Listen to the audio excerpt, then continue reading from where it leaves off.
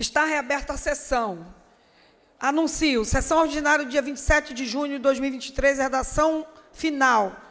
Projeto de lei número 749 de 23, de autoria do Poder Executivo, mensagem número 8 de 23, que dispõe sobre as diretrizes para a elaboração da lei do orçamento anual de 2024 e da outras providências. Em discussão, não havendo quem queira discutir, encerrada a discussão e votação. Senhores que aprovam, permaneçam como estão. Aprovado. Volta. É, vai autógrafo. É, a presidência irá suspender os trabalhos dessa sessão por 15 minutos.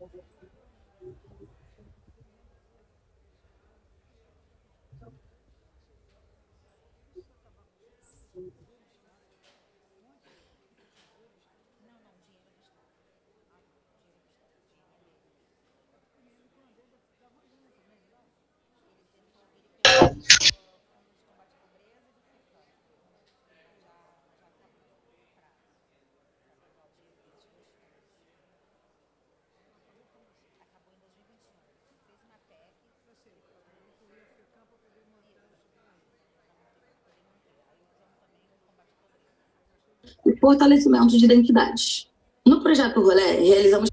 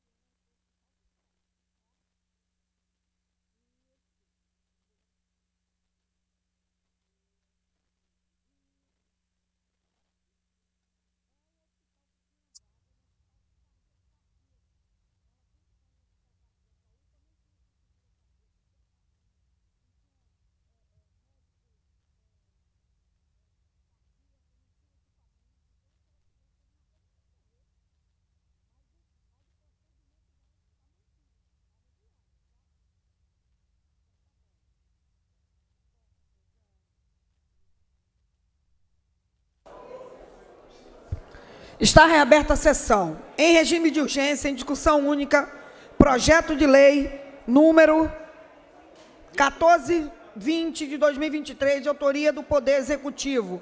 Mensagem número 17 de 23, que dispõe sobre a instituição de regime especial para farinha de trigo e produtos resultantes de sua industrialização com base no inciso 8 do artigo 3 da Lei Complementar número 160, de 7 de agosto de 2017 e na cláusula de, décima terceira do convênio do ICMS, número 190, de 2017, em adesão do incentivo fiscal previsto no artigo 22 do anexo terceiro do ICMS do Estado de São Paulo. Pendente de pareceres das comissões de Constituição e Justiça, de Economia, Indústria e Comércio, de Tributação, Controle da Arrecadação Estadual e Fiscalização dos Tributos Estaduais, e de Orçamento, Finanças, Fiscalização Financeira e Controle. Para emitir parecer, pela Comissão de Constituição e Justiça, deputado Rodrigo Amorim.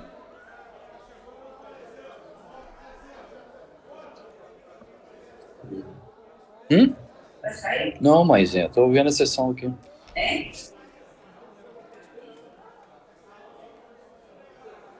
Escuta, Mas estou trabalhando. Estou trabalhando.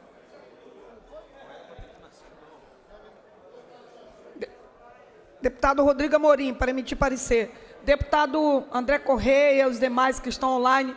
O Pessoal, presidente. verifica aí, Alô. por favor, o microfone voltou. Já voltou, Pela presidente. Ordem, presidente. Pela ordem, deputado Luiz Paulo. Pela ordem, deputado Luiz Paulo. Senhora presidente, os deputados que aqui chegaram não se atrasaram. A gente sabe disso. Mas já votou o projeto número 1. Um. Os deputados não se atrasaram. Foi solicitado a Vossa Excelência, agora eu sei que a Vossa Excelência, que suspendesse os trabalhos até a gente retornar. Sim, a, mas eu já tinha cantado o primeiro projeto às 15 horas. Sim, querida.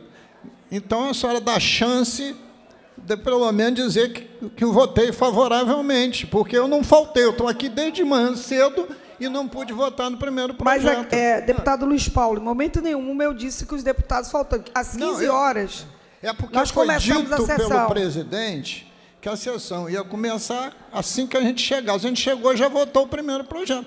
Então, eu não estou pedindo para a senhora voltar atrás. Eu quero que a senhora consigne que eu votei favorável à LDO. Só quero consignar meu voto. É consignado o voto de Vossa Excelência e os deputados que desejarem, assim desejarem, como a gente já tinha começado a pauta, consignar o voto, porque já foi votado o primeiro projeto às 15 horas e eu suspendi a sessão assim que recebi o pedido para a suspensão da mesma.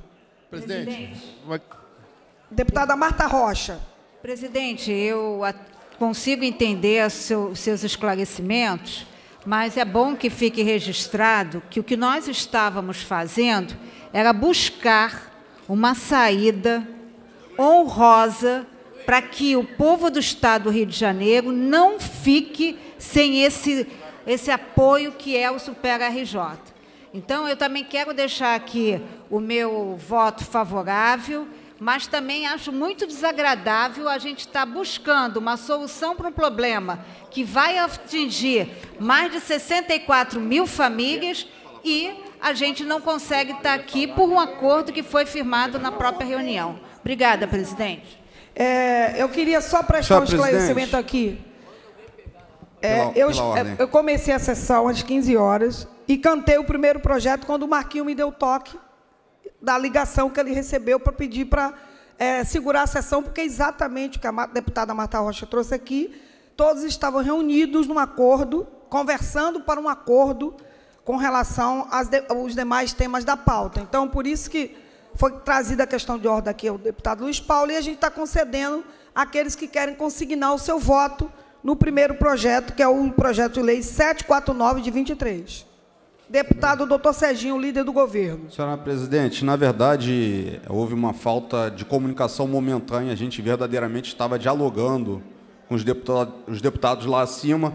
E o deputado Luiz Paulo, até questionei a ele é, se ele gostaria de votar de uma maneira diferente no projeto. Não, gostaria de estar presente.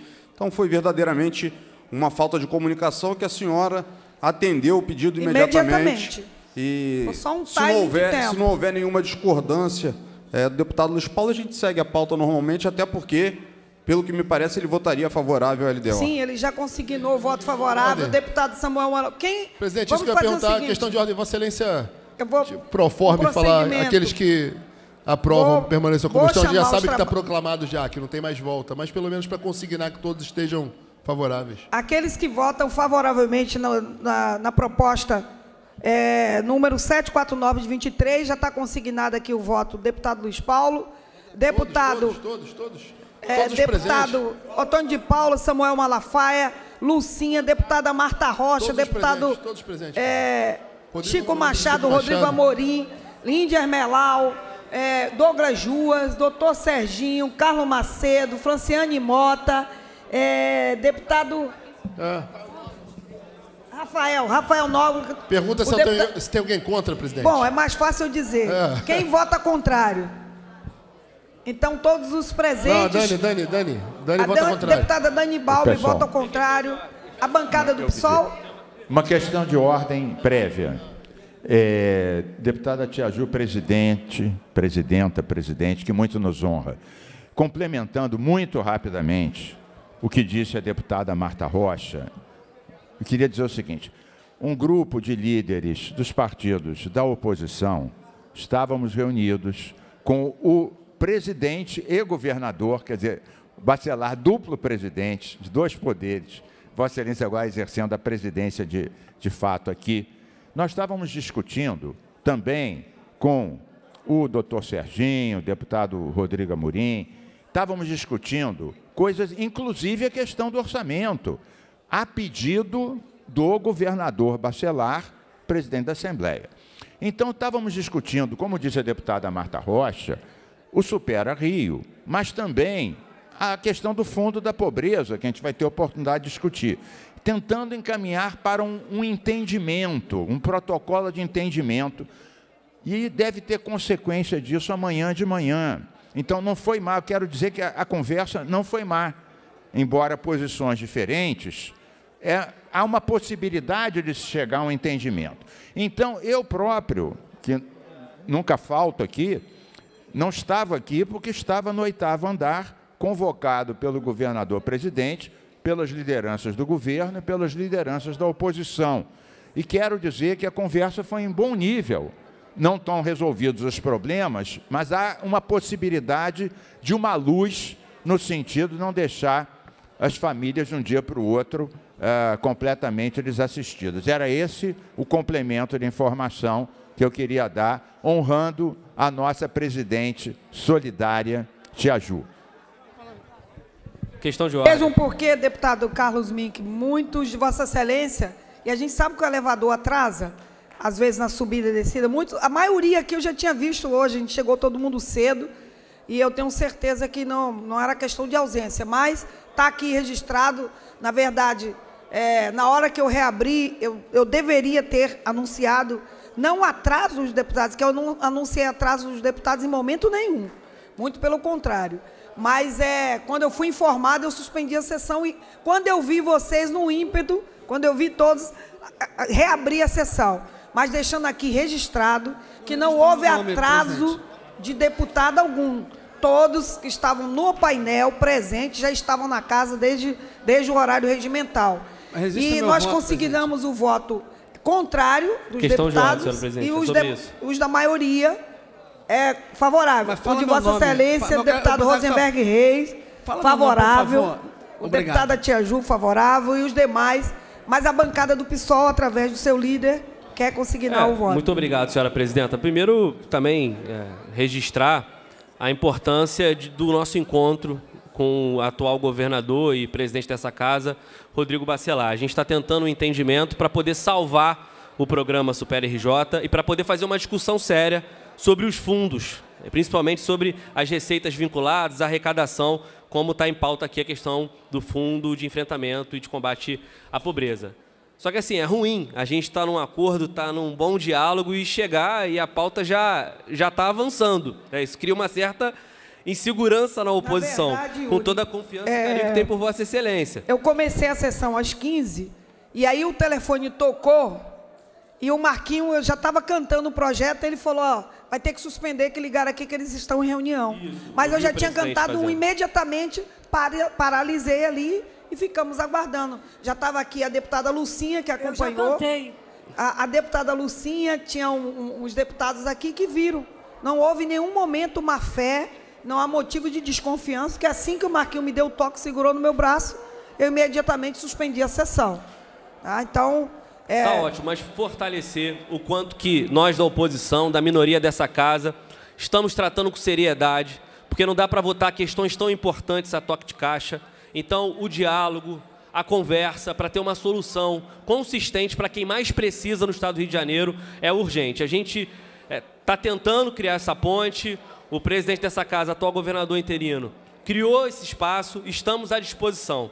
Mas é fundamental que o conjunto dos parlamentares entendam que não é mais uma uma questão de ser situação ou oposição. É uma questão que impacta vários municípios do nosso estado do Rio de Janeiro, da Baixada, do interior, que impacta dezenas de milhares de famílias. Então são pautas que a gente precisa se debruçar e discutir com responsabilidade. Sendo assim, mesmo a pauta tendo avançada, eu quero registrar o voto contrário da bancada do PSOL quanto ao projeto 749 da Lei de Diretrizes Orçamentárias. Na semana passada a gente discutiu, conseguimos algumas emendas, mesmo subemendas autorizativas, nos colocamos contrário à forma como o governador tem conduzido o orçamento e a questão fiscal no estado do Rio de Janeiro. Então, quero registrar que votamos contra a LDO. É consignado o voto da bancada do PSOL contrário à lei 749 de 23. Questão de ordem. Deputada Dani. Senhora Presidenta, eu peço atenção aqui dos membros da CCJ, especialmente do presidente da CCJ, pois há hoje na pauta a mensagem do Executivo 14 e a mensagem 16. Ambas as mensagens internalizam um convênio do CONFAS sobre incentivo fiscal. No entanto, esses dois convênios já são internalizados por força de lei. Já existe lei aprovada por essa casa, inclusive as duas legislações, com parecer da CCJ votado por unanimidade. Presidente da CCJ, eu peço atenção aqui, por favor. Deputado Rodrigo Amorim, por favor, peço atenção de Vossa Excelência com o presidente da CCJ. Não, sim, sim. Hoje há duas mensagens na pauta, mensagem 14 e mensagem 16. Ambas as mensagens já são leis aprovadas por essa casa. E segundo uma súmula 7 de Vossa Excelência à frente da presidência da CCJ, leis em vigor prejudicam projetos de leis. Tanto que eu já tive, peço por favor que Vossa Excelência escute até o final, tanto que quatro projetos meus receberam pareceres pela prejudicabilidade por leis já existentes. Os dois convênios já estão regulamentados já estão, vocês estão tentando revogar uma lei de autoria, duas leis de autoria dessa casa. Eu peço a retirada de pauta das duas mensagens e que retorne a análise para a CCJ. Fiz, inclusive, aqui um documento para entregar para Vossa Excelência, na condição de presidente, pois, se for esse o caso, deputada Tia Ju, na mensagem não diz qual é a inconstitucionalidade do projeto. A gente trabalhou aqui, inclusive, com possíveis inconstitucionalidades. É porque não teve estudo de impacto, então tem pelo menos cinco leis de mensagem do Executivo para cair. É porque foram leis de autoria de deputados, então tem outros deputados aqui que também internalizaram convênios e que precisa cair. A prejudicabilidade eu recebi em projetos meus por lei em vigor. Acho que os deputados vão lembrar bem aqui, quando a bancada do pessoal tentou aprovar o projeto do dia Marielle Franco, e foi esse o entendimento. Uma lei em vigor prejudica proposições, e não o contrário. Então, eu peço, por favor, gentilmente, a retirada de pauta das duas mensagens para apreciação na CCJ. Porque, como um projeto que teve parecer por, por parte de todos os membros da CCJ como constitucional, um projeto que foi sancionado pelo governador, agora apresenta inconstitucionalidade. Se há inconstitucionalidade, há em outros convênios também internalizados. Para nós, do pessoal, é ótimo rever todas as isenções fiscais do Estado.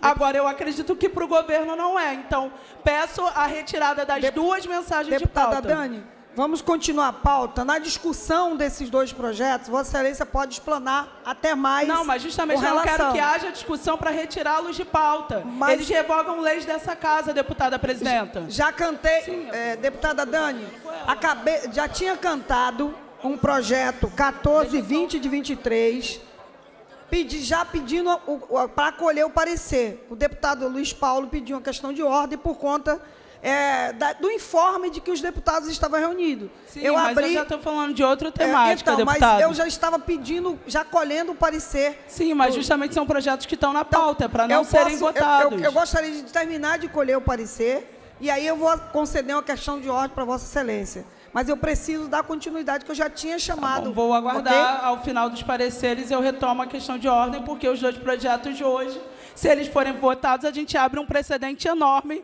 de fazer cair leis que hoje a casa aprovou e de não aprovar mais nenhum convênio via casa. Mas eu preciso realmente abrir uma exceção. Bem, eu vou aguardar, deputada presidenta, eu vou aguardar. A, abrir uma exceção para a gente só anunciar, para ficar bem esclarecida a questão da reunião, da presença dos deputados na reunião. Então pela já foi feito. Só vou conceder pela ordem depois de colher os pareceres, tá, deputada Renata? Tá bom para para emitir parecer pela Comissão de Constituição e Justiça no projeto 1420 de 23, deputado Rodrigo Amorim. Senhora presidente, o parecer é pela constitucionalidade com emendas, apenas para correção de texto, não é, não é mudança no, no escopo da lei, não, é só mudança de, de, de pequenos erros materiais. Portanto, o parecer é pela constitucionalidade com emendas. Pela Comissão de Economia, Indústria e Comércio, deputado Anderson Moraes. Presidente. Deputado André Correia.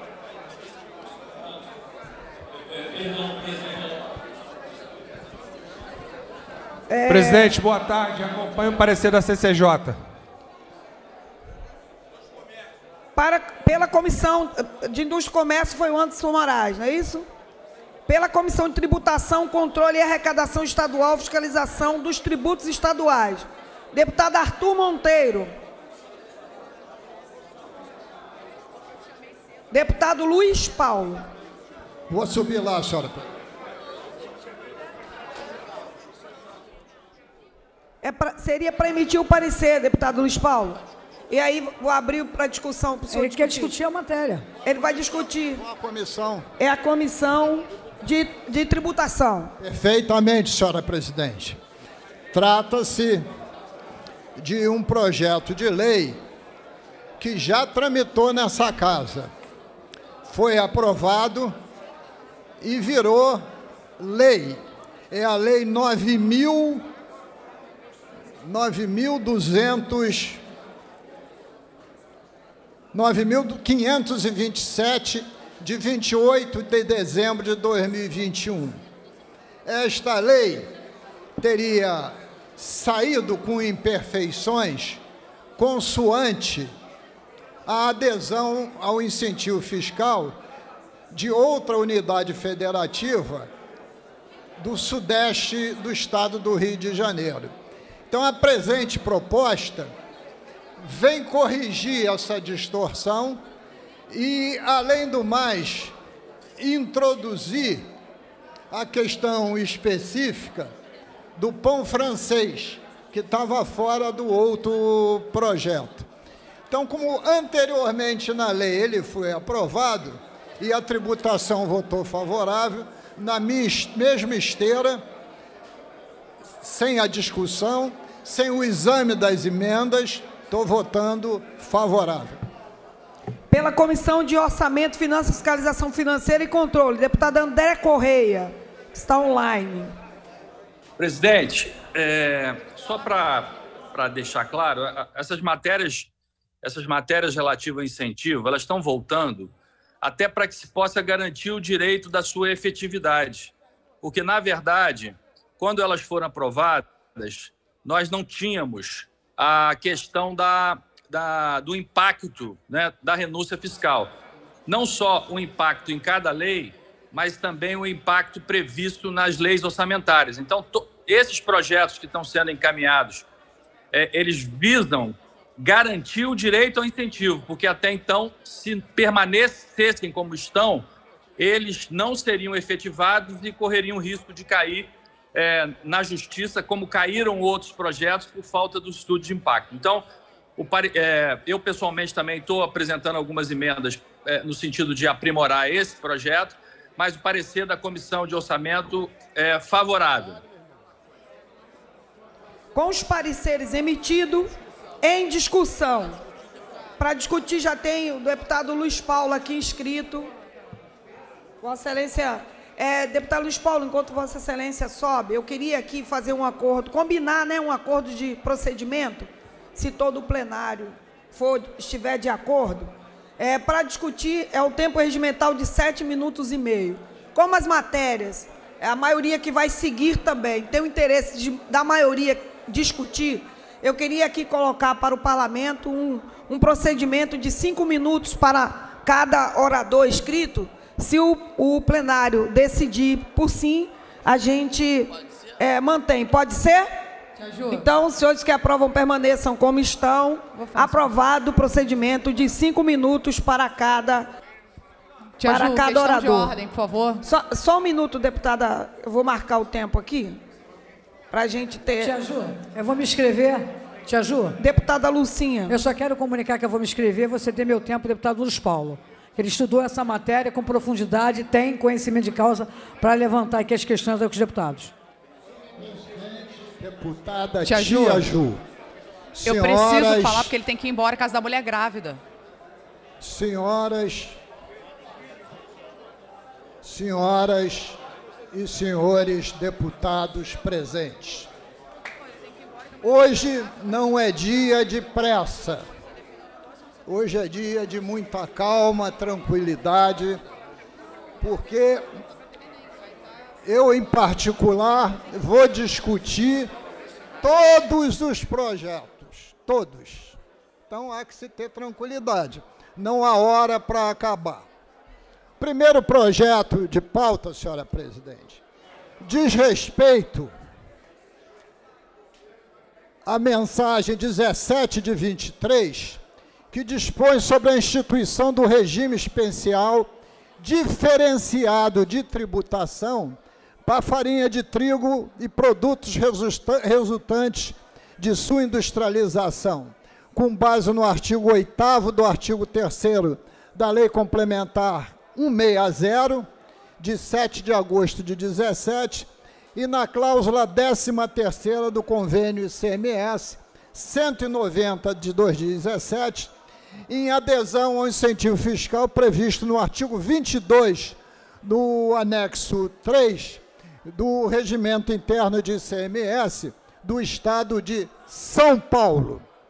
Havíamos já, no ano de 2022, aprovada a Lei 9527, de 28 de dezembro de 21, que instituiu esse regime. Então, regime já existe hoje. No entretanto, o que, que ocorreu? Por que, que veio outra mensagem, deputado Rodrigo Amorim? Porque no projeto que aprovamos, nós descumprimos o artigo 113 da ADCT, que determina que seja realizado estudo prévio de impacto financeiro orçamentário da instituição do benefício de que trata o presente projeto de lei. Esse estudo foi feito pela Secretaria de Fazenda e a estimativa de renúncia foi inserida na Lei Orçamentária Anual de 2023, que está lá nas folhas 92 a 95, disponível no volume 1. Não há novidade no que eu estou dizendo, porque está escrito na justificativa. Está escrito na justificativa. Porque nós não podemos, um, aprovar um benefício fiscal sem determinar o impacto. E, para consoante, tanto a Constituição quanto as leis infraconstitucionais, este impacto tem que estar inserido na LOA. E a Secretaria de Fazenda o fez ainda em 2023. E o projeto original não tinha isso. Então o governo está revogando, através do artigo 4 a Lei 9597, que será substituída por essa, e que produzirá seus efeitos, como manda a lei, até 31 de dezembro de 2024. Além disso, na lei original, não estava incluído o pão francês que foi incluído. Então, eu estou justificando o porquê do projeto. Fiz emendas, outros parlamentares também o fizeram, para melhorar a redação do projeto. E quando ele voltar à pauta, com o douto parecer do deputado Amorim e do deputado Serginho, essa análise das emendas será efetuada. Pedi para discutir a matéria, senhora presidente, porque seguidamente, nesses cinco projetos de refazimento de benefícios fiscais, vou discutir todos, mas reafirmar, senhora presidente, que está na LDO esse ano um impacto orçamentário de benefícios fiscais de 24 bilhões de reais. Ora, se a gente pode perder 24 bilhões de reais por ano, como é que não podemos gastar 120 milhões para atender os mais necessitados no Supera Rio, senhora presidente. Vou, em todos os projetos, marcar essa questão, senhora presidente. Muito obrigado. Deputada Lucinha vai abrir a discussão. Deputado Luiz Paulo, por gentileza. A deputada Retorne, por Lucinha, tribuna. É, gostaria que o senhor... Os cinco minutos para você concluir seu raciocínio, que esse, esse projeto que nós estamos discutindo trata praticamente toda a pauta que é de incentivo fiscal, como Vossa Excelência colocou. Então, gostaria que, que o senhor continuasse fazendo aí, a, a, colocando a sua posição em relação a esse projeto. Já contei. Deputado Luiz Paulo. Só é... vou construir a finalização. O governo, via Secretaria de Fazenda, mandou cinco projetos de lei corrigindo benefícios fiscais que já haviam sido concedidos. E quando eu digo que a perda de incentivos fiscais, do ponto de vista do ICMS, é de 24 bilhões, está incluso esses cinco, porque há tempo a Secretaria de Fazenda fez essas previsões, quer seja na LOA de 23, quer seja na LDO de 2024. O que eu quero registrar, doutor Serginho, é o contraditório. Se o Estado pode abrir mão de 24 bilhões de reais de receita, porque estaria incentivando emprego e renda que ele não consegue realmente verificar se está, por que, que ele não pode dispor de 160 milhões para dar continuidade ao auxílio emergencial para aqueles que sofreram e sofrem continuadamente com as consequências da Covid, deputado Licinha. Inclusive os órfãos, que foi objeto de lei de autoria de Vossa Excelência. Porque simplesmente dizer assim, a Covid acabou, em tese é uma verdade, mas as, as consequências são duras e permanentes. Então, dito isso, senhora presidente, é necessário, para concluir, que o governo siga o caminho de que vai fazer o ministro Haddad, deputada Zeidan Lula. O ministro Haddad disse que vai rever todos os benefícios fiscais da União. Porque não faz o mesmo o nosso estado do Rio de Janeiro, para colocar esse recurso exatamente para ser gasto a favor dos mais necessitados. Muito obrigado, senhor. Deputado Flávio Serafini. Não havendo mais quem queira discutir, encerrada a discussão, a presente proposta. Não, não tinha visto, eu chamei. Então, o deputado Flávio Serafini, para, para discutir, Vossa Excelência terá cinco minutos. Boa tarde, deputados, deputadas. Boa tarde a todos aqueles que nos acompanham pela TV Alerj. A gente está iniciando agora os trabalhos legislativos de uma semana muito importante para o Estado do Rio de Janeiro. O governo do Estado mandou para essa casa uma série de mensagens alegando que o governo se encontra em crise e que precisa tomar algumas medidas. Mas eu quero destacar que parte das mensagens que o governo enviou, mesmo estando em crise, dizem respeito a subsídios fiscais. Dizem respeito a abrir mão de receitas, supostamente, para promover desenvolvimento econômico. O Estado do Rio de Janeiro perde por ano mais de 20 bilhões em arrecadação por conta de incentivos fiscais. Obviamente, nem todo incentivo diz a mesma coisa. Esse incentivo, por exemplo, que a gente está discutindo, é relacionado ao trigo e seus derivados.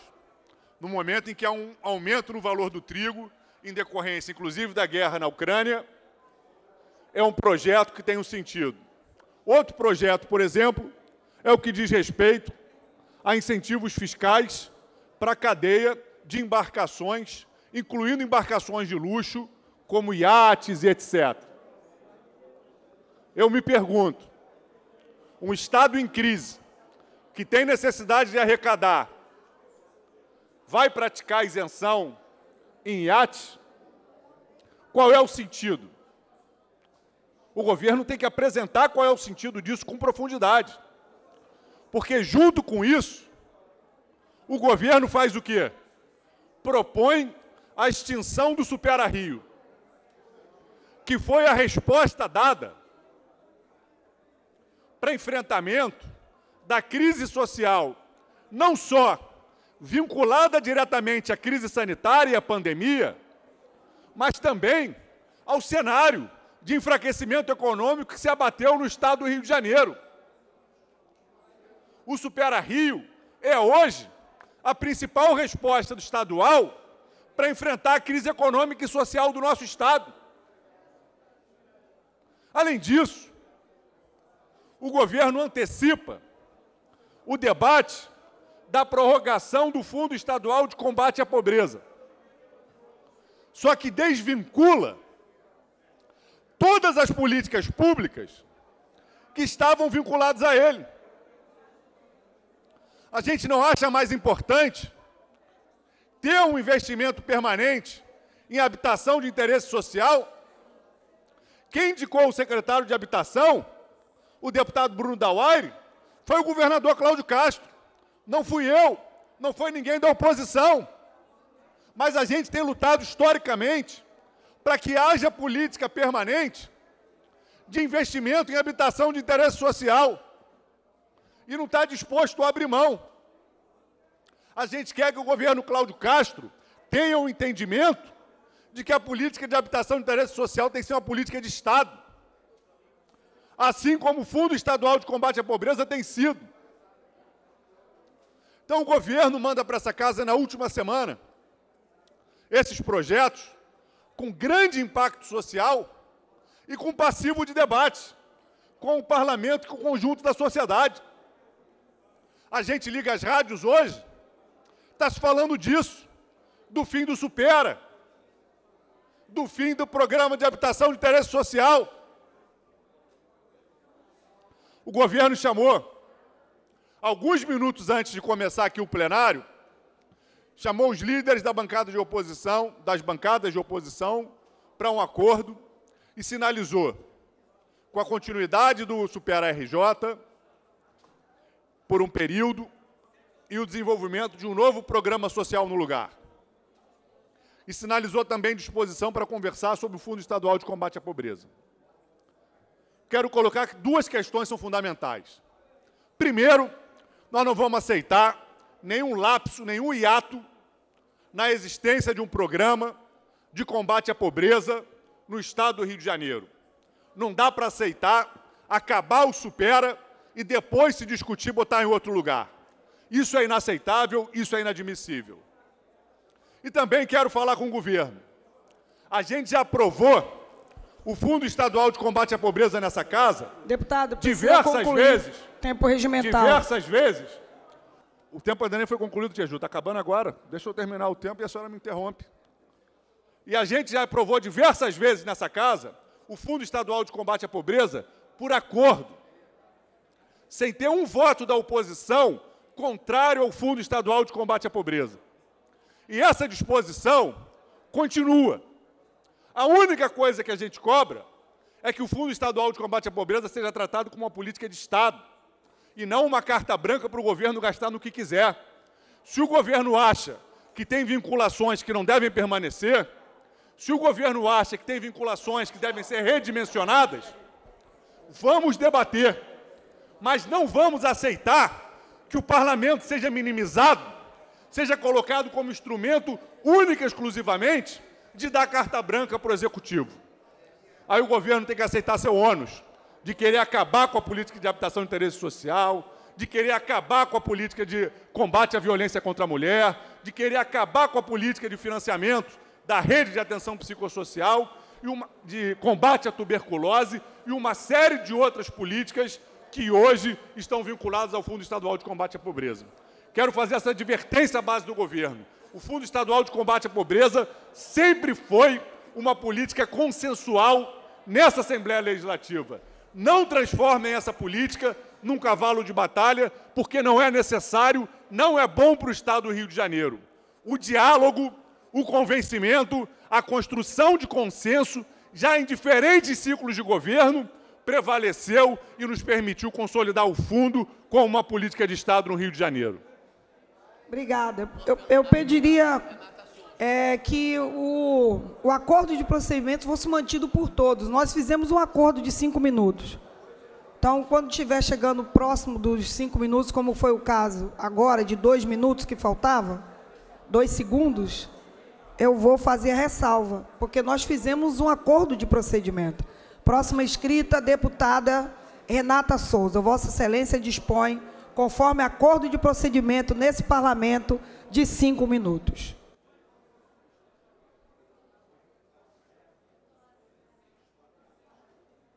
Senhora presidenta, senhoras deputadas, senhores deputados, fazer o debate aqui hoje com relação ao projeto é, e a mensagem do governo, né, que trata sobre o regime para farinha de trigo, enfim, dá outras providências com relação à renúncia fiscal de ICMS.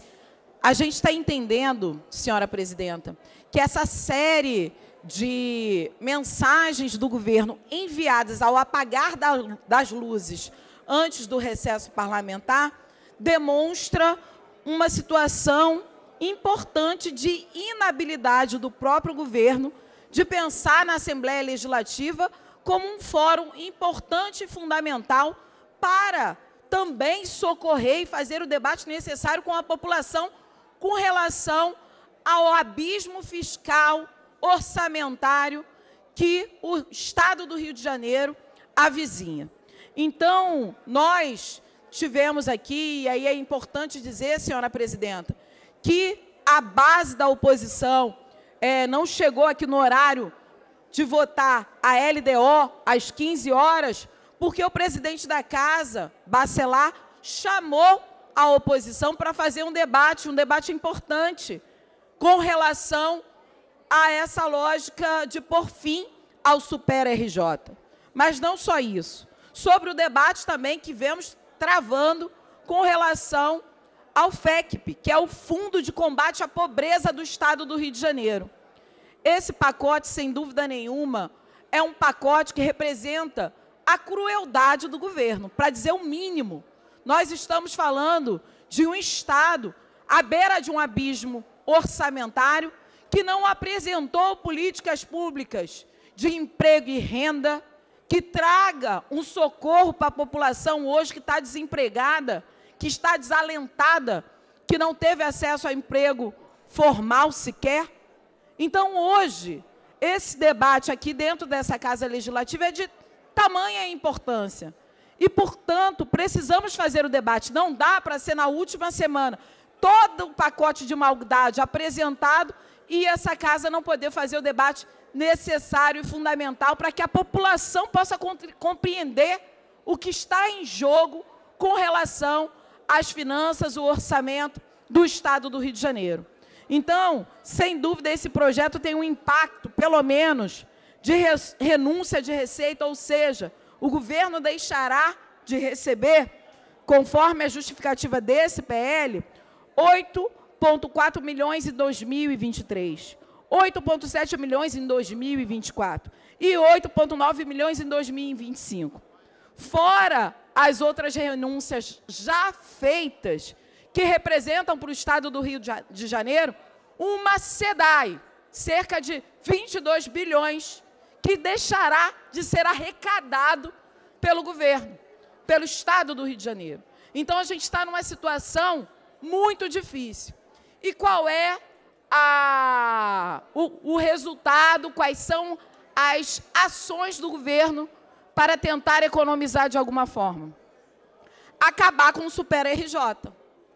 Um programa, o único programa de distribuição de renda no âmbito do Estado do Rio de Janeiro, e que trouxe, em especial, o trabalho dessa Casa Legislativa na construção e na possibilidade de superação da miséria e da extrema pobreza, em especial daquela população que hoje está extremamente vulnerável. E aí, apesar dos problemas enfrentados, quando questionamos sobre a importância desse benefício para a subsistência de suas famílias, ou seja, quase 95% dos beneficiários desse programa disseram que esse programa é muito importante. Nós fizemos aqui algumas falas e fizemos um levantamento a partir do nosso mandato, porque o nosso mandato é, presidiu na última, nos últimos dois anos uma comissão de enfrentamento à miséria e combate à pobreza e a gente pôde rodar o Rio de Janeiro inteiro, as cidades mais precarizadas e mais empobrecidas. Então, nós fizemos um levantamento, senhora presidenta, com cerca de 160 beneficiários e mais de 80% deles relatavam sucessivos atrasos no pagamento e, falsa, e, falta de transparência. Essa é uma das questões que levantamos aqui diversas vezes. Para concluir, vezes. deputada, seu tempo esgotou. Levantamos diversas vezes essa essa situação. Mas, ao invés do governo apresentar uma proposta de superação do problema, ele fala, acaba com o Super RJ, com desculpa do regime de recuperação fiscal, lembrando que o Super RJ, quando foi aqui, e essa casa aprovou a sua prorrogação até dezembro de 2023, já havia o regime de recuperação fiscal. Então, como assim podia ser aprovado no final de dezembro e agora tem que ser exterminado porque o regime de recuperação o impede. Então, essa é, sem dúvida nenhuma, um argumento, uma justificativa minimamente contraditória, se não falsa.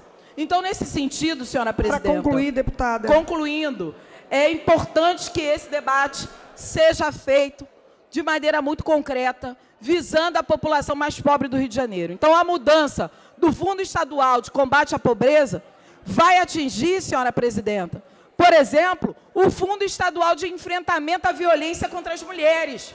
O Estado do Rio de Janeiro hoje, junto com São Paulo, é o maior estado com violência contra as mulheres e feminicídios do país. Ou seja, a Para desvinculação concluir, do Fundo de Combate à Pobreza vai atingir todo o enfrentamento à violência contra as mulheres. Então, a gente está falando aqui da população mais vulnerável, dos pobres, das mulheres que estão morrendo e, sem dúvida nenhuma, esse pacote de maldades precisa ser debatido com essa casa, com a importância e a relevância que tem. Muito obrigada, senhora presidenta. É, de, deputado é, doutor Serginho, antes, porém, lembrando aos deputados inscritos que, tão, que se inscreveram para discutir, nós estamos discutindo o projeto 1420 de 23, que fala sobre o regime especial para farinha de trigo. Senhora presidente, é, eu tive a oportunidade de conversar com o deputado Carlos Mink. Ainda há pouco estou aqui, deputado Carlos Mink.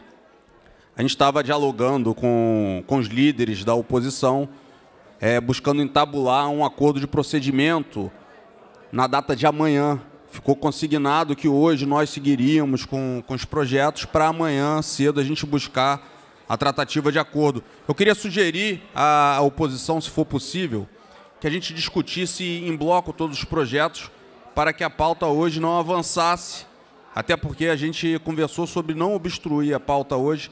Se houver consenso da, da oposição, a gente estabelece esse acordo de procedimento hoje, obviamente com todos podendo discutir, mas discutir isso em bloco. Deputado doutor Serginho, então eu cantaria os projetos e aí a discussão seria inscrição para discutir eles em bloco, porque o que eu estou percebendo aqui é que a gente abriu a discussão para o da farinha de trigo, mas está vindo é, concomitantemente os demais. Então seria, vou cantar então os demais. Deputada Marta Rocha. A oposição ainda não se manifestou com todo respeito. É, o que eu quero ponderar aqui com o deputado doutor Serginho, líder do governo, é que a gente, para aceitar, e tem que ouvir deputado Luiz Paulo, deputada Élica, deputado Mink, a gente tem que retornar ao tempo inicial que é da gente, de sete minutos e meio. Era exatamente o que eu iria propor, deputada Marta Rocha. Aqui, quando eu propus inicialmente cinco minutos, foi pensando por cada projeto. Já que vai ser em bloco, voltaria, deputado Serginho, os sete minutos e meio para que haja tempo da explanação. Porque só em cinco minutos eles não vão conseguir nem, nem a oposição, nem a situação, nem a neutralidade discutir os projetos em, em, em voga. Então, é, se assim for do consenso do líder do governo, e, e, das bancadas de oposição. Eu não fiz acordo nenhum. O senhor me perdoe. Nós tivemos uma reunião. A gente está propondo, não... ninguém, não, propondo, ninguém definiu nada, Paulo, não. Não acordo tô, nenhum. Estou propondo, ninguém, não acordo. Ninguém definiu nada, gente. Nós estamos aqui, eu estou ouvindo a proposta do deputado Serginho. A deputada Marta Rocha trouxe algo que é importante. Eu tinha. A gente fez um acordo senhora, de procedimento. Senhora presidente, eu, nós não temos direito de discutir? Tem sim. A, a noite, a noite é uma criança, senhora presidente. Vamos em frente. Deputado Luiz Paulo, é, aqui na figura da presidente, no momento, interina e humildemente entendendo o poder que o parlamento tem, nós, ao começar, propusemos um acordo de procedimento de cada projeto e todos concordaram aqui em plenário uma discussão de cinco minutos. Por isso que eu trouxe aqui o fato de estarem adentrando a outros projetos. A deputada, o deputado Serginho trouxe aqui a proposta, não a definição, a proposta de se votar, de se discutir em bloco para avançar, porque hoje só vai é, discutir, né, mas a gente precisa avançar. E aí a deputada Marta Rocha trouxe uma proposta que eu iria, na fala do deputado Serginho, propor. Então, que se retome os sete minutos e meio porque aí fica um tempo suficiente para quem vai discutir sem adentrar o tempo do outro. Aí eu estou levando a proposta aqui trazida pela deputada Mata Rocha, pelo deputado Serginho, líder do governo. Se o plenário estiver de acordo, irei cantar os outros dois projetos e aí a discussão será em bloco. Há consenso no parlamento?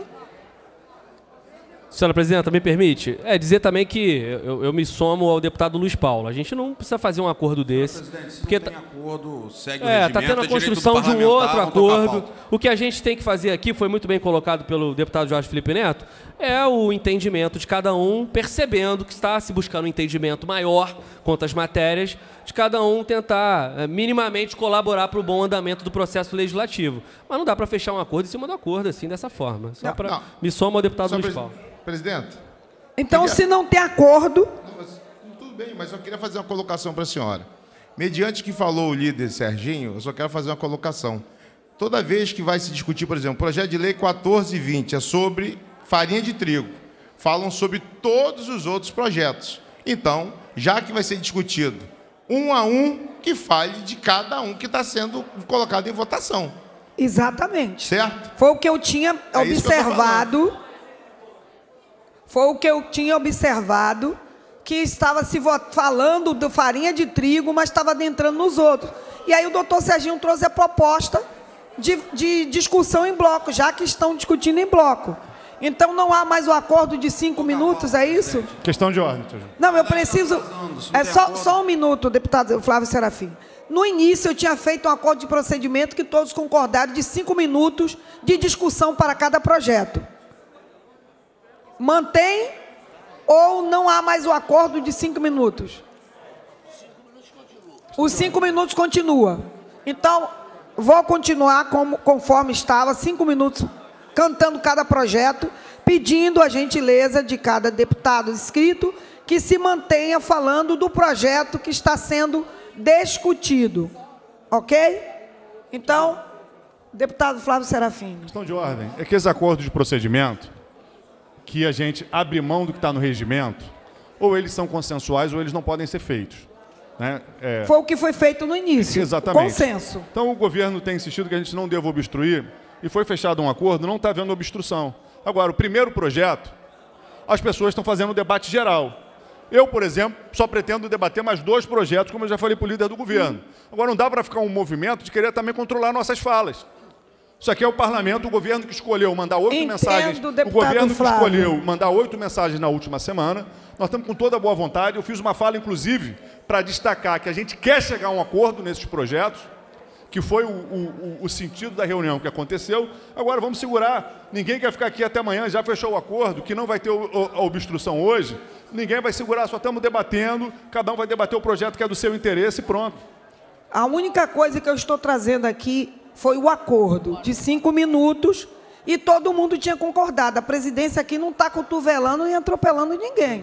Estou com muita tranquilidade. Certamente aqui o governo vai respeitar todas as Sim. regras regimentais, até porque nós não temos controle sobre isso. O regimento é para garantir prerrogativa de parlamentar. Presidente, queria pedir que tocasse... Para tocar a pauta, porque a Dani Balbi está escrita, mantendo, deputada Dani Balbi, próxima escrita para discutir o projeto 1420 de 23 mantendo o acordo de procedimento de cinco minutos, que será discussão em cada projeto. Deputada Mat...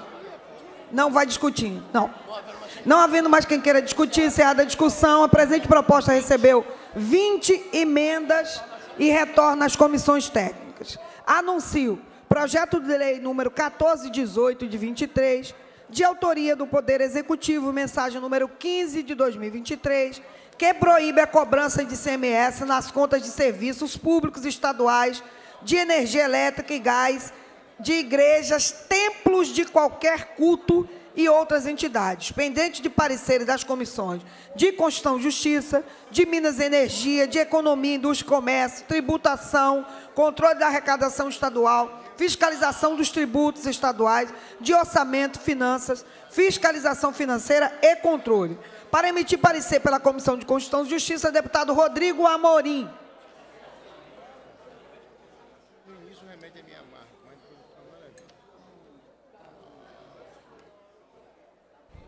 Presidente, parecer pela constitucionalidade com emendas. Pela comissão. As emendas, as emendas só para deixar claro, as emendas só correção de texto ortográfica, nada na essência, não. Emenda de correção de texto. Catado parecer de Vossa Excelência. Pela Comissão de Minas e Energia, deputado Tiago Rangel. Deputado Tiago Rangel. Deputado André Correia. Pela Comissão de Minas e Energia, deputado André Correia. Parecer favorável. Pela Comissão de Economia, Indústria e Comércio, deputado Anderson Moraes. Deputado Anderson Moraes. Pela Comissão de Economia, Indústria e Comércio.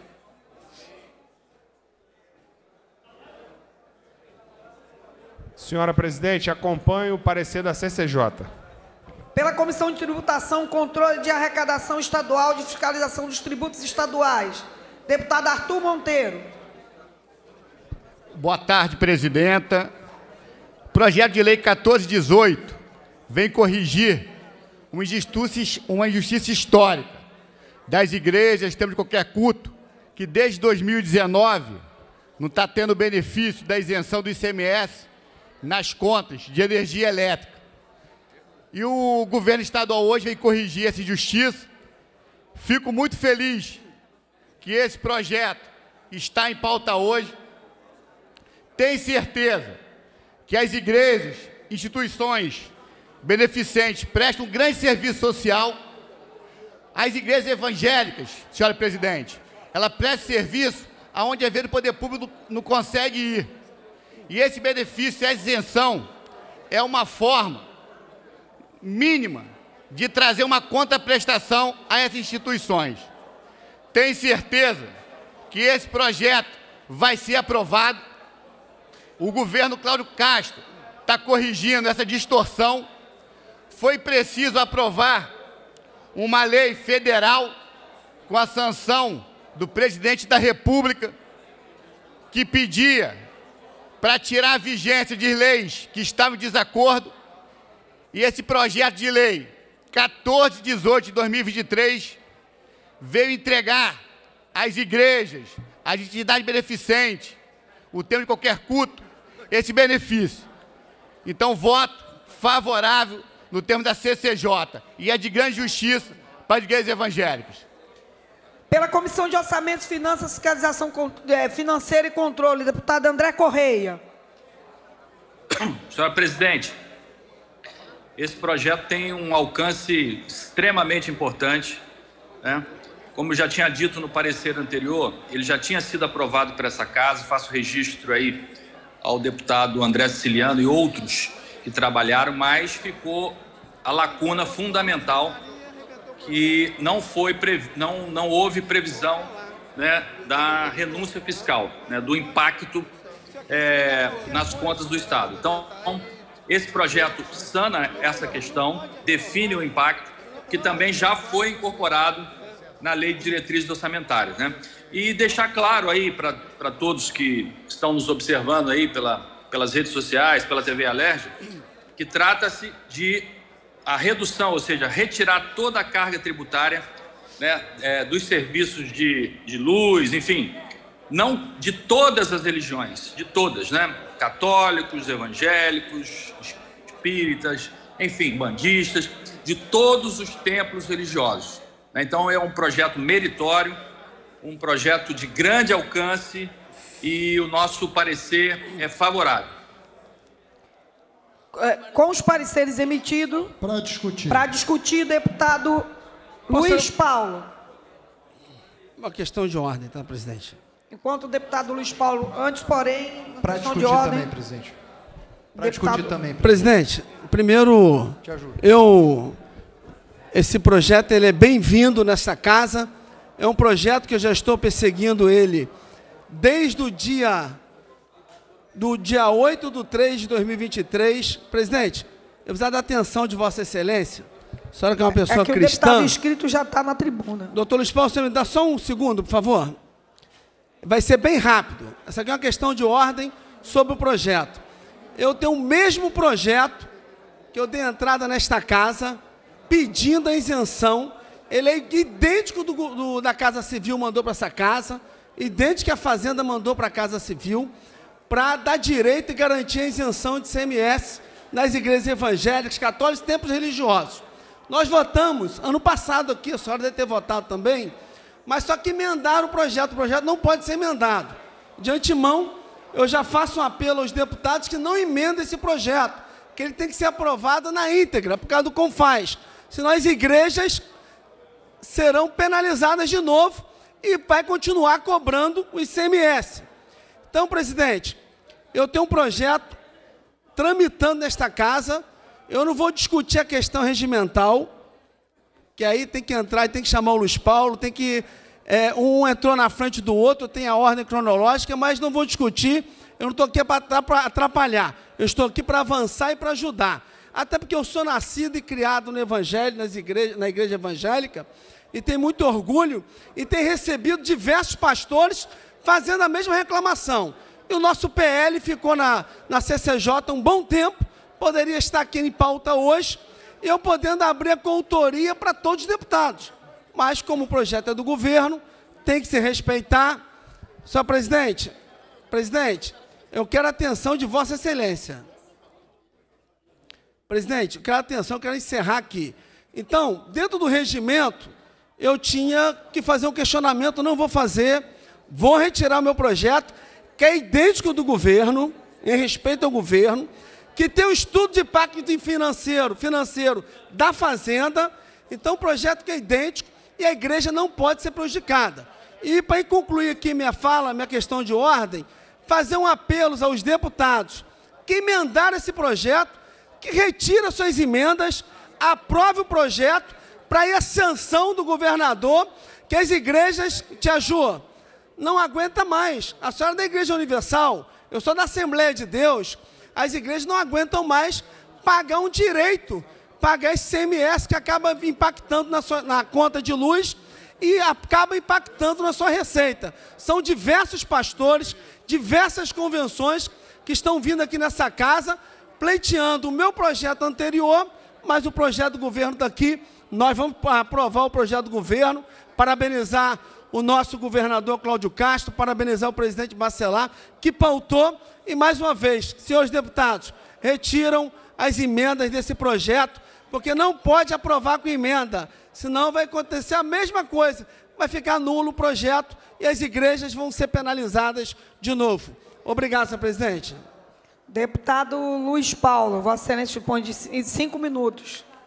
Calmamente, senhora presidente nós vamos discutir o projeto de lei 14 de 18 de 23.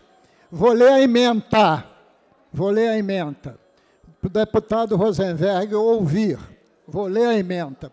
Proíbe a cobrança de ICMS nas contas de serviços estaduais públicos de energia elétrica e gás de igrejas templos de qualquer culto e outras entidades. Para ser justo, deputado Rosenberg Reis, o governo está revogando as leis 3266 de 6 de outubro de 1999 e a lei 9721 de 15 de junho de 22, que legislaram sobre essa matéria. E me lembro muito bem dois baluartes nessa defesa que estão aqui. Deputado Fábio Silva, deputado Silas Malafaia e também Vossa Excelência. Então, o projeto já tinha sido aprovado na casa. O projeto pode ser emendado, não pode incluir é, novas instituições que não essas. E por que, que os projetos anteriores não estavam fazendo efeito? Porque faltava o convênio com FAS. E só agora foi autorizado, através do convênio ICMS 68 de 2022, que promoveu as alterações no convênio ICMS 190 de 2017, e que promoveu a regulamentação da Lei Complementar 160 de 17, 170 de 19 e 186 de 21, permitindo os estados reinstituírem esse benefício até 30 de junho de 2023. 30 de junho de 2023. E aí, senhora, senhora presidente, quando eu falo igrejas, templos, de qualquer culto, de qualquer culto, não importa se seja a Igreja Católica Apostólica Romana, a Igreja Evangélica de qualquer denominação, as organizações umbandistas, candomblecistas ou espíritas kardecistas. Dou aqui um exemplo. A Casa de Frei Luiz, em Jacarepaguá. É uma instituição que presta relevante serviço à população, com serviços de assistência educacional, médico e ambulatorial, asilar e social, com distribuição de roupas, medicamentos, cestas básicas aos mais necessitados, além de assistência a crianças e jovens, até mesmo com necessidades especiais. Lamentavelmente, o seu fundador já faleceu, que era o doutor Luiz da Rocha Lima, e seus colaboradores continuam ao mesmo, o mesmo trabalho. Eu não vou ler todas as atividades que eu tenho aqui da instituição Frei Luiz, lá na Boiúna, em Jacarepaguá, mas eu estou aqui citando, porque senão fica parecendo que só uma instituição religiosa presta serviços relevantes assistenciais. E não é verdade. E também o projeto está respeitando a liberdade de culto. Então, eu estou aqui discutindo, deputado Fábio Silva, e o senhor também nunca foi contrário à extensão a todos os cultos, para mostrar que este tipo de benefício fiscal agora pode ser dado. Esse é um benefício fiscal justo, porque deriva assistência social. Aqueles 24 bilhões que a gente perde por ano, eu não sei, eu não sei se gera emprego e renda. Eu não sei. E nenhum dos senhores sabe, porque o governo, e não é esse, todos, não controlam. Não controlam. Então, queria dizer da relevância desse projeto. Eu comungo que as instituições de assistência social ligadas a qualquer culto têm que ser incentivado. O que mais precisa o nosso país é de assistência social, deputado Otone Pai, é de assistência social. Espiritual, espiritual, os cultos dão, mas nem todos os cultos dão assistência espiritual e assistencial. Mas tem cultos que dão as duas, e é relevante. E garanto que nenhum pastor, nenhum padre, nenhum pai de santo, nenhum chefe de terreiro, nenhum líder kardecista seria favorável a acabar a acabar com o benefício social do Supera Rio, que abriga 65 mil famílias. Emendamos o projeto para co colaborar com o projeto em correções. E iremos votar favoravelmente e dou a parte a Vossa Excelência, porque Vossa Excelência é ecumênico. Ora é Otone pai, ora é pai Otone. Só lembrando, deputado Luiz Paulo, que o tempo de Vossa Excelência acabou. Deputado, apenas para corrigir, ele falou deputado Silas Malafaia. Se Silas Malafaia Não, fosse desculpa, deputado eu, aqui. Eu, eu, é Samuel. A Samuel. história seria outra. Samuel Malafaia. Eu me, eu me penitencio, peço desculpas, e eu estava me referindo ao deputado Fábio Silva, Samuel Malafaia e Rosenberg Reis, que sempre propugnaram, propugnaram por esse tipo de projeto. Muito obrigado. Próximo orador inscrito é o deputado Jorge Felipe Neto. Deputado Jorge Felipe Neto. Deputado Tande. Vossa Excelência dispõe de cinco minutos.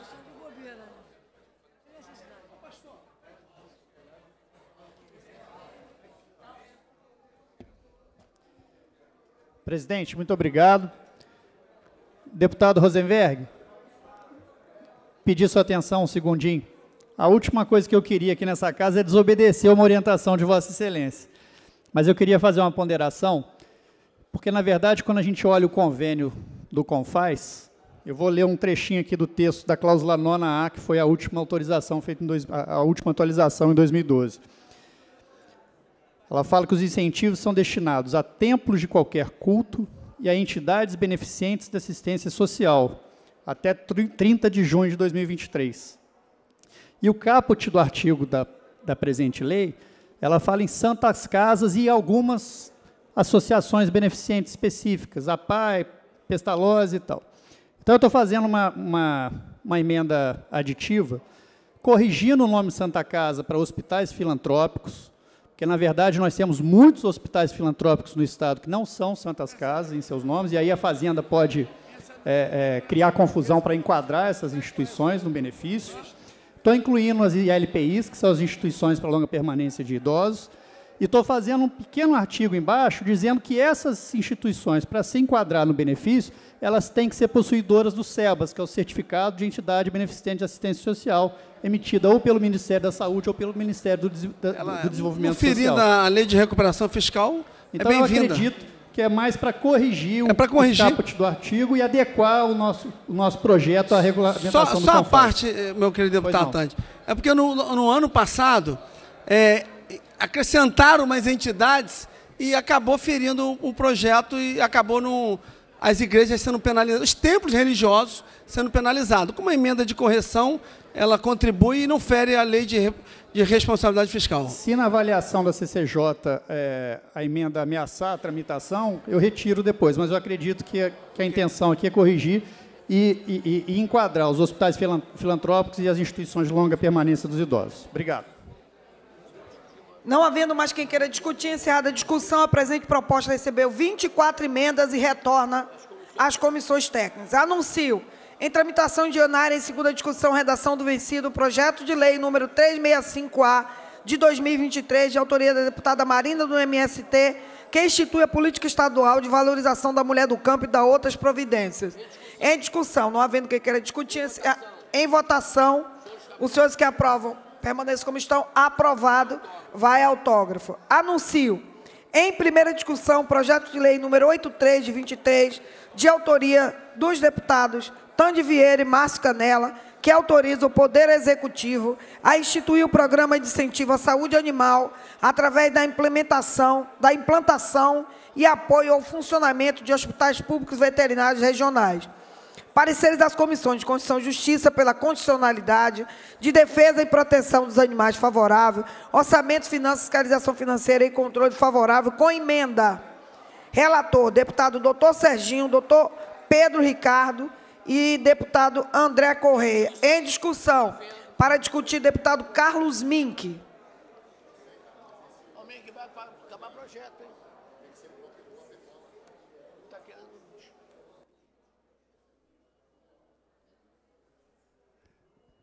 Presidenta Solidária Tia Ju, seguindo a sua orientação, eu me inscrevi para discutir esse projeto, mas na verdade o que eu quero falar é do fim do Supera Rio, que é um absurdo. Uma brincadeira, vou falar desse projeto mesmo. Então, eu, eu, eu quero dizer que eu sou favorável a esse projeto dos deputados é, Tandy é, e Canela, porque mostra uma preocupação. Né? Eu sou autor, coautor, a bem da verdade, do Código Estadual de Defesa Animal que é uma lei bastante ampla, complexa, tem 18 artigos, nós já fizemos o cumpra-se dela, e além disso fizemos outras leis, por exemplo, a que proíbe tatuagem piercing nos animais, que é uma maldade que não tem cabimento, as que vedaram, deputado Luiz Paulo, ah, as rinhas de cães e galos, né? Ah, aqui no, no, no Estado, né? na época eram defendidos por alguns deputados, né? como se os animais, deputada Marina do MST, fossem gladiadores, gladiadores para satisfazer o sadismo de alguns. Então, eu acho que uma sociedade que trata mal os animais, que trata mal os presos, os idosos, os meninos de rua, na verdade é uma sociedade insensível, completamente insensível. Uma sociedade, deputado Luiz Paulo, não se mede o avanço dela civilizatório pelo número de celulares ou pelo número de automóveis.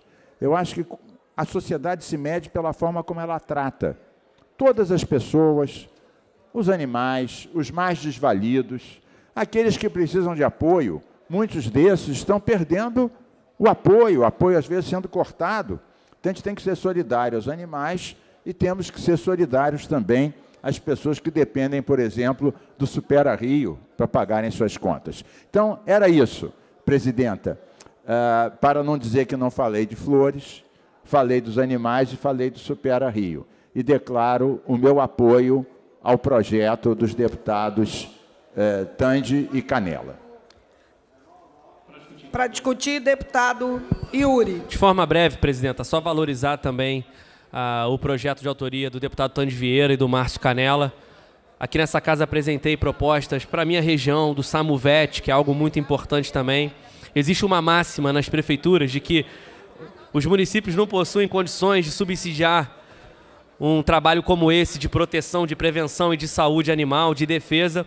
Sou totalmente contrário. A gente vê várias famílias que é, impactam no seu orçamento a dificuldade de fazer um tratamento. Várias famílias que optam pelo sacrifício do seu pet por muitas vezes não terem essa condição, o que não é justificado até pelos protetores, mas é, é um problema social que a gente vive. Então, de fato, pensar hospitais regionais é uma forma de consorciar isso, de dividir essas atribuições e pensar uma política voltada à saúde do animal, ao bem-estar do animal séria. Parabéns, deputado. Conta com o meu apoio aí. Muito feliz de poder votar favorável. Presidente, deputado Tande, para discutir. Pe não, pela ordem, rapidinho. Só para dizer também que o deputado Valceasa retirou um projeto parecido e se tornou coautor desse, desse PL também. Agradecer ao deputado Valceasa também pela pela autoria nessa ideia. Gostaria de solicitar a coautoria também, Vossa Excelência, que eu sou defensora arda dos PETs. E o deputado é, é, Dionísio Lins, Chico Machado, a deputada Lucinha também, Solicito que é a coautoria. coautoria também. Deputado Yuri, então consigo dar. Deputado Flávio Serafim, deputado Carlos Mink. Quem mais a coautoria? Deputado Luiz Paulo, deputada Marta Rocha. Pois não, deputado. Deputado André Correia. André Correia também deputado é, Muni Neto, deputado Jairi Oliveira, já te ouvi, Jairi querido. Deputada Carla Machado, deputada Dani Balbi, deputada Renata Souza. E dizer, deputado Tandy, que a gente acompanha o trabalho que é feito lá na sua cidade, um trabalho de excelência, parabéns.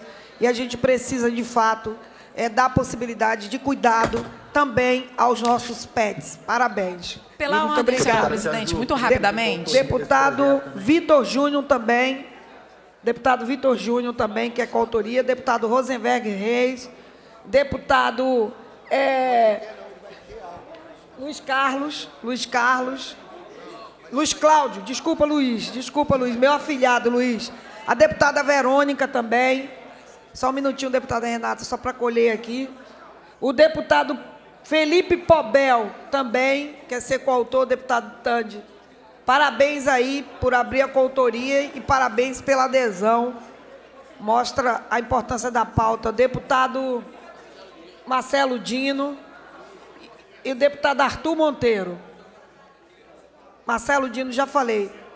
É, com brevidade, a deputada é, Renata. Senhora presidenta, muito rapidamente, é porque passou aqui o projeto de lei 365A de 2023 da deputada Marina do MST, que instituiu a política estadual de valorização da mulher no campo e da outras, e da outras providências, que eu estava conversando agora com a deputada Marina e também não fiz o debate, porque fizemos o debate na primeira discussão, é, e ela cedeu a coautoria desse projeto de lei. Então, quero aqui agradecer à deputada Marina por conceder a coautoria desse, dessa política estadual de valorização da mulher do campo, que é tão fundamental e importante diante da desigualdade dessa mulher no campo e quanto reconhecer essa mulher é, faz diferença para a produção de alimento, faz diferença para uma lógica agroecológica também da nossa de manutenção das nossas terras. Muito obrigada, senhora presidenta. É, vai haver a republicação, então, deputada Marina, do projeto 365A de 23,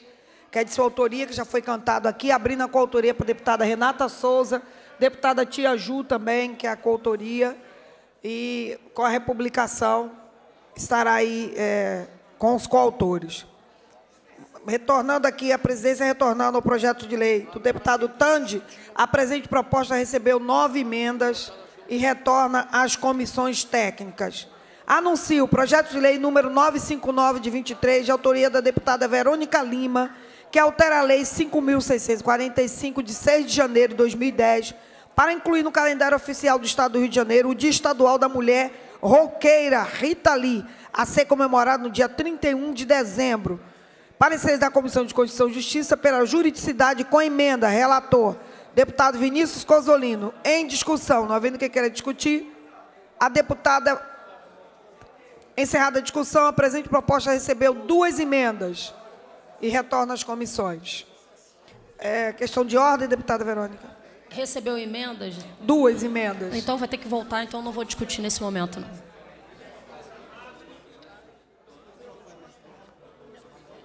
As emendas já tinha cantado a discussão, mas o, é, a, eu vou propor aqui ao parlamento chamar os trabalhos à ordem e é, deixar a deputada Verônica abrir novamente a discussão, na verdade.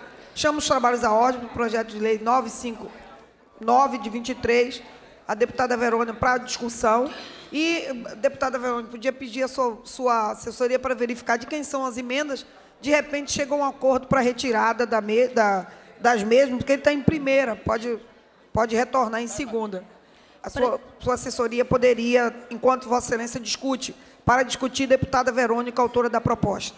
Presidenta, muito, muito rapidamente, é, colocar no calendário do Estado do Rio de Janeiro o Dia das Mulheres Roqueiras, com o nome dessa que é um ícone da música do rock nacional. A Rita Lee foi uma precursora desse gênero musical no Brasil na década de 60, na década de 70, quando não era muito usual que mulheres tocassem guitarra, que mulheres compusessem, que mulheres efetivamente tocassem esse gênero musical. E ela foi uma mulher de vanguarda, uma mulher evidentemente à frente do seu tempo, uma mulher que foi exemplo não só para a música, mas também um exemplo para a cultura do nosso país.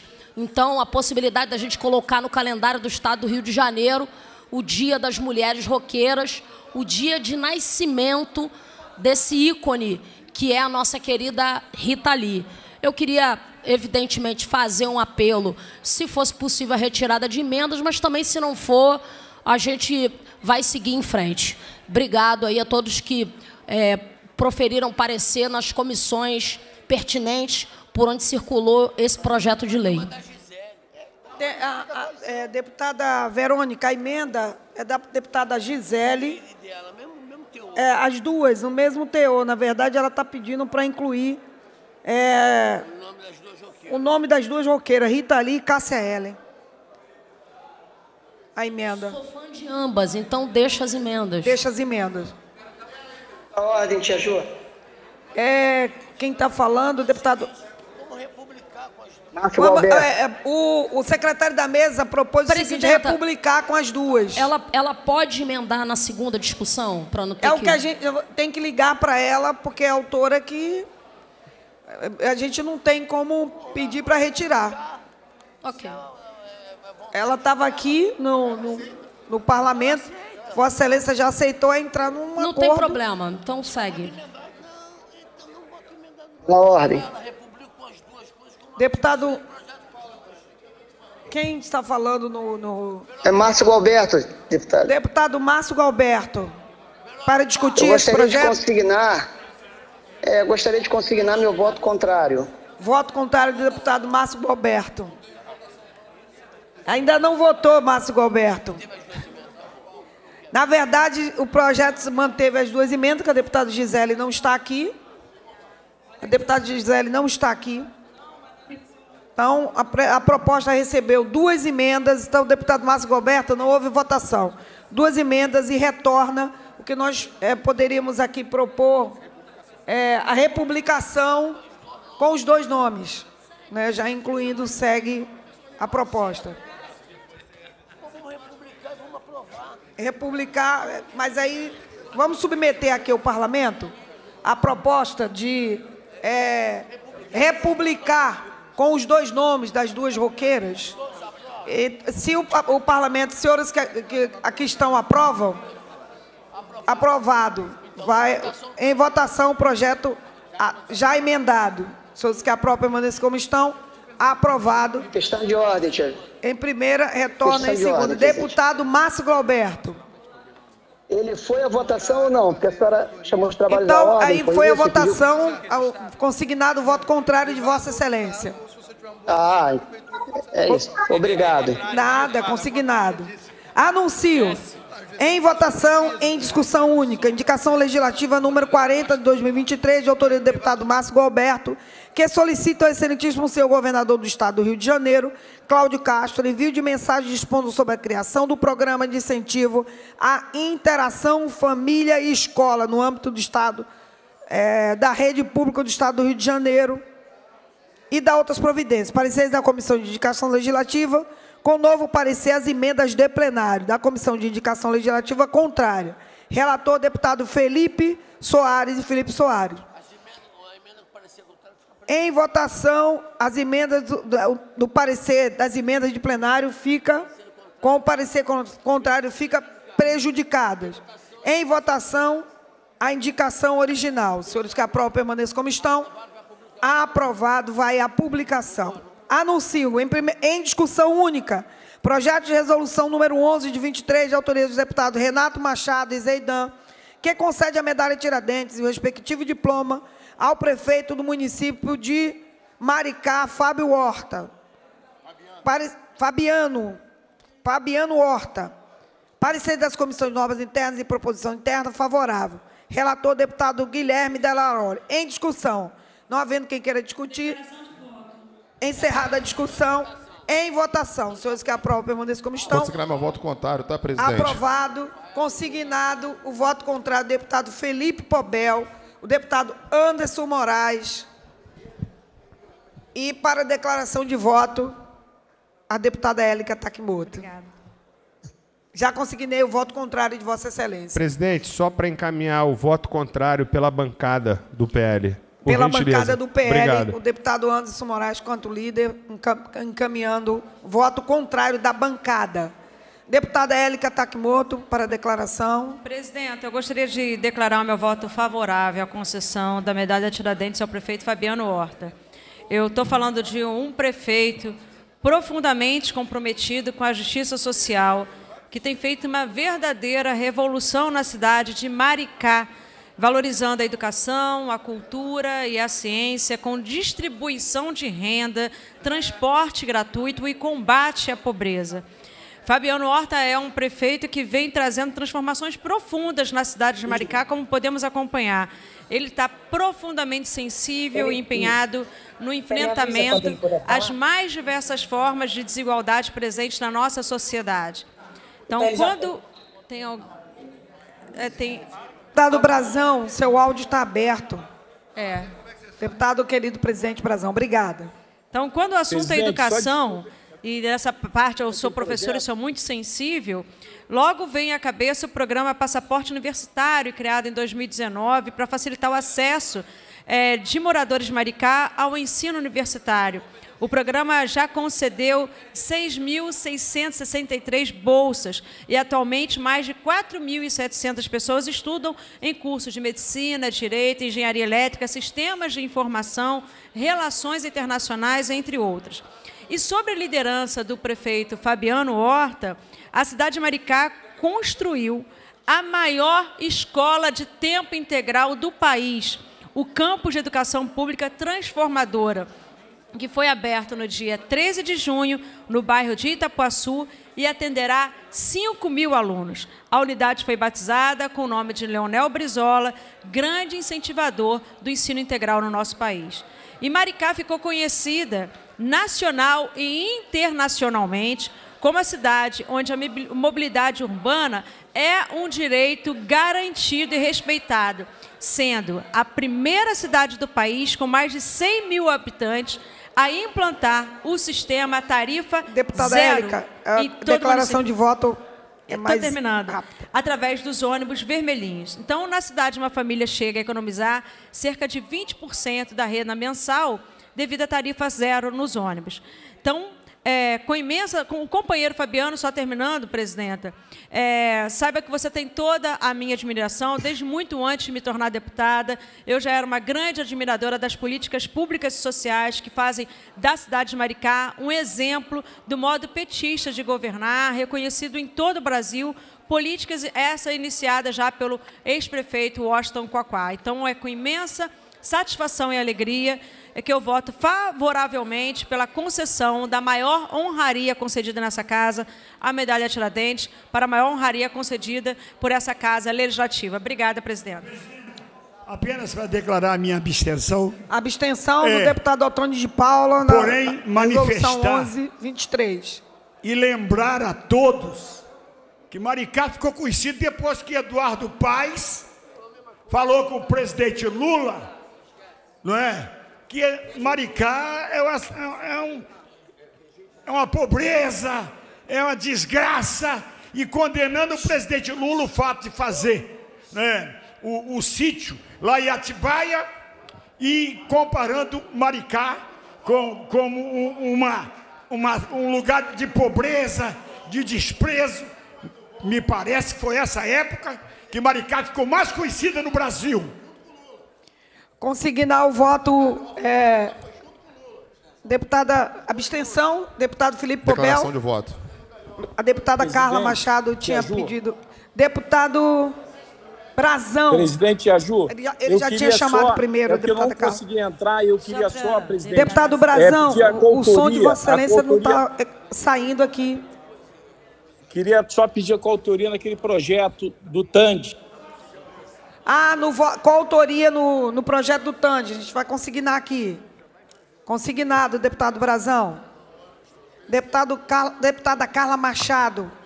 Declaração de voto? Só para declarar voto, senhora presidente. É, eu gostaria de declarar voto favorável ao prefeito Fabiano Horta. Foi prefeito junto conosco.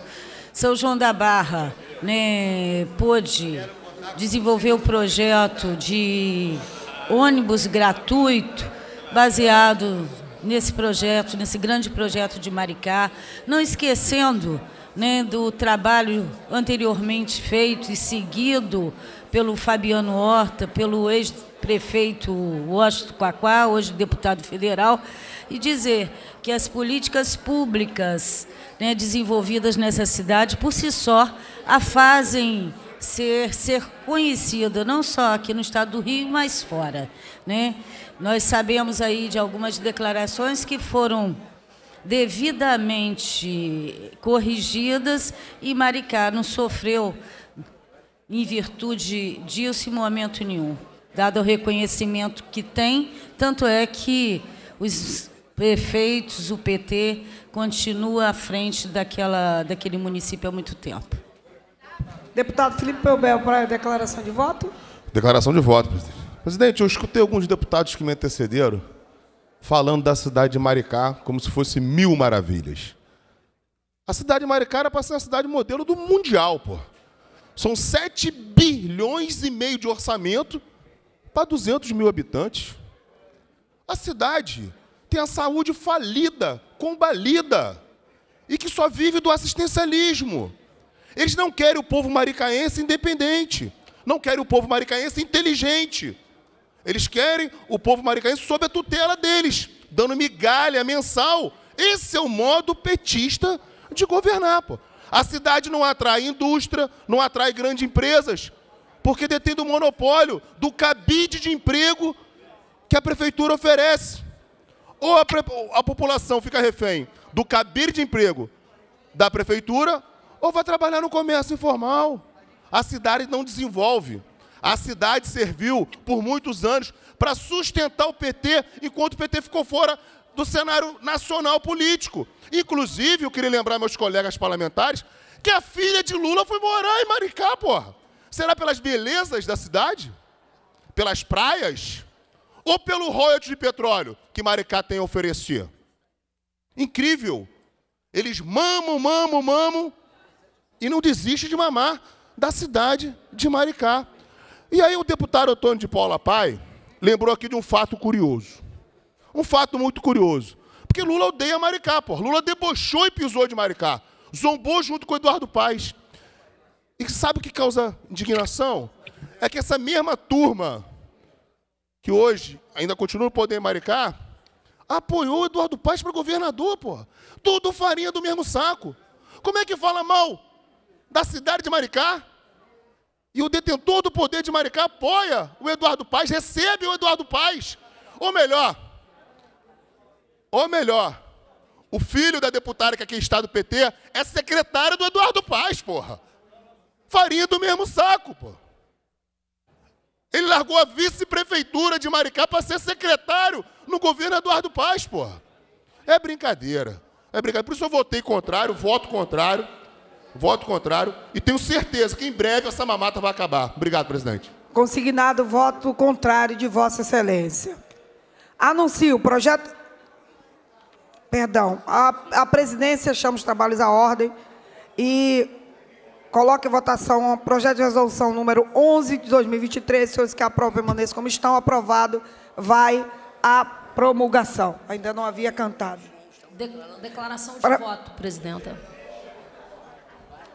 Declaração de voto, deputada Verônica. Declaração também de voto. Declaração de voto, logo em seguida, deputada. Presidenta, eu queria, em primeiro lugar, agradecer a todos os colegas deputados e deputadas que se manifestaram favoravelmente a essa honraria para o prefeito Fabiano Horta e dizer muito rápida e brevemente que, em primeiro lugar, para todos que acompanham a história da cidade de Maricá, devem lembrar o que era a cidade de Maricá há pouco mais de uma década atrás, quando o ex-prefeito Austin Quaquá assumiu a prefeitura à luz de velas.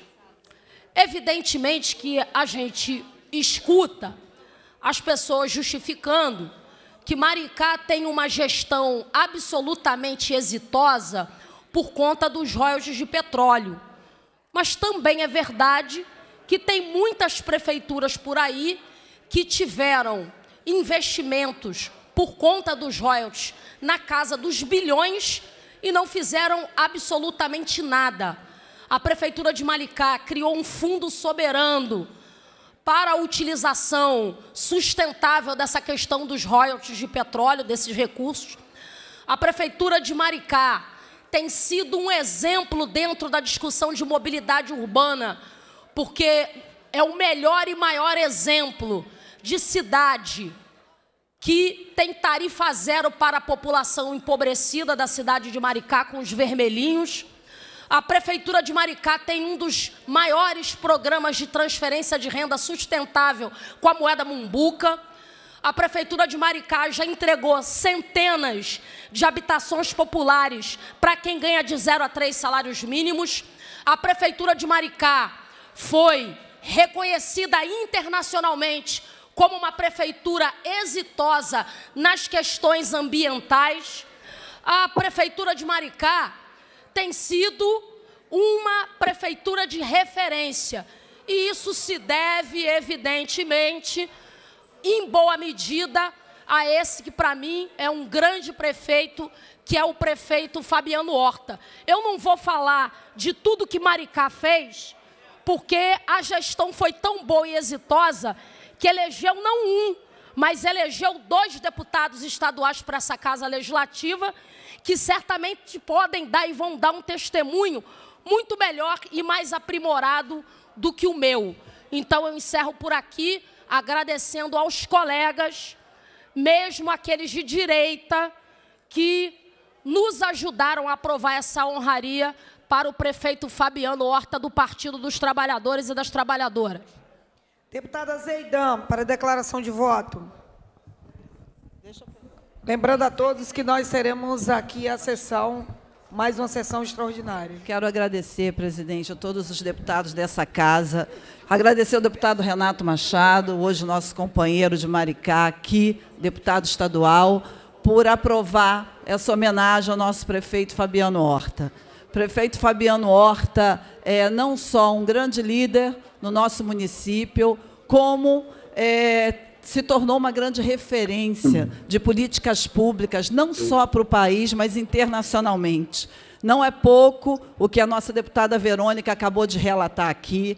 Nós fizemos, acabamos de fazer é, um grande é, congresso internacional de uso do hidrogênio né, como a grande é, é, é, fonte de energia do nosso futuro, que é um grande ganho para o Estado do Rio de Janeiro.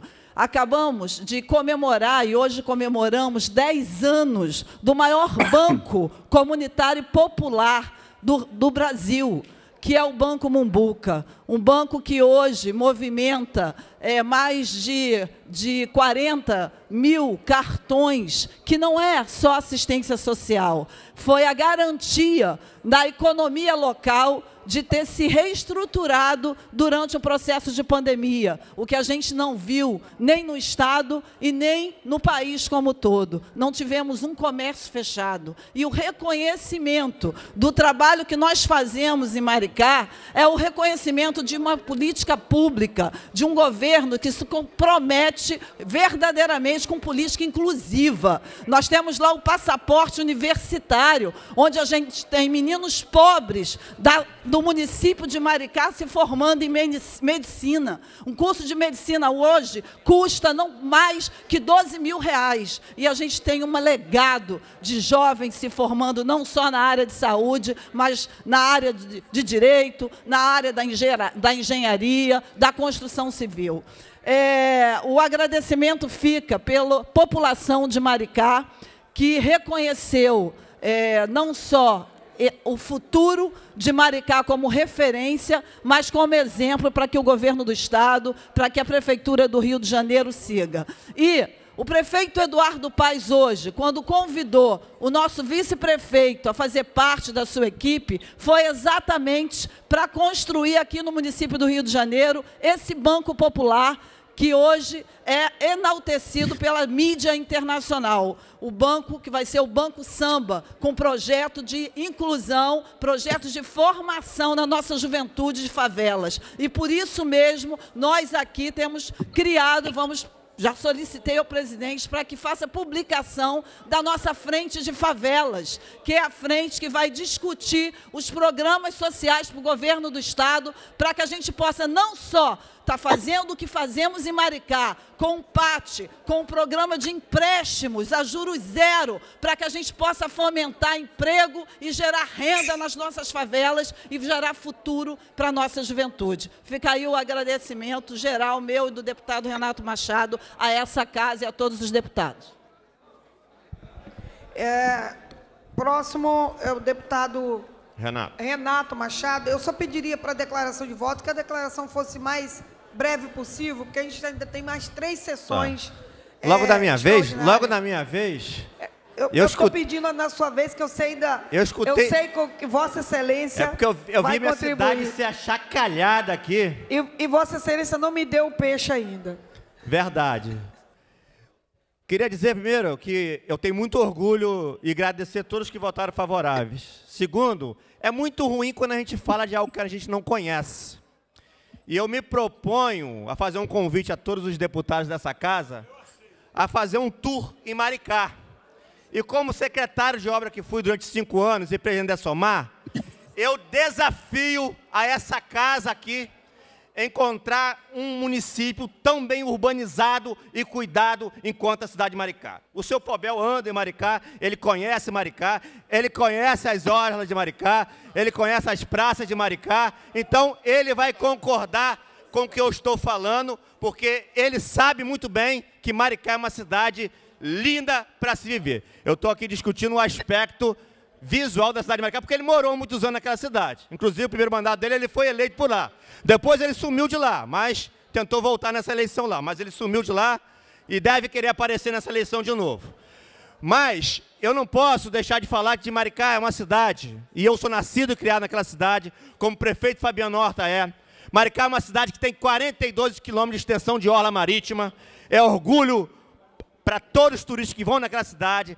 É uma cidade que tem quatro grandes lagoas, tem 343 quilômetros de quadrados de extensão, é maior do que São Gonçalo e Niterói juntos geograficamente. É uma cidade em construção. A Verônica bem disse de todos os desenvolvimentos econômicos que foi feito lá. E a Zeidão também. Não é à toa que Maricá é considerada há alguns anos a melhor cidade do Brasil em desenvolvimento econômico. Então eu quero dizer o seguinte: eu, até hoje aqui nessa casa, eu não tive lado de direita nem de esquerda. Eu votei no presidente Bacelar por CPL e aqui eu vi a bancada do PL declarando contra a votação. Eu, a partir de hoje, nessa casa aqui, eu também vou passar a ser de esquerda e vou tratar contra as pautas do governo aqui. Então, a partir de hoje, eu me declaro contra o governo Cláudio Castro, contra a presidente dessa casa, e eu vou discutir e todas as pautas pertinentes aqui, porque eu acho um descaso com o nobre deputado aqui que pediu a votação dessa pauta. Nós combinamos aqui que pauta de Tiradentes, medalha de Tiradentes era abstenção e vocês votaram contra. Então me tenham nessa casa aqui a partir de hoje como um deputado de oposição e que vai correr atrás de cada um aqui na prestação de conta do seu mandato. Obrigado. Presidente, deputada, a deputada, é, deputado Felipe Pobel, nós temos ainda mais três fui... pautas. Gosta, é, Serei breve, mas fui citado. solicitar para que Vossa Excelência fosse breve, para que a gente pudesse tocar, as, a, seguir as três pautas que ainda faltam. Por Posso... gentileza, logo depois, a deputada Marina, do MST, e o deputado Luiz Paulo. Presidente, é só falar algumas verdades que as pessoas ficam histéricas, né? Mas não me causa estranheza, não me causa estranheza assim, na, na mesma situação do Eduardo Paz com Lula, que falou mal de Maricá, e tem gente do governo Maricá, filho da deputada aqui nomeada como secretário, que o deputado que me antecedeu aqui é farinha do mesmo saco do marido da deputada, o vice-presidente nacional do PT. Afinal de contas, né, ele disse que eu sumi da cidade. Não sumi da cidade, não. Queria relembrar ele um fato. Foram mortos na cidade, gente. E aqui fica já que é para dar, dar, dar notícia, foram mortos na cidade. Um vereador, um filho e dois jornalistas. E o marido da deputada que aqui está acusou o deputado que me antecedeu de ser um dos mandantes. De ser um dos mandantes desses crimes. Se é para falar a verdade, eu vou falar a verdade. Eu não sumi. Eu busquei minha segurança dentro da minha família por conta desses crimes que aconteceram em Maricá. Por conta né, desses assassinatos políticos que aconteceram em Maricá e que o vice-presidente nacional do PT acusou o deputado que me antecedeu desses crimes. E aí eu busquei a minha segurança. Estou aqui falando a verdade. A cidade, quando vocês forem fazer o tour, cuidado para não serem sequ... sofrer sequestro relâmpago, cuidado para não serem assassinados, cuidado para não ser roubados, porque a cidade está entregue à bandidagem. Presidente, muito obrigado.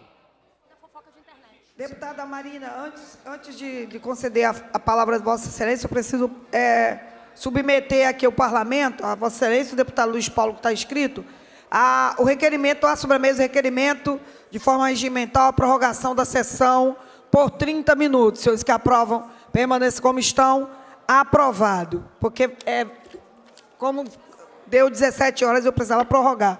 Deputada Marina, logo em seguida, deputado Luiz Paulo. Obrigada, Tia Ju. Muito rápido, quero fazer essa declaração de voto. Primeiro, seguindo meus pares aqui, agradecendo àqueles que votaram a favor dessa aprovação, dessa honraria ao companheiro Fernando Horta, tendo como proposição o PL aqui da deputada Zaidan e do deputado Renato Machado.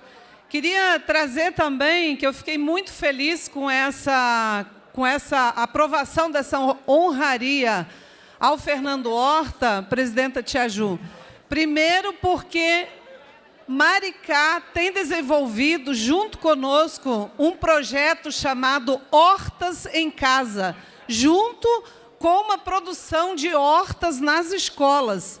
Isso tem feito um diferencial tão grande, na, tanto na participação, na educação, na capacitação da juventude das escolas, mas também em muitos bairros da cidade, no tema da produção agroecológica e na produção perto do mercado consumidor. Maricá tem sido homenageado, reconhecido internacionalmente pela realização desse projeto, ao qual eu acho muito importante.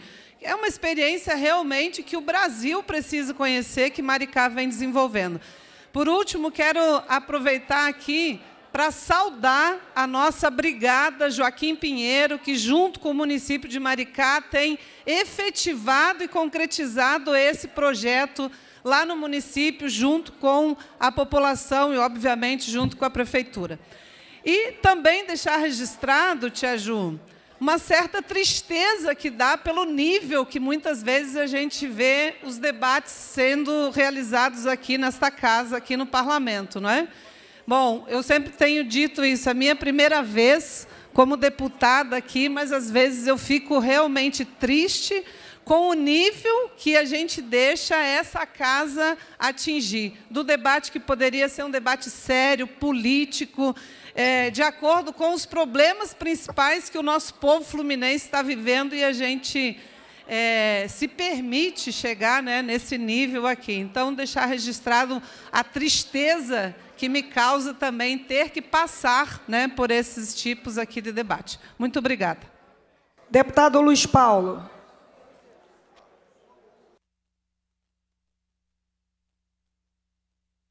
Senhora, senhora presidente, é só para acalmar os ânimos.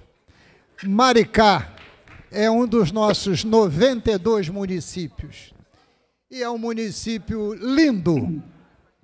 Quando se estava construindo né, a grande refinaria de Itaboraí, o famoso Comperge, que até hoje se arrasta, o sonho dourado de todos era trabalhar no Comperge e morar em Maricá. E por quê?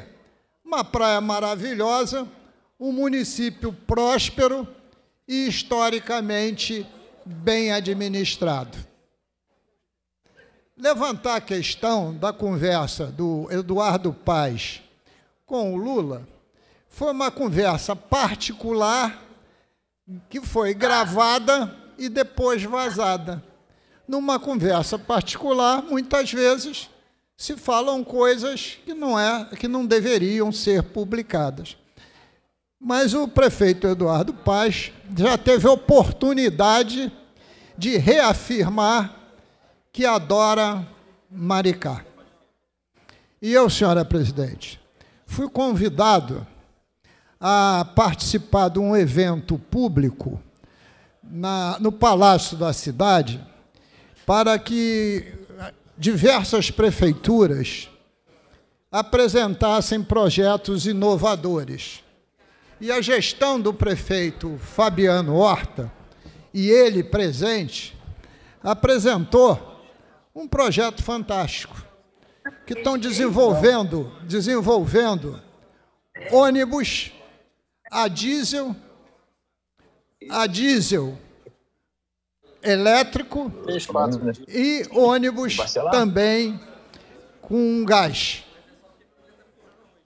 Mas com duas formas de locomoção. Esse projeto piloto, o que for, os três pilotos, que for melhor, esse protótipo, vai se tentar transformá-lo numa indústria. Porque hoje, se você quiser ônibus elétrico, por exemplo, você tem que importar de uma empresa chinesa, já que Vossa Excelência aprecia tanta, tanto a China. Então, o, o, o prefeito Fabiano Horta merece a medalha que lhe é proposta. E é tão comum aqui a gente homenagear prefeitos dos mais diversos partidos. E eu aqui digo: quem dá a medalha é o responsável pela mesma. E não é porque é do PT ou do PFL, que não existe mais, que hoje está fundido com outro partido, enfim, que a gente vai entrar no mérito do rótulo partidário para negar ou não medalha. Agora, Maricá, também como Saquarema, tem a felicidade de ter o pré-sal na sua porta. E evidentemente merece ter, porque a regra do jogo, um royalty especial bastante popudo. Mérito para Maricá, mérito para Saquarema. Então, queria dizer que nós votamos favoravelmente e não há necessidade dessa grande peleja. Por isso, senhora presidente, que eu não aceitei que a gente não pudesse discutir os projetos do governo. Porque pega um projeto que não é do governo, não demorou cinco minutos cada um, não demorou muitos e muitos minutos. Mas vamos em frente, salve Maricá. Pela ordem, presidente. É, deputado. Com... Márcio Gualberto. Ah, é porque não está aparecendo aqui a foto, eu não consegui identificar. Deputado Márcio Gualberto tem ainda um inscrito para Pra... É só para consignar meu voto. Pode consignar, deputado. É o... No que diz respeito ao projeto de resolução 11 de 2023, meu voto é contrário. Voto contrário consignado. Deputado Andrezinho Siciliano, para Presidente. declaração de voto. Presidenta, consignar meu voto a favor, deixar registrado aqui o nosso carinho com o prefeito Fabiano Horta, a nossa admiração, que é um espelho, não só para a nossa bancada do Partido dos Trabalhadores, mas também para todos os gestores públicos. Aproveitar o ensejo também parabenizar o Washington Quaquá, um companheiro do Partido dos Trabalhadores que também nos inspira e fazer um apelo para que as discussões aqui elas levem em consideração o respeito, porque a forma com que os ânimos se exaltaram aqui, principalmente na figura do meu companheiro de partido aqui, que jamais teria ousadia de vir aqui esse microfone para atacar da forma que foi atacado. Então, que a paz possa voltar a reinar nesse parlamento, que essa casa seja respeitada, porque o respeito a essa casa é o respeito com a gente mesmo. Então, a gente precisa zelar por esse respeito, presidente. É só isso. Obrigada, jovem deputado Andrezinho Siciliano. Vai declarar o Declara voto? voto, Declarar o voto. Declaração Não vou entrar de voto, na, deputado Yuri. Na discussão local.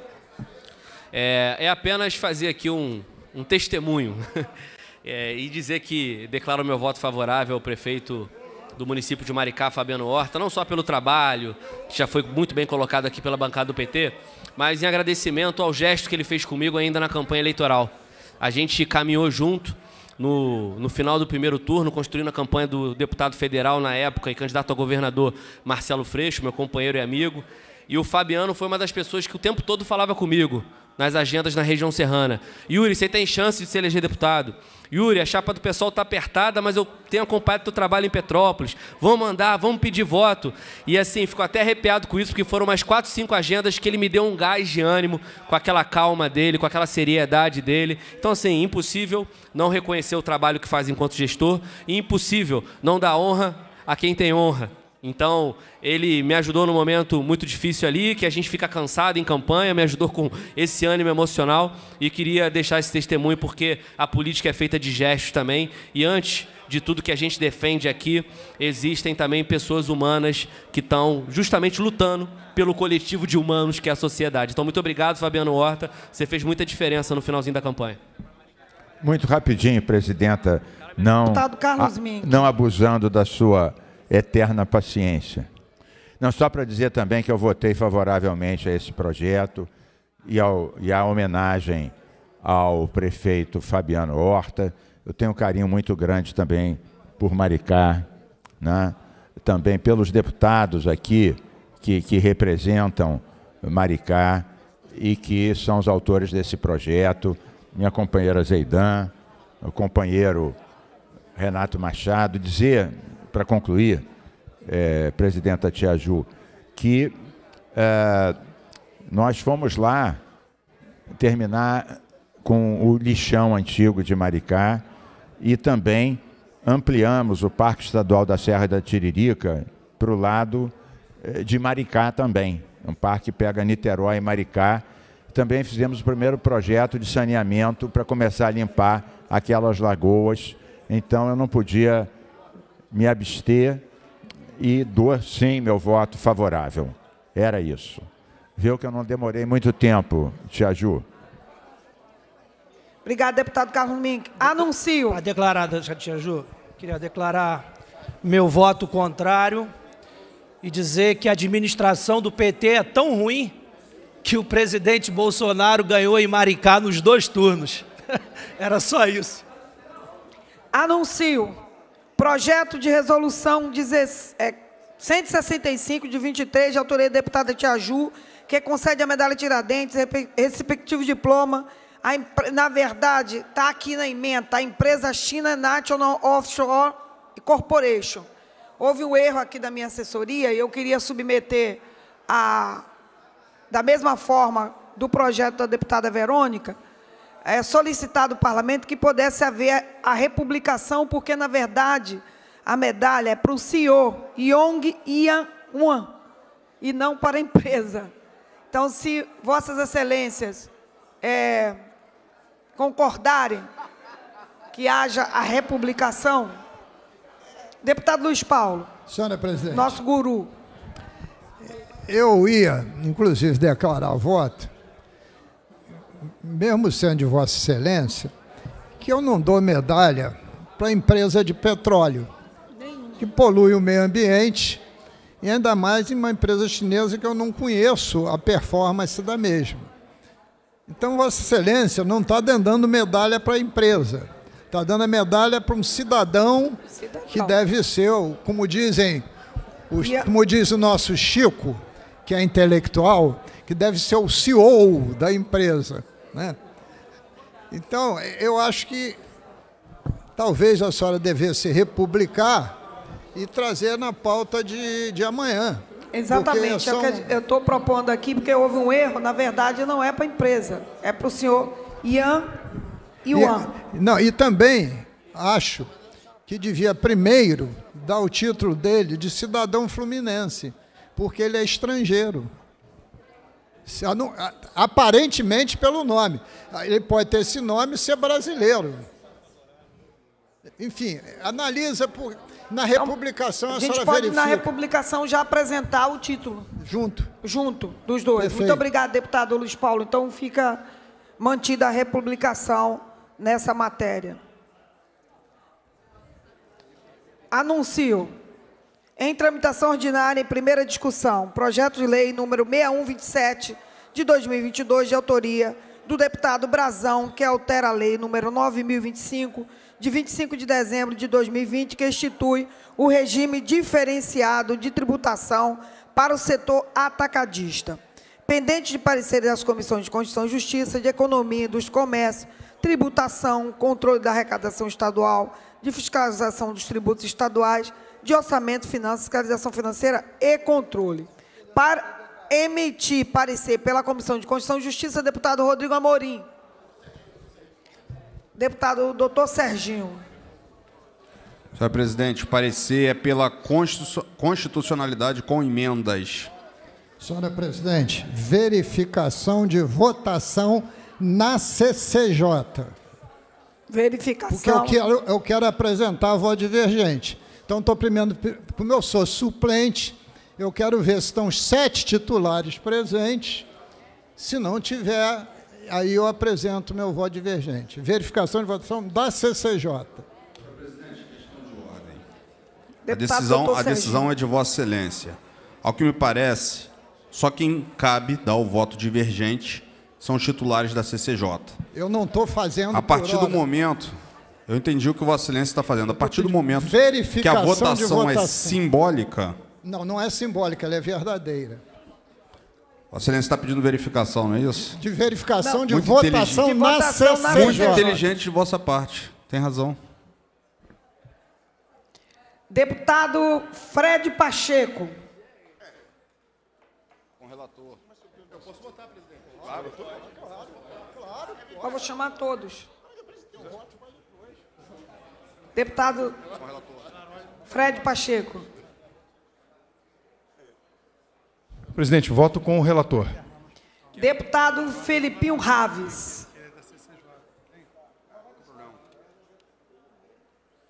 Deputado Guilherme Delaroli. Eu acho que ele está.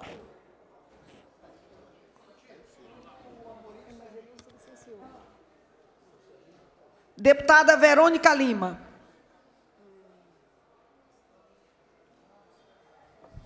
Vou votar pela inconstitucionalidade, presidente. Deputado Vinícius Cosolino. Deputado Rosenberg Reis. Deputado Carlinhos BNH. Deputado Luiz Paulo.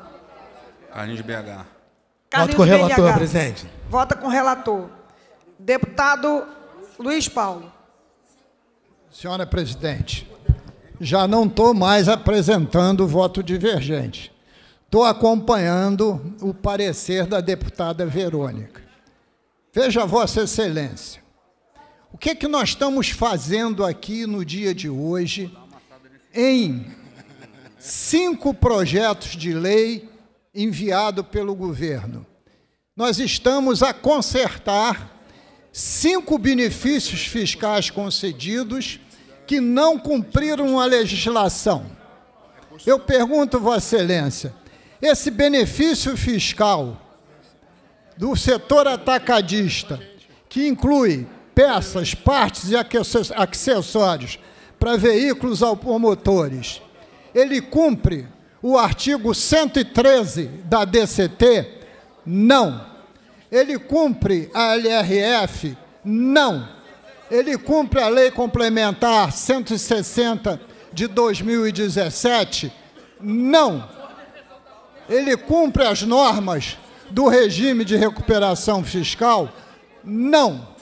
Então caberia ao deputado Serginho, doutor Serginho, olha a responsabilidade, ele não é deputado Serginho, é doutor Serginho ou encaminhar em baixa diligência à Secretaria de Fazenda, ou dar pela inconstitucionalidade. Porque, senão, que além disso, essa previsão de incentivo não está na LDO de 24, nem tampouco na LOA de 23. Vai obrigar daqui a pouco, se for aprovado, ao Poder Executivo mandar outra mensagem para consertar essa. No dia que a gente está consertando cinco, e eu não tenho votado contrário. Então eu não consigo entender o voto do doutor Serginho. Talvez, função dessa contradição, que o presidente, deputado Rodrigo Amorim, de forma elegante, delegou a relatoria ao doutor Serginho. Porque quem está fazendo agora o papel da base de governo sou eu. E eles estão fazendo o papel da oposição. Incentivo fiscal ao Léo. 24 bilhões é pouco. Vamos aumentar para 25. Então, senhora presidente, não importa ganhar ou perder. Eu quero que isso fique claro porque eu também vou discutir a matéria, vou votar na comissão de tributação e continuar para mostrar que está se fazendo exatamente tudo aquilo que o governo acabou de corrigir nos outros cinco. Deputado Rodrigo Amorim. Presidente, na verdade é uma questão de ordem para perguntar a Vossa Excelência como está a votação, porque eu não. 3 a 2. É, eu não, eu não dei meu voto ainda. Vossa Excelência continua cantando os, os votantes. Né? Deputado Rodrigo Amorim, como vota? Presidente, em primeiro lugar, que tenho que reconhecer aqui a fala do deputado Luiz Paulo, que não é à toa que ele é respeitado na casa como é respeitado, são por falas como essa. Então, eu tenho que respeitar. Agora, por outro lado, de forma muito técnica também, concordo com a fala do deputado Luiz Paulo, mas sob o ponto de vista da constitucionalidade, o projeto é constitucional. Ele não, ele não afronta qualquer Constituição, seja estadual ou a federal, portanto é constitucional.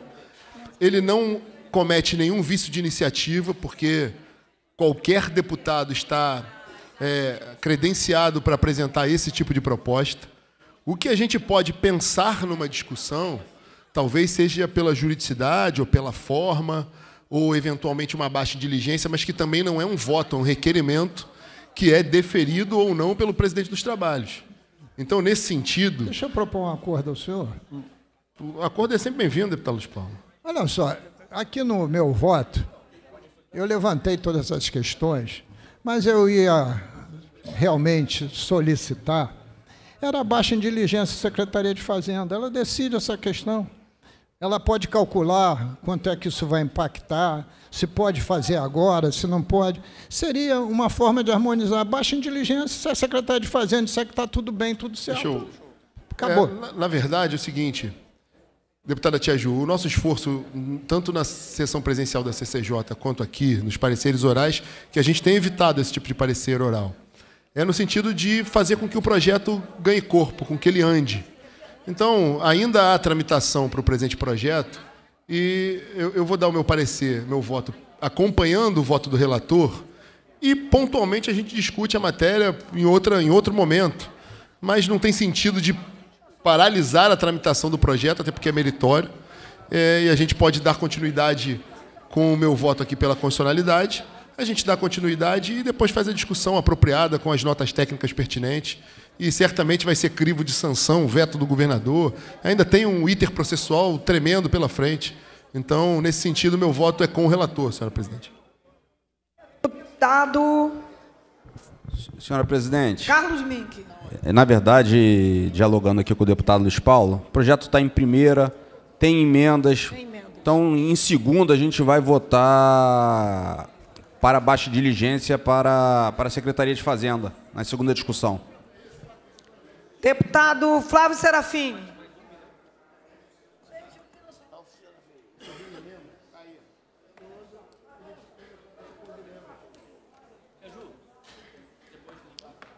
É, Senhora presidente, quero fazer cor aqui aos argumentos do deputado Luiz Paulo. Sem entrar no mérito do projeto, hoje a gente tem visto o governo apresentar projetos de lei revogando leis dessa casa, tendo como principal argumento a iniciativa ser dos deputados, ou seja, colocando como principal argumento o vício de iniciativa. E aí nos parece estranho é, o governo, ao mesmo tempo que faz isso, é, fazer prosperar projetos é, da mesma natureza.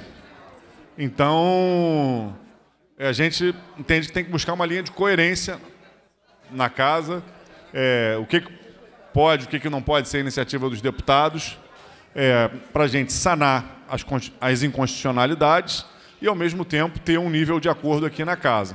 Então, nesse sentido, a gente acompanha o voto pela inconstitucionalidade dado pela deputada Verônica. Quatro votos a três pela constitucionalidade. Pela Comissão de Economia, Indústria e Comércio, deputado Anderson Moraes. Deputado Anderson Moraes. Acompanho o parecer da CCJ, presidente. Pela Comissão de Tributação, Controle e Arrecadação Estadual e Fiscalização de Tributos Estaduais, deputado Arthur Monteiro. Deputado Luiz Paulo.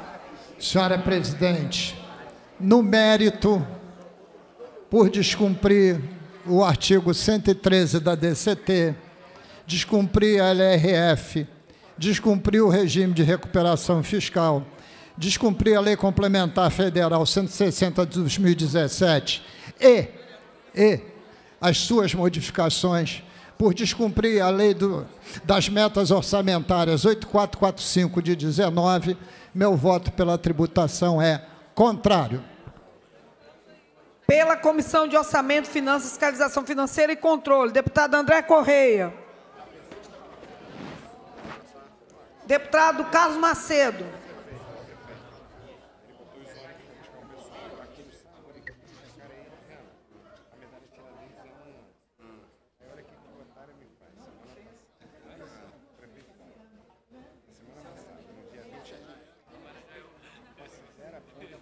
Acompanhe a CCJ, presidente.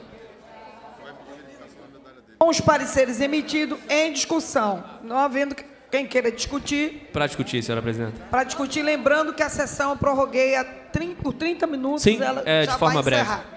Só queria reforçar o quanto eu me sinto triste de num dia ao qual o governo mandou para cá projetos que atingem em cheio os direitos da população que mais precisa nas cidades do estado do Rio de Janeiro, que atinge em cheio e acaba com um único programa de transferência de renda, de segurança alimentar e nutricional do governo do estado, com argumento sobre o regime de recuperação fiscal, com argumento de que a situação orçamentária e financeira do governo não é boa, responsabilidade do próprio governador, porque já era governador no exercício passado.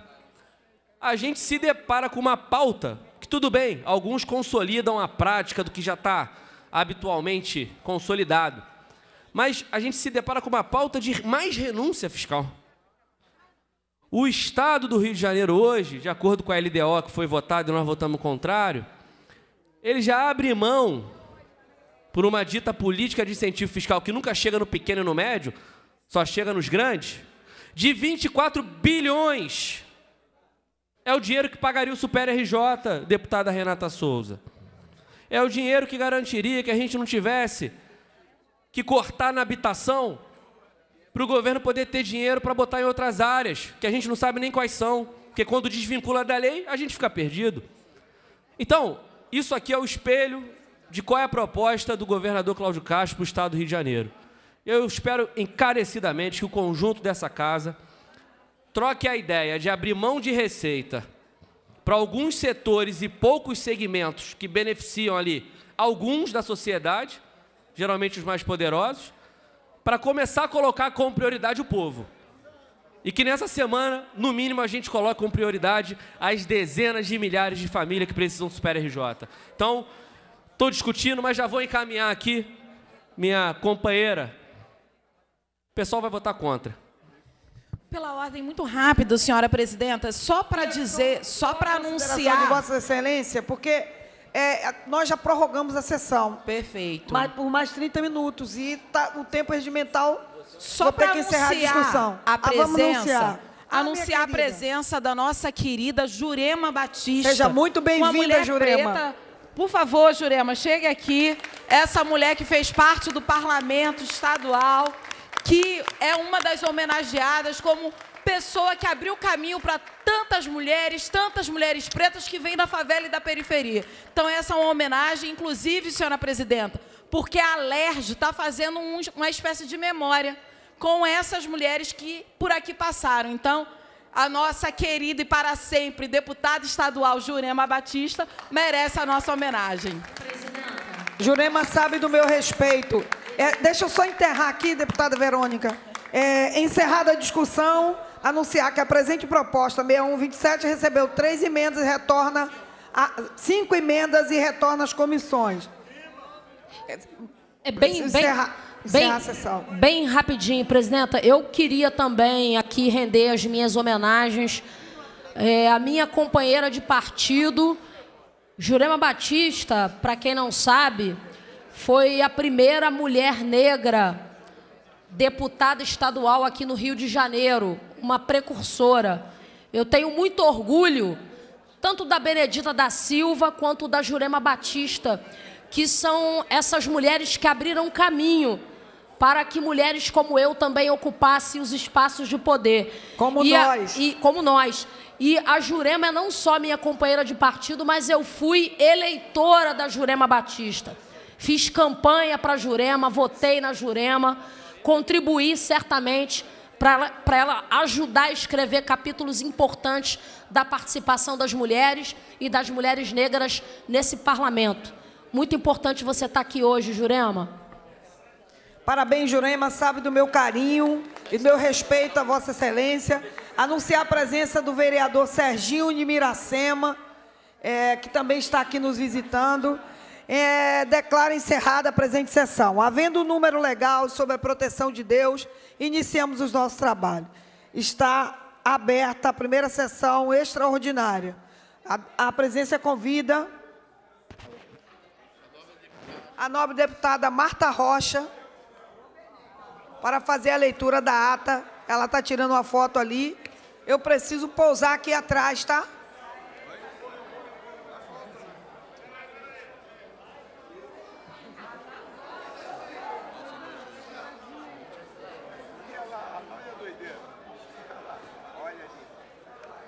Não podemos esquecer que a tia Ju também preta é. e foi a Jurema que abriu esse caminho. Convido a deputada Marta Rocha para fazer a leitura da ata da sessão anterior. A ata reflete com exatidão o ocorrido. Não, tem escrito caneta. O ocorrido. É esse aqui? 56ª sessão ordinária, que iniciada às 14 horas, encerrou-se às 17 horas e 33 minutos. Lida e aprovada a ata, passa-se a primeira sessão extraordinária do dia 27 de junho, com a seguinte ordem do dia de junho de 2023. Em regime de urgência, em discussão única, projeto de lei número 1416 de 23, de autoria do Poder Executivo, mensagem número 13 de 2023, que altera a Lei 6.979, de 31 de março de 2015, que dispõe sobre o tratamento tributário especial de caráter regional aplicado a estabelecimento industrial do Estado do Rio de Janeiro, com base no inciso 7 do artigo 3 da Lei Complementar número 160, de 7 de agosto de 2017, e na cláusula 12 do convênio ICMS número 190/2017. Pendentes pareceres das comissões de Constituição e Justiça, Assuntos Municipais e Desenvolvimento Regional, de Economia, Indústria e Comércio, Tributação, Arrecadação Estadual, Fiscalização dos Tributos Estaduais, Orçamento, Finanças, Fiscalização Financeira e Controle. Para emitir parecer pela Comissão de Constituição e Justiça, deputado Rodrigo Amorim. Senhora presidente, o parecer é pela constitucionalidade com emendas, mais uma vez para corrigir apenas algumas questões de texto. Agora aproveito o ensejo de estar fazendo uso da palavra para questionar quem teve o mau gosto de servir mortadela num dia de profundo embate da esquerda com é, é de extremo, não sei se foi o presidente, se foi o deputado Val, mas que tem que ser apurado, porque estão servindo mortadela, presidente. Mas tem outro sanduíche ali que eu estou vendo também. Estou indo na defesa, está ali atrás, escondido, mas tem um de, de pão integral, que é o que eu gostaria. Para emitir parecer pela Comissão de Assuntos Municipais e Desenvolvimento Regional, o deputado Renato Machado. Pela ordem, presidente, é para... Ou segura o pão ou segura o microfone. Não, é porque o deputado que antecedeu, ele não queria pão com mortadela, ele queria coxinha. Essa era a razão da crítica dele. Pela Comissão de Assuntos Municipais, deputado Renato Machado. Deputado Carlos Macedo.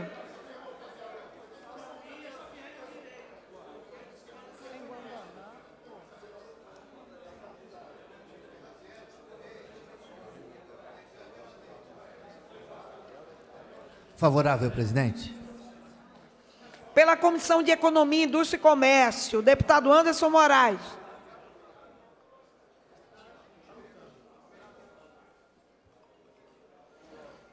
Senhora presidente, acompanho o parecer da CCJ.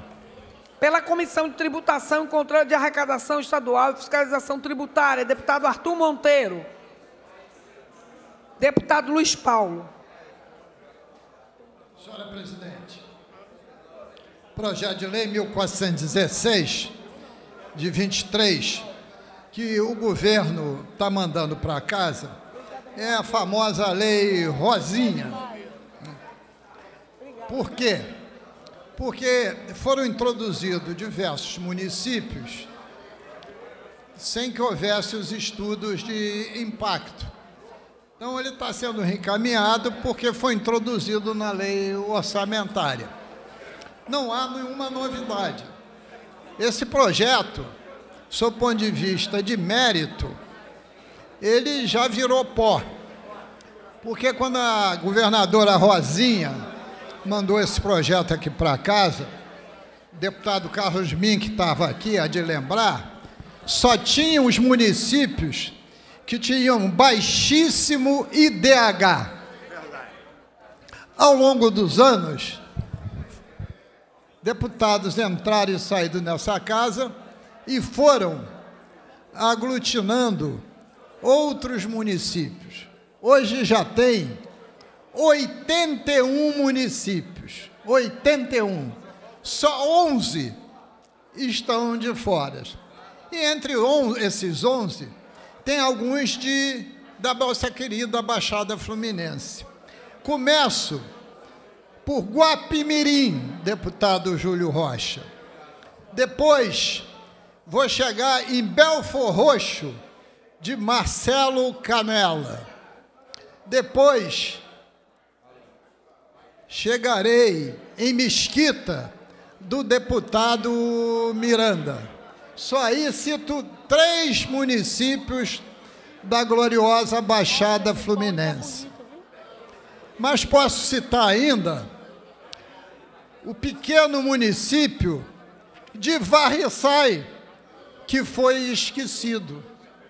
E também ainda na Machada, o município de Nilópolis, que tem somente 9 mil quilômetros quadrados, 9 quilômetros quadrados, mas também é um município importante. E na região dos lagos, deputado doutor Serginho, cito todos os municípios da região do Lagos, todos do município, quase todos, inclusive a vossa inusitada Cabo Frio, linda e maravilhosa. Então, senhora presidente, acho eu que esta lei devia se estender aos 92 municípios, porque também não tem a antiga capital Niterói e a capital do estado, a cidade do Rio de Janeiro. E a Fazenda recalcular esse impacto, porque não tem mais nenhum sentido estar um município e outro não. Perdeu todo o sentido. Então eu, como constantemente eu votei favorável a essa matéria, que é a matéria de lutar pela industrialização, mas o projeto cada vez mais perde o sentido. Agora mesmo está tramitando na casa, já está na CCJ, deputado Márcio Canela pediu para introduzir Belfor Roxo. Tenho certeza que o deputado Júlio Rocha vai falar a favor de Guapimirim. E todos eles têm razão. Então, apesar de todas essas contradições, pela Comissão de Tributação, eu estou votando por uma questão de coerência histórica, desde a Lei Rosinha, favoravelmente. É, pela ordem, presidente. Deixa eu só terminar de colher os pareceres, deputado Júlio, fazendo gentileza. Pela Comissão de Orçamento, Finanças, Fiscalização Financeira e Controle, deputado André Correia. Parecer favorável, senhor presidente. Cunha. Com os pareceres emitidos, em discussão. Para discutir. Para discutir, deputada Marta Rocha. Antes, porém, uma questão de ordem bem rápida, deputado pode, Júlio. Pode discutir.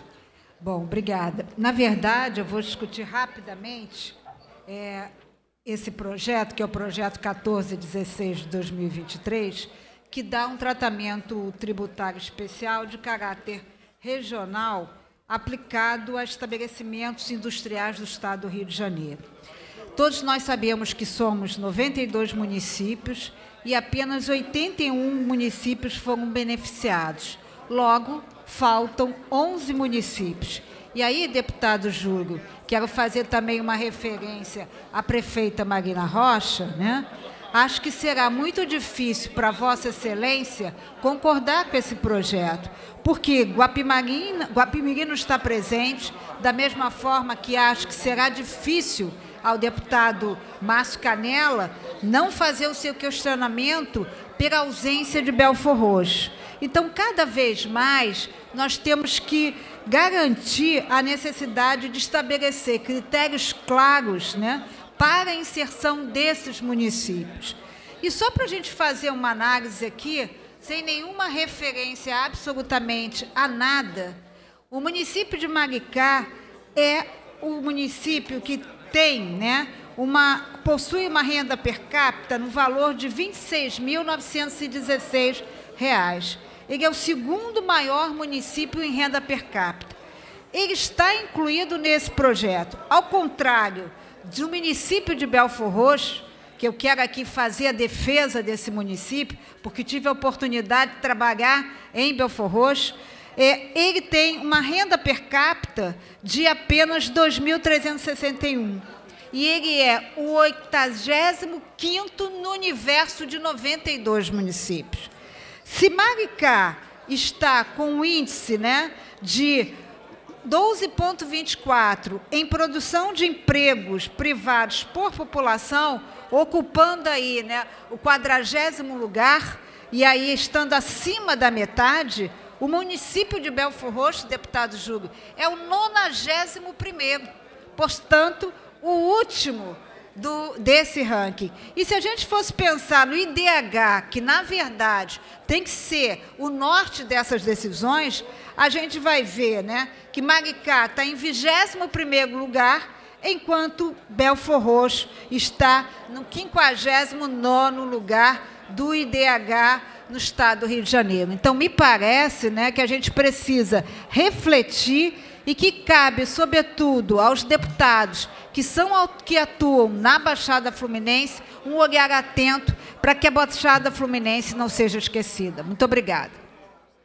Para discutir, o deputado Júlio Lopes já tinha se inscrito, o deputado Tandi e a deputada Dani.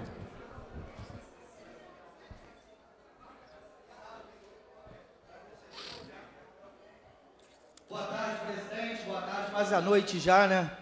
A gente realmente, para não ser repetitivo, tivemos uma aula com o nosso professor Luiz Paulo, a deputada Marta Rocha também explanou muito bem. E realmente o que me surpreende nesse projeto é a falta de critério. Eu acho que muitas das vezes a gente fala em pensar nos mais pobres, mas Maricá, como o município mais rico do estado do Rio de Janeiro, está aqui dentro e Belfor Roxo está fora. Então, assim, é graças também à atuação da nossa querida Zeidan, que vem trabalhando, brigando pelo município dela, e tá certo, a gente tem que, que brigar pelos nossos. Mas como eu sou um deputado municipalista e tive voto nos 22 municípios, nos 92 municípios do estado, isso está me surpreendendo muito. Acredito hoje que Varriçai precisa muito mais até do que Guapimirim desse dinheiro. E hoje não adianta a gente colocar emendas aqui para poder entrar nesse projeto, porque a gente vai ter que fazer um novo projeto para incluir essas 10 cidades. Eu nem falo 11 porque eu tiro a cidade do Rio de Janeiro, que faria uns que daria um impacto muito grande na arrecadação do nosso estado. Então, o que vai ter que acontecer hoje? Nós vamos ter que dar entrada, ver esses municípios que ficaram de fora, fazer um novo estudo econômico para a gente começar a entrar. Não adianta a gente ficar brigando pelo que passou, o que aconteceu nesse projeto, que cada um olhou para o seu. Hoje, muito me assusta os municípios da região dos lagos estarem fora. Não, né? não dá para entender 81 municípios dentro e, 12 e 11 municípios fora. Não dá. Realmente não dá, essa conta não fecha. E vamos trabalhar junto com a casa, junto com todos os outros deputados, para que a gente possa incluir os municípios que ficaram fora. Obrigado, deputada. Deputada. É, deputado Tandi, deputada. Primeiro foi a deputada Dani e deputado Tandi, tá? E o deputado Rodrigo Amorim.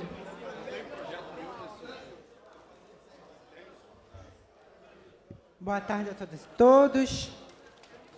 Bom, é, no período de campanha eleitoral, no transcurso, nós da, do Partido Comunista do Brasil e a Federação Brasil da Esperança apresentamos um programa diferente do programa que se sagrou vitorioso nas urnas. Portanto, nós nos constituímos como oposição. Nesse mesmo período, no transcurso, alguns acordos foram travados com a população fluminense, especialmente acordos com o candidato que hoje ocupa a cadeira do Executivo Fluminense e é constituído como governador do Estado do Rio de Janeiro, que falou especialmente para a população mais pobre, desassistida, que passou por uma pandemia e que, se não fosse atuação em conjunto da Assembleia Legislativa do Estado do Rio de Janeiro, teria visto muita dificuldade no sentido da garantia, das garantias fundamentais, sobretudo a garantia é, à alimentação digna, garantias correlatas como garantias é, de moradia. E o governador é, Cláudio Castro, que é o governador do Estado do Rio de Janeiro nesse período, se comprometeu em não suspender um dos programas mais importantes de transferência de renda aqui do Estado do Rio de Janeiro, que é o Super RJ. Bom, hoje nós estamos aqui votando, dentre tantos projetos em pauta, a suspensão do programa Supera RJ.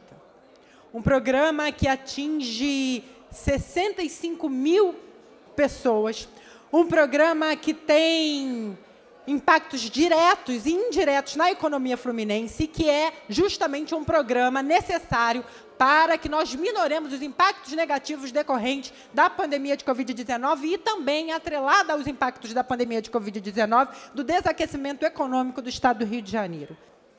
É muito importante que nós assumamos aqui um acordo para que nós continuemos a conduzir os programas de transferência de renda necessários para as famílias mais desassistidas, tendo em vista que o Rio de Janeiro ainda é um dos estados da federação que mais sofre com desaquecimento econômico, com desemprego e com todas as questões decorrentes que afetam especialmente a classe trabalhadora, as mulheres pobres. Então, é inadmissível que nós sustemos o pagamento do Supera RJ sem apresentar sequer uma alternativa, seja para a continuidade dos pagamentos que não foram quitados ainda, e seja para a continuidade de um programa robusto de transferência de renda que enfrente frontalmente a situação de desassistência e desesperança das mulheres, sobretudo das mulheres pobres, periféricas, faveladas, das famílias que dependem desse programa para poder comer, para poder sobreviver.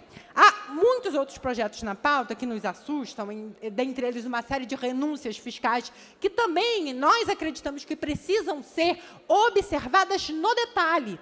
Porque as renúncias fiscais significam uma abertura de arrecadação do Estado do Rio de Janeiro, um Estado que enfrenta, inclusive, um processo é, difícil de composição orçamentária.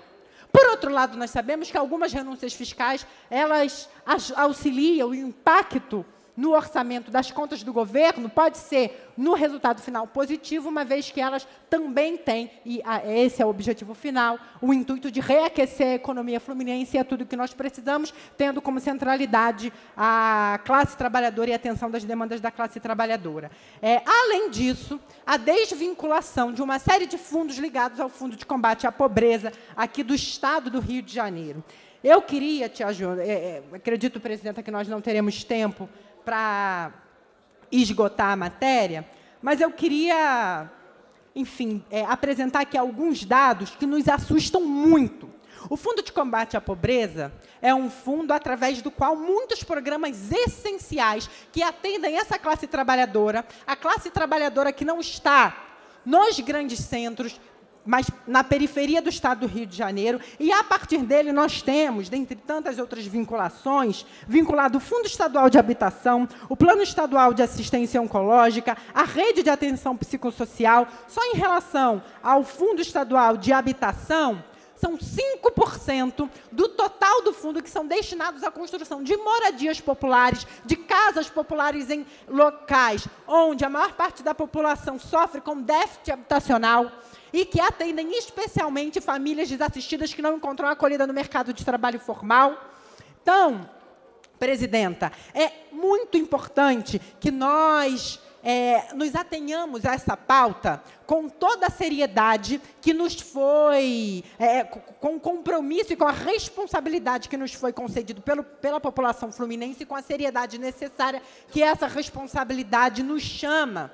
É, porque não é admissível que, no apagar das luzes, né, muito próximo do recesso parlamentar, nós sejamos convocadas a, a toque de caixa tentar esgotar uma matéria que tem um impacto muito negativo na maior parcela da população fluminense. Queria registrar aqui que nós é, chegamos atrasadas aqui no plenário, porque fomos convocados, né, a bancada de esquerda, pelo líder do governo, com a presença da presidência da Casa, para chegarmos a um acordo em relação à manutenção do Super RJ, ou pelo menos uma contrapartida que não deixe desassistidas as famílias. E nós temos muito interesse na solução desse problema, pensando no bem da população fluminense e pensando nas famílias que serão diretamente atingidas. Mas também temos interesse fundamental na não desvinculação de programas que, no nosso entendimento, são essenciais para sanar essas demandas represadas da para população fluminense.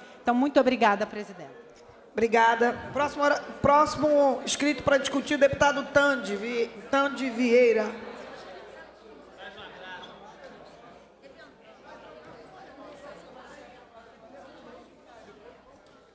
Obrigado, presidente Chaju.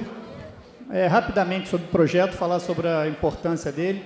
Primeiro, que já está muito claro, como alguns deputados citaram, a importância da gente reorganizar essa questão dos municípios que hoje estão estão inseridos é, na Lei 9679. É, é importante a gente dizer que não se trata de renúncia fiscal, a gente está falando aqui de incentivo fiscal. Quem se deu o trabalho de ler a justificativa do projeto vai perceber que esse incentivo fiscal vai incidir sobre dois tipos de empresas. A que hoje não estão instaladas no Rio e vêm para cá, e aí vão começar a arrecadar impostos aqui no Rio, então a gente não está abrindo mão de nada que já existe. E as empresas que estão instaladas hoje, para se enquadrar na, na, legislação, elas têm que arrecadar mais do que elas arrecadaram na média dos últimos 12 meses. Então, a gente está falando de dinheiro novo também. Quem quiser se enquadrar, que já funcionando aqui no estado do Rio, vai precisar gerar mais renda, mais imposto para poder se enquadrar, para se enquadrar no benefício.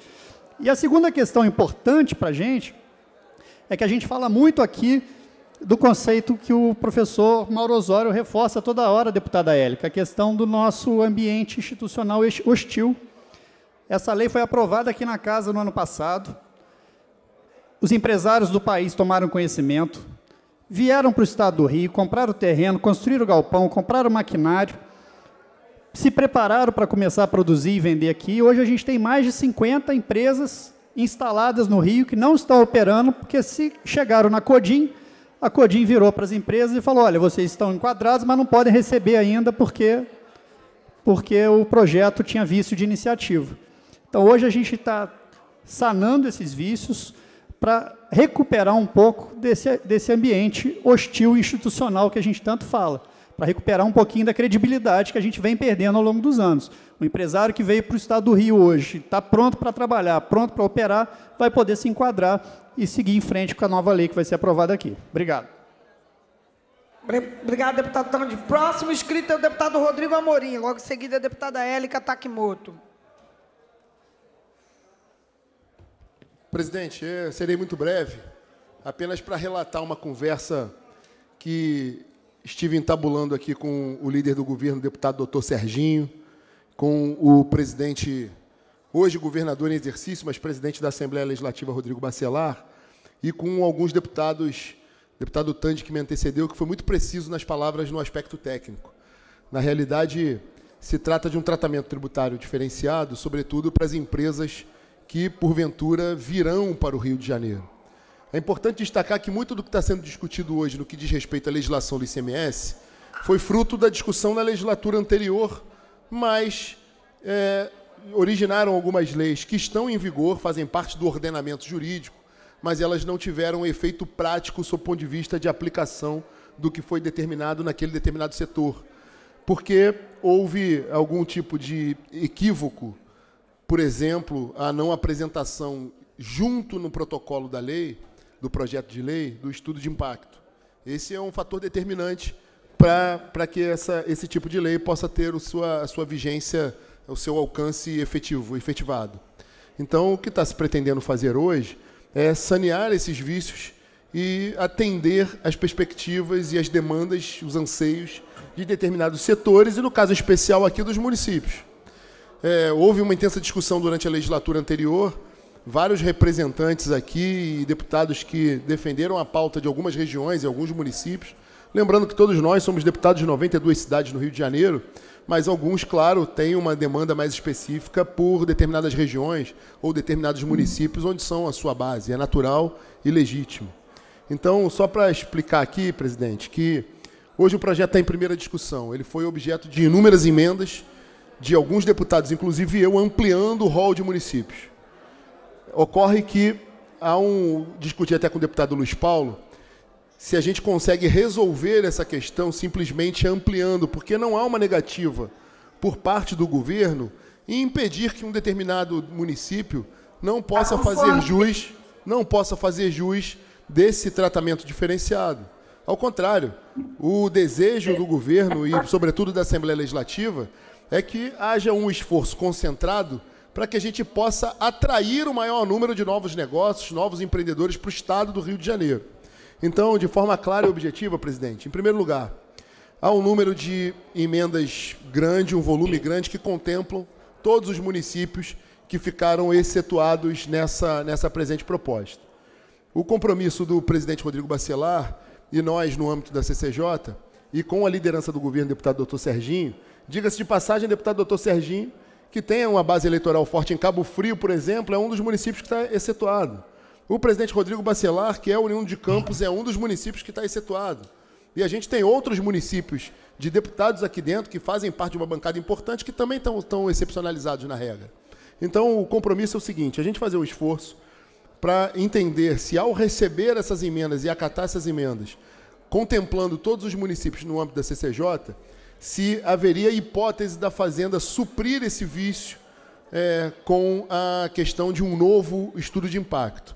Eu tenho, inclusive, objeto de, um, de, uma, de uma conversa ali com a deputada Dani, no projeto que ela é autora, o projeto que originalmente foi uma batalha do mandato da deputada Dani, que é a questão dos absorventes, e hoje vem uma mensagem do governo em tese revogando uma lei originada pelo mandato na legislatura anterior da deputada Dani Monteiro.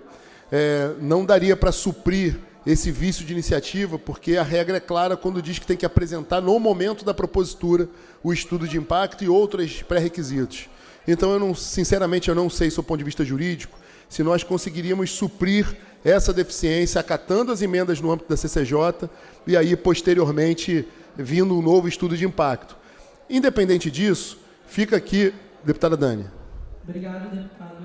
É, eu questionei aqui né, e pedi, ainda vou fazer a, verifica, é, a questão de ordem quando chegar o projeto. Eu entendo e concordo muito da necessidade do estudo de impacto, inclusive é uma pauta histórica do meu partido. O pessoal sempre veio aqui defender que isenções fiscais precisam da contrapartida social a partir do estudo de impacto. E a casa aprova inúmeras. Eu tenho aqui pelo menos 10 internalizações de CONFAS, que já são leis, ora por mensagem do Executivo, ora por deputados, aqui deputado Rosenberg, deputado, ex-deputado Márcio Pacheco, são autores de leis que hoje vigoram no nosso Estado. Tendo esse entendimento agora, nos favorece, pois o pessoal sempre defendeu isso. Então, hoje será feita a revogação dessa lei, eu vou pedir a revogação de todas as outras leis. Isenção no Estado do Rio de Janeiro só vai vigorar se tiver estudo de impacto. Se não tiver, o próprio entendimento do Executivo é que não tem, não tem que vigorar. Então, inclusive, nesse projeto de agora, deputado Rodrigo Amorim, eu vou emendar pedindo a revogação de todos Todos, agora todos os convênios, ou o governo manda estudo de impacto, ou não será aprovado. Para mim é maravilhoso. Eu sempre defendi a transparência, o controle dos gastos públicos, a partir, da, inclusive, da soberania do legislativo fiscalizando o executivo. Para mim, agradeço que o governo chegou finalmente. Demorou, a minha lei mesmo é de 2021. Quando ela passou aqui na CCJ, ela teve a votação de todos os membros pela constitucionalidade. Foi sancionado, inclusive, pelo Cláudio. A minha lei já está em dois anos. Demorou dois anos? Muito tempo. Mas se o governo percebeu que precisa de estudo de impacto, que faça em todos agora. Agora eu vou exigir isso, e essa é uma pauta histórica do pessoal, que finalmente o governo se atentou a ela. Isenção só com estudo de impacto. Agora vai ser assim. É, para concluir, deputado. É, existe uma distinção do seguinte: não é o governo atentou-se para o fato que precisa. Isso é um regramento. Legislar sobre a questão tributária exige técnica, exige, exige zelo e atenção e cumprimento de determinadas regras. Não é uma coisa atabalhoada. É, Vossa Excelência se refere a algumas leis que possam fazer parte do ordenamento, mas elas não têm o efeito de aplicabilidade. A gente entende muitos setores que há leis aprovadas, mas elas não estão em prática por conta desses vícios que são insanáveis. O que está se pretendendo no esforço do governo é reconhecer o mandato parlamentar, reconhecer o mandato parlamentar e a iniciativa de muitos colegas e resolver questões históricas aqui que a gente já começou a resolver. Então, parabéns ao governo Cláudio Castro que teve a sensibilidade de mandar essas mensagens. Agora, a discussão aqui é outra. O fato é, cito alguns deputados, deputado doutor Serginho defendendo a cidade de Cabo Frio, sua base, dentre outras cidades do estado do Rio de Janeiro, deputado Júlio defendendo a cidade de Guapimirim, deputado Rodrigo Bacelar defendendo a cidade de Campos. Existem cidades que ficaram de fora desse projeto por essas questões técnicas que são alheias à vontade do governador, são alheias à vontade dos deputados que apresentaram emenda. O que eu faço aqui é um esforço que fiz com a liderança do governo, deputado doutor Serginho, Para e com concluir. o presidente. Eu, eu, é, é uma questão que precisa ser explicada, deputada. É, é um esforço que foi feito com a liderança do governo e com a presidência da casa, o presidente Rodrigo Bacelar, como o projeto está em primeira, recebeu as emendas, e a gente vai fazer análise junto à Fazenda se um novo, estado, um novo, um novo estudo supre ou se na quinta-feira ainda a gente consegue ter uma saída legislativa que está com os 70 deputados é, assinando um projeto autorizativo, uma indicação legislativa, com a cópia do presente texto, incluindo os 91 municípios, exceptualizando a capital, de modo a gente fazer uma lei, um esforço do governo do Estado com a Assembleia Legislativa em prol do interior do Estado do Rio de Janeiro. Então é só para deixar claro que não há aqui nenhuma perseguição, pelo contrário, há uma visão carinhosa, afetuosa e necessária a todos os municípios do interior do Estado, com vistas a gente promover, de fato, a justiça fiscal e o desenvolvimento econômico do Estado. Obrigado, presidente. Deputada Élica Takimoto. Só anunciar a presença do nosso querido deputado federal, Juninho do Pneu, que está na nossa casa aqui. Seja bem-vindo, deputado. E deputado Juninho é um grande amigo da casa, um grande amigo do parlamento. Então seja muito bem-vindo à nossa casa. Presidenta, obrigada.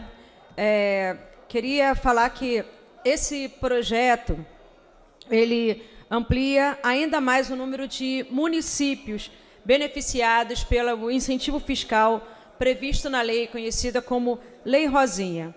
A gente compreende que benefícios fiscais são originalmente uns instrumentos de fomento de atividade econômica e estratégia voltada ao desenvolvimento econômico de uma determinada região ou setor da economia. Porém, o governo do estado parece insensível às reais demandas estratégicas do Rio de Janeiro, quando permite que essa lei alcance quase todos os municípios do estado, mas deixa 11 municípios de fora dos benefícios dessa lei, que são Rio de Janeiro, Niterói, Belfor Roxo, Rio das Ostras, Mesquita, Nilópolis, Guapimirim, Búzios, São Pedro da Aldeia, Iguaba e Cabo Frio. Então, o nosso estado está como todos sabem aqui, se desindustrializando. Precisa gerar empregos e reajustar o salário mínimo regional, que é uma vergonha perante o, o restante do país. O desenvolvimento regional com indústrias e novos negócios é muito importante para o nosso Estado. Porém, além da isenção, os trabalhadores têm que ter poder de compra. E por isso, o governador deveria reajustar o salário mínimo congelado desde 2019, porque o salário mínimo valorizado impulsiona o poder de compra e a economia local. Então, é, eu sou favorável a uma inclusão dos demais municípios, como eu citei aqui, e que se estabeleça uma política fiscal séria do desenvolvimento regional do nosso Estado. Isenção fiscal é um instrumento para impulsionar o desenvolvimento local. Excluir 11 municípios é muito ruim. Então, por isso, a gente, a bancada do PT fez uma emenda para que os 92 municípios sejam contemplados. Obrigada, presidenta. Não havendo mais oradores inscritos, encerrada a discussão. A presente proposta recebeu 33 emendas e retorna às comissões. Anuncio regime de urgência em discussão única, projeto de lei número 1421 de 23 de autoria do Poder Executivo, mensagem número 18 de 2023, que dispõe sobre instituição de regime diferenciado de tributação para embarcação de recre... É, recreio ou de esporte, com base no inciso 8 do artigo 3 da Lei Complementar número 160, de 7 de agosto de 2017, e na cláusula 13 do Convênio do ICMS número 190 de 2017, em adesão ao incentivo fiscal previsto no artigo 26 do anexo 3 do RICMS do Estado de São Paulo. Pendentes de pareceres das comissões de Constituição, Justiça, de Economia, dos Comércio, Tributação, Controle da Arrecadação Estadual, de Fiscalização dos Tributos Estaduais, de Orçamento, Fiscalização Financeira e Controle. Para emitir parecer pela Comissão de Constituição e Justiça, deputado Rodrigo Amorim. Parecer pela, pela constitucionalidade, senhora presidente. Pela Comissão de Economia, Indústria e Comércio, deputado Anderson Moraes.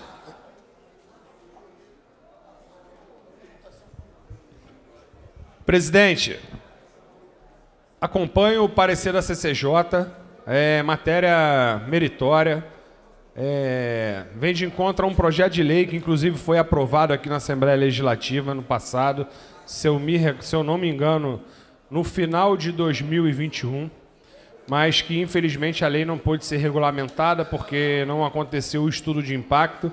E agora, de uma vez por todas, a gente vai aprovar a matéria e tenho absoluta certeza que a indústria náutica aqui vai arrebentar. Valeu, presidente. Obrigado. Pela Comissão de Tributação, Controle da Arrecadação Estadual, de Fiscalização dos Tributos Estaduais, deputado Arthur Monteiro, deputado Luiz Paulo. Senhor presidente, senhora presidente, me perdoe. A lei que quis referir-se o deputado Anderson é a 9526 de 28 de dezembro de 2021, que aprovou esta matéria de incentivo à indústria náutica de embarcações de recreio ou de esporte. E por que, que ela não foi implementada? Primeiro, ela se referia à cláusula 12 do convênio CMS 190. E a Fazenda entende que a cláusula correta é a décima terceira.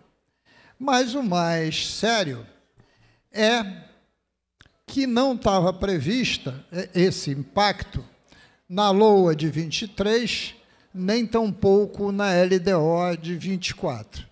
E a Fazenda fez essa corregenda na, no impacto do, da LOA de 23, elas estimaram o impacto para 2022, 491,28 milhões de reais. E para 23 eles corrigiram pelo IPCA. E está agora com previsão na PLDO de 24. E na LOA de 22 está nas folhas 92 a 95 no, no volume 1 da livro, do livro da Lua de 2023. Então, trata-se de um projeto de lei corretivo, que agora está cumprindo o artigo 113 da DPF.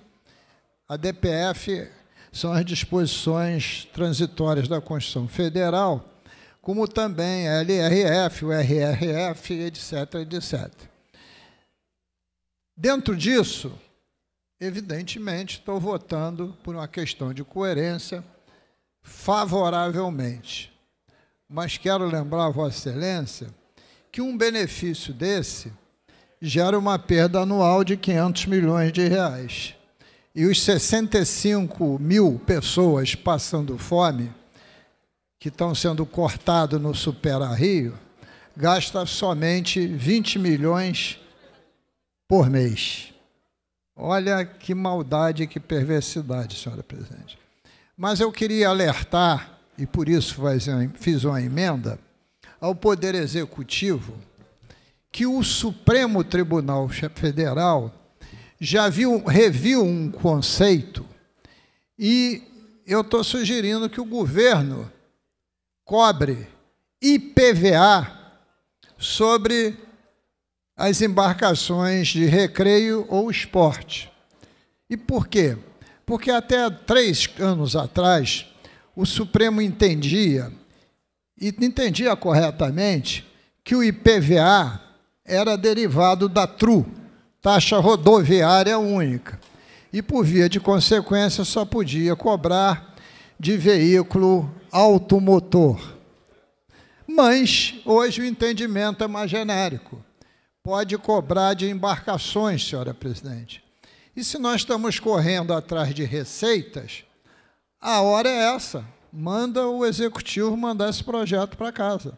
Então, estou fazendo uma emenda nesse sentido. Até porque tenho certeza que o próprio Congresso Nacional vai legislar sobre essa matéria, possivelmente na reforma tributária. Assim, assim pois, senhora presidente, pela Comissão de Tributação, estou votando favoravelmente. Pela Comissão de Orçamento, Fiscalização Financeira e Controle, deputado André Correia. Parecer favorável, presidente. Com os pareceres emitidos em discussão, não havendo quem queira discutir, encerrada a discussão, a presente proposta recebeu 13 emendas e retorna às comissões. Nada havendo a tratar, havendo número legal, está encerrada a sessão. Havendo número legal e sob a proteção de Deus, iniciamos nosso trabalho. Está aberta a segunda sessão extraordinária do dia 27 de junho de 2023 e convida a nobre deputada Marta Rocha para fazer leitura da ata da sessão anterior. A, a ata reflete com exatidão o ocorrido na primeira sessão extraordinária, que iniciada às 17 horas e 35 minutos, encerrou-se às 18 horas e 13 minutos. Lida e aprovada a ata, passa a segunda sessão extraordinária dia 27 de junho de 23, com a seguinte ordem do dia. Em regime de urgência, em discussão única, projeto de lei número 1422 de 2023, de autoria do Poder Executivo, mensagem número 19 de 23, que revoga a lei estadual número 9.191, de 2 de março de 2021, e da outras providências, pendentes de pareceres das comissões de Constituição e Justiça, Economia, Indústria e Comércio, Orçamento, Finanças, Fiscalização Financeira e Controle. Para emitir parecer pela Comissão de Constituição e Justiça, deputado Rodrigo Amorim.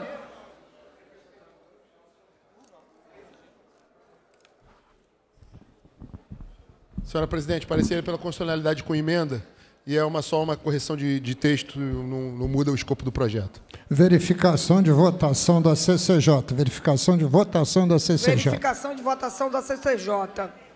Doutor, deputado doutor Serginho. Acompanho o relator. Deputado Fred Pacheco. Questão de ordem, presidente. Só um minutinho, eu colher o, o, os pareceres. Deputado Felipinho Raves. Acompanho o relator, presidente. Deputado Guilherme Delalore. Deputada Verônica Lima. Acompanho o relator, presidente. Deputado Vinícius Cosolino.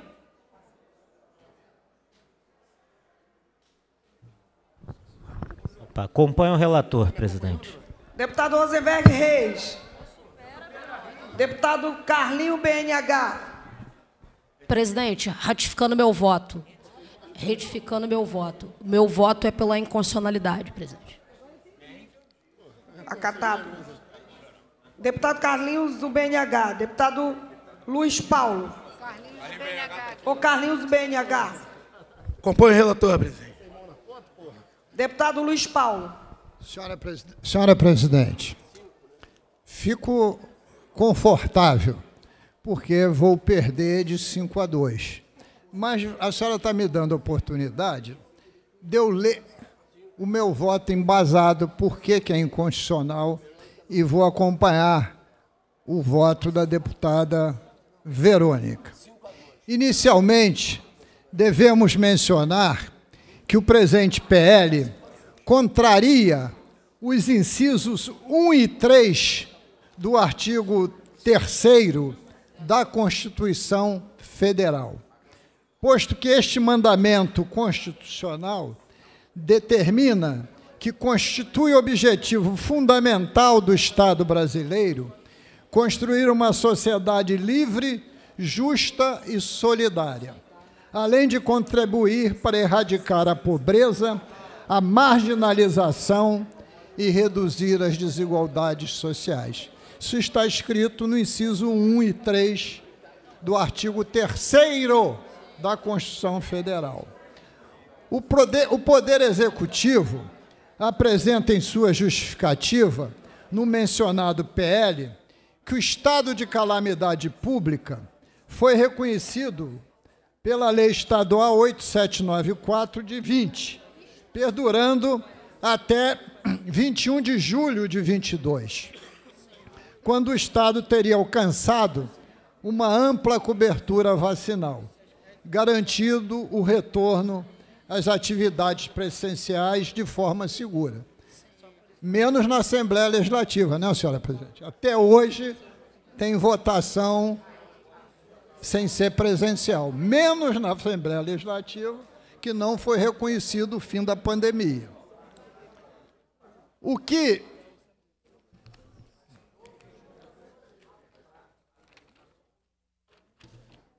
o que teria acabado por esvaziar o objetivo principal para a continuidade do programa Supera Rio.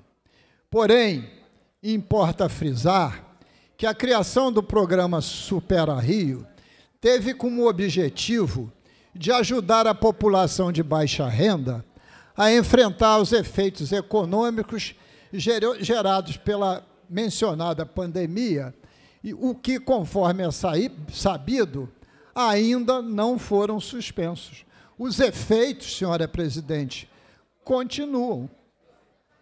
E é notório, basta andar pelas ruas de qualquer município da nossa região metropolitana, acredito até, deputado Yuri, na sua querida Petrópolis.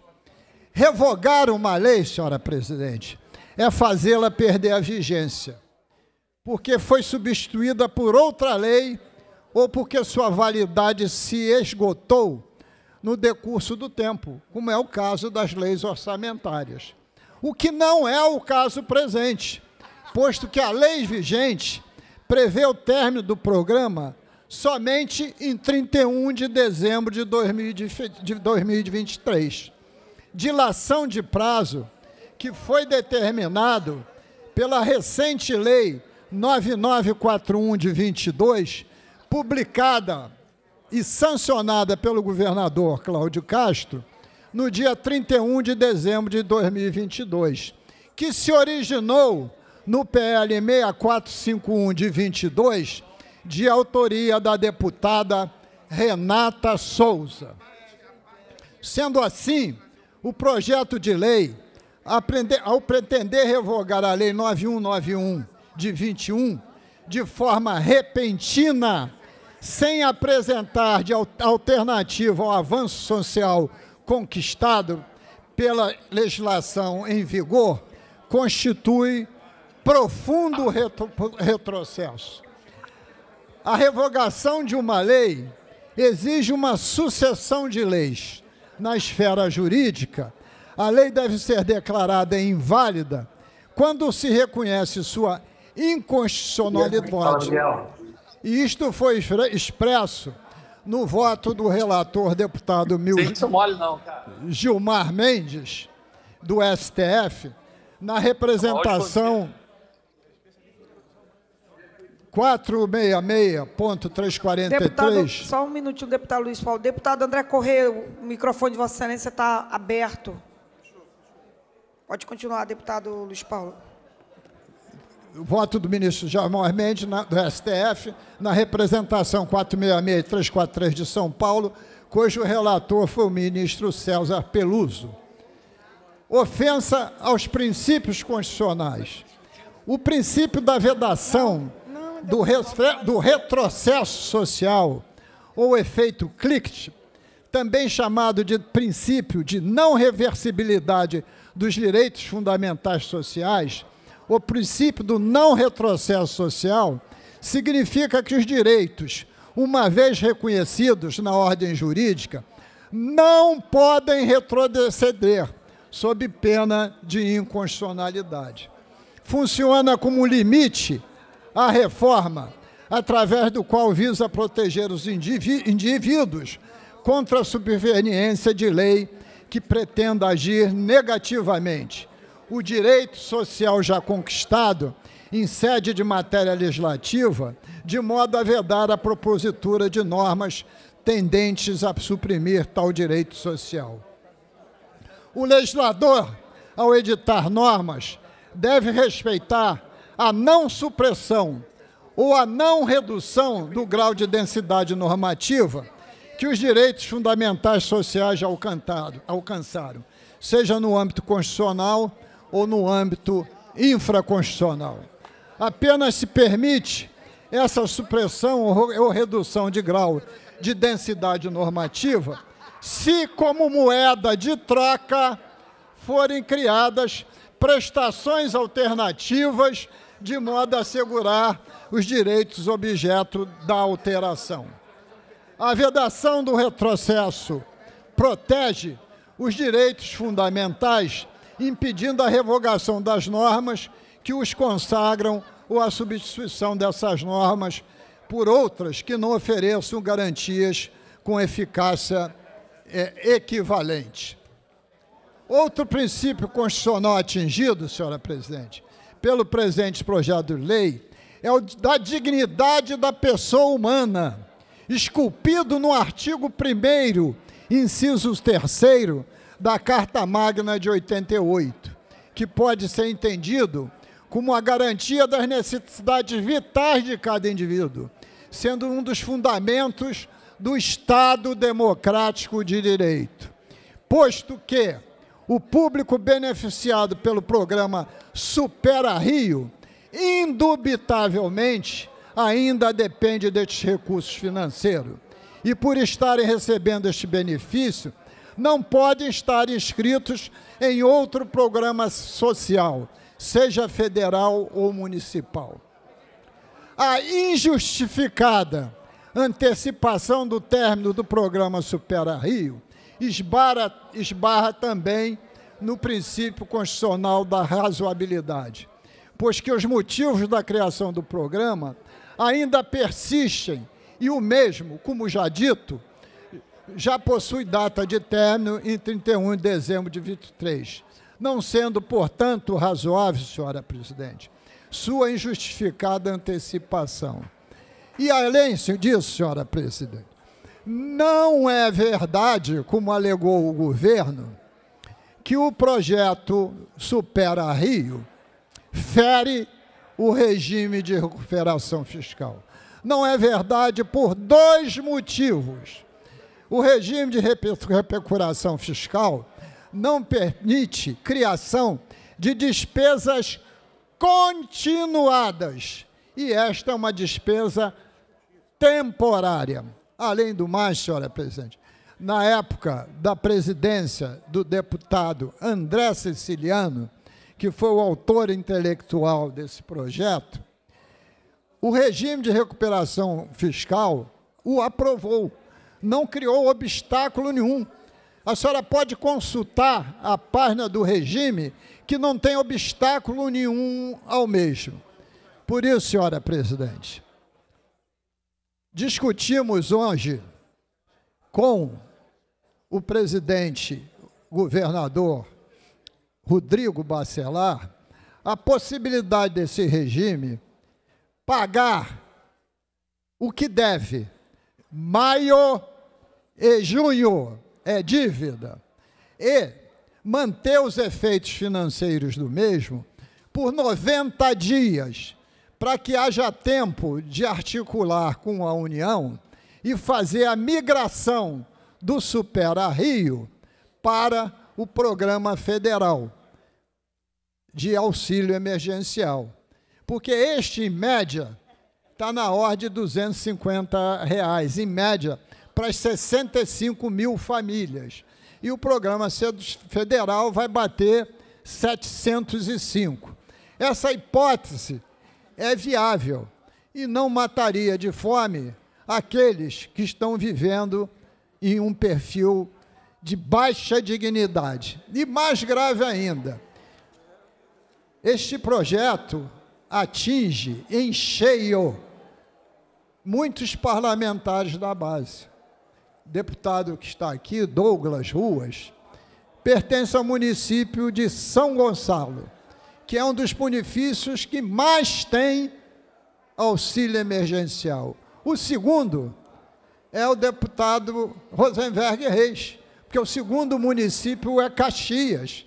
É um projeto de grande constrangimento.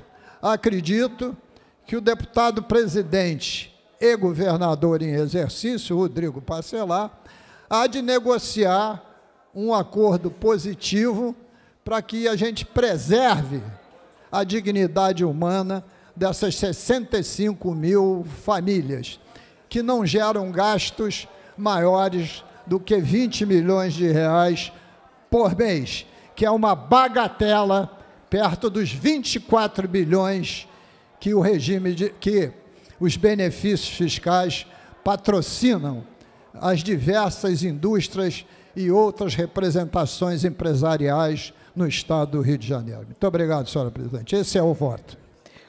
É, é, na CCJ, 5 a 2 pela constitucionalidade. Pela comissão, lembrando aos senhores e senhoras deputados que eu ainda estou colhendo os pareceres. É por isso que eu não abri ainda a discussão, porque está ainda na colhida dos pareceres. A vota, o coro foi dentro da CCJ. É. Pela Comissão de Economia, Indústria e Comércio, deputado Anderson Moraes. Senhora presidente, acompanho o parecer da CCJ. Obrigado. Pela Comissão de Orçamento, Finanças, Fiscalização Financeira e Controle, deputado André Correia. Deputado Carlos Macedo.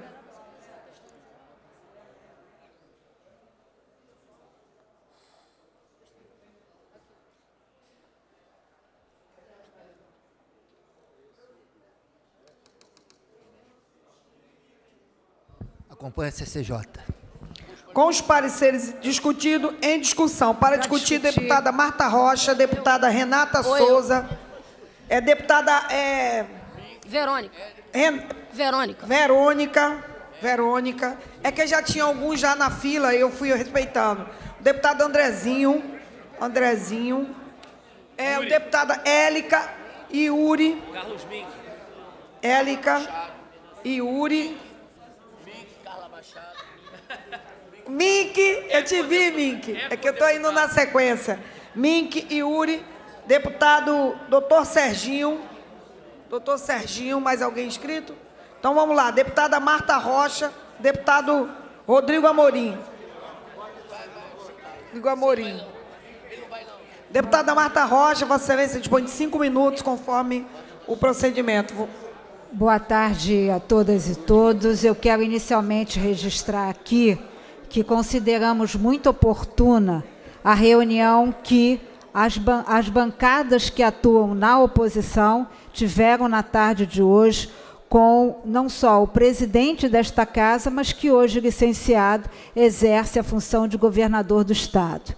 E quando nós começamos a discutir, eu mesma tive a oportunidade de insistir que era preciso que o governo fizesse um gesto em direção a essa a oposição, para que a gente não utilizasse dos artifícios que são previstos tanto no regimento interno como na Constituição Estadual, por exemplo, de discutir a necessidade de colocar em pauta os vetos, que é previsão da Constituição do Estado, portanto, a existência de 33 vetos não aprovados ou não é, não derrubados, impediria que essa pauta tivesse hoje sendo realizada. Mas nós entendemos pelo diálogo, porque nós queremos ver o problema do Superar Rio efetivamente resolvido. Rapidamente, é bom que se lembre que esse projeto gestou uma lei, a Lei 9191, de 2 de março de 2021, e que na, no primeiro artigo e no primeiro parágrafo do artigo 1 é, é clara qual é a função desse projeto. É a adoção de medidas eficazes ao enfrentamento e à superação da crise econômica causadas pelas medidas de contenção na pandemia da Covid-19. Então, nós estamos falando de um enfrentamento da pobreza e da crise econômica que atingiu toda a população.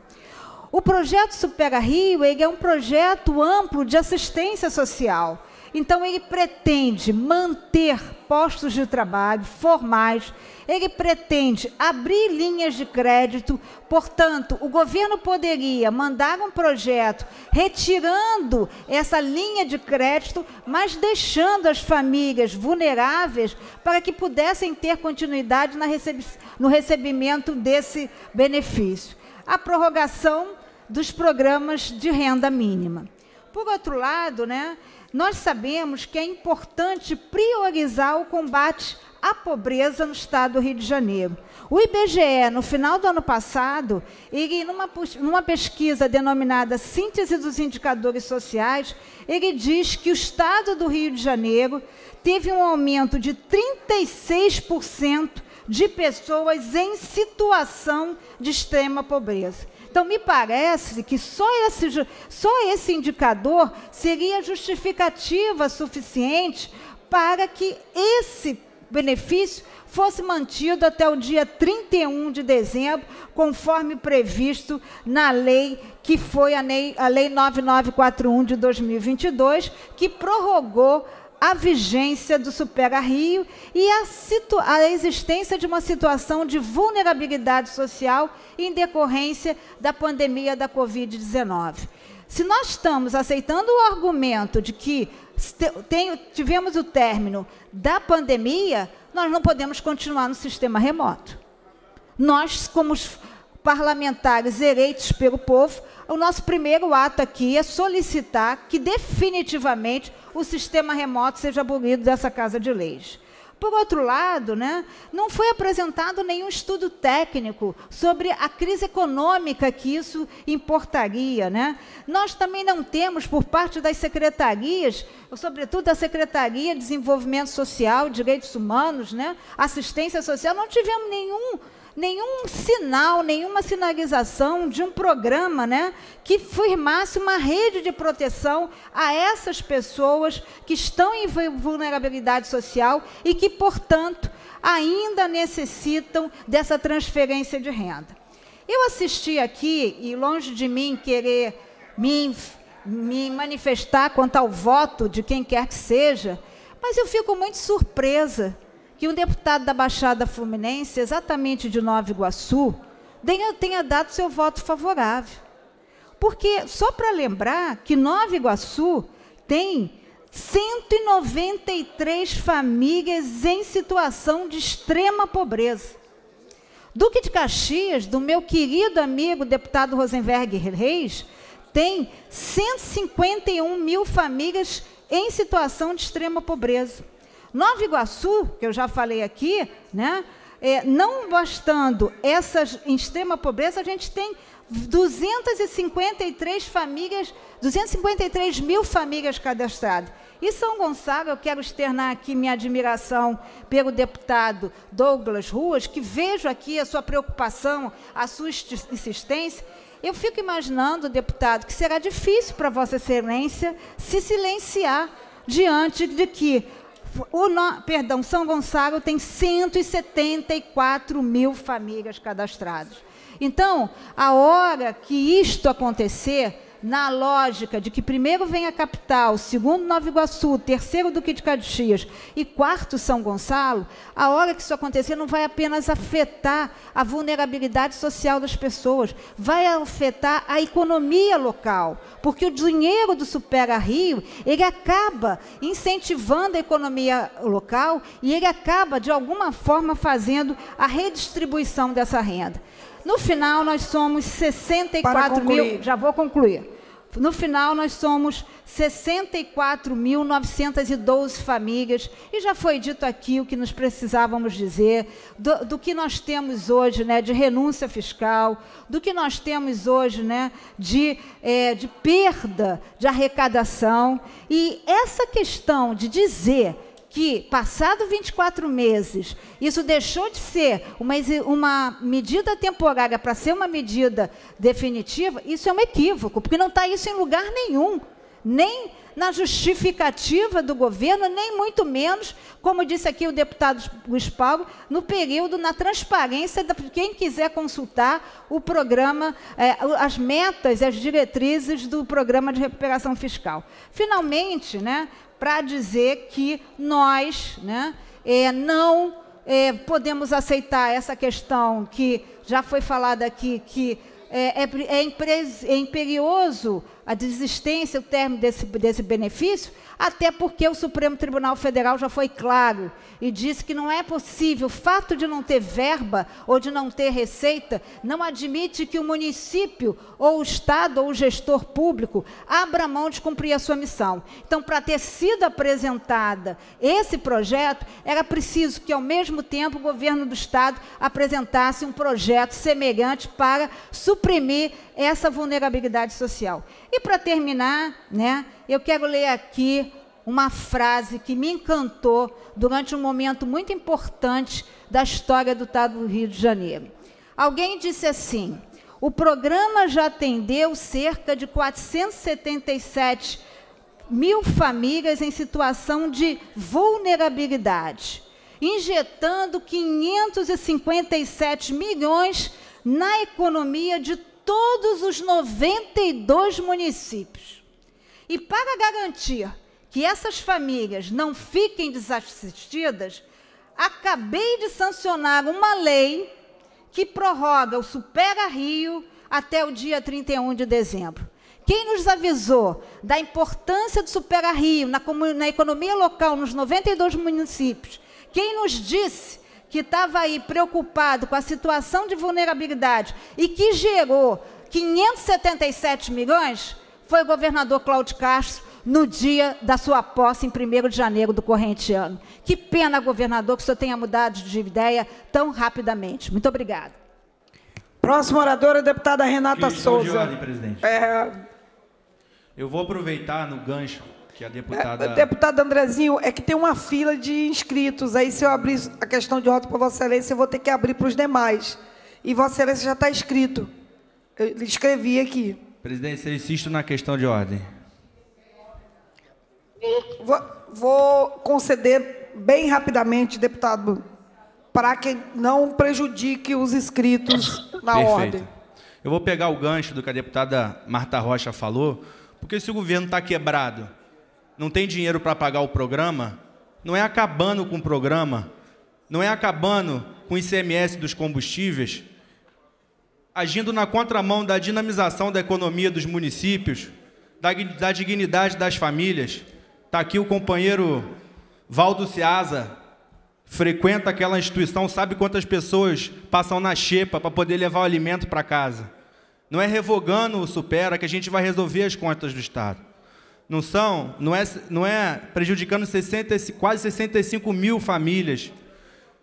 Três dos cinco municípios mais atingidos estão na Baixada Fluminense, um território historicamente atingido pela violência governamental, pela falta de qualidade política.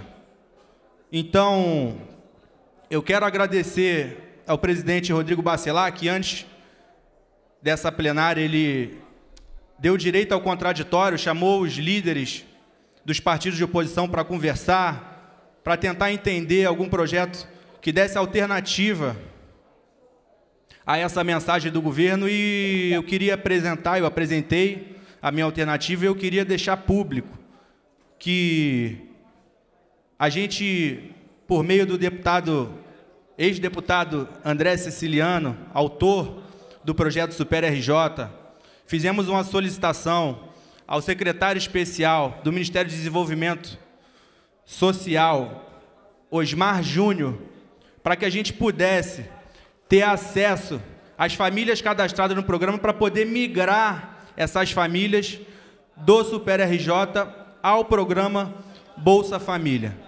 Eu acho que é uma, uma resposta eficaz, porque se o programa visa erradicar a pobreza, erradicar a fome, e o Estado se nega a pagar, que a gente não deixe essas famílias ao léu, que a gente transfira essas famílias ao, ao Bolsa Família. Eu não estou aqui transferindo a responsabilidade do governo estadual para o governo federal.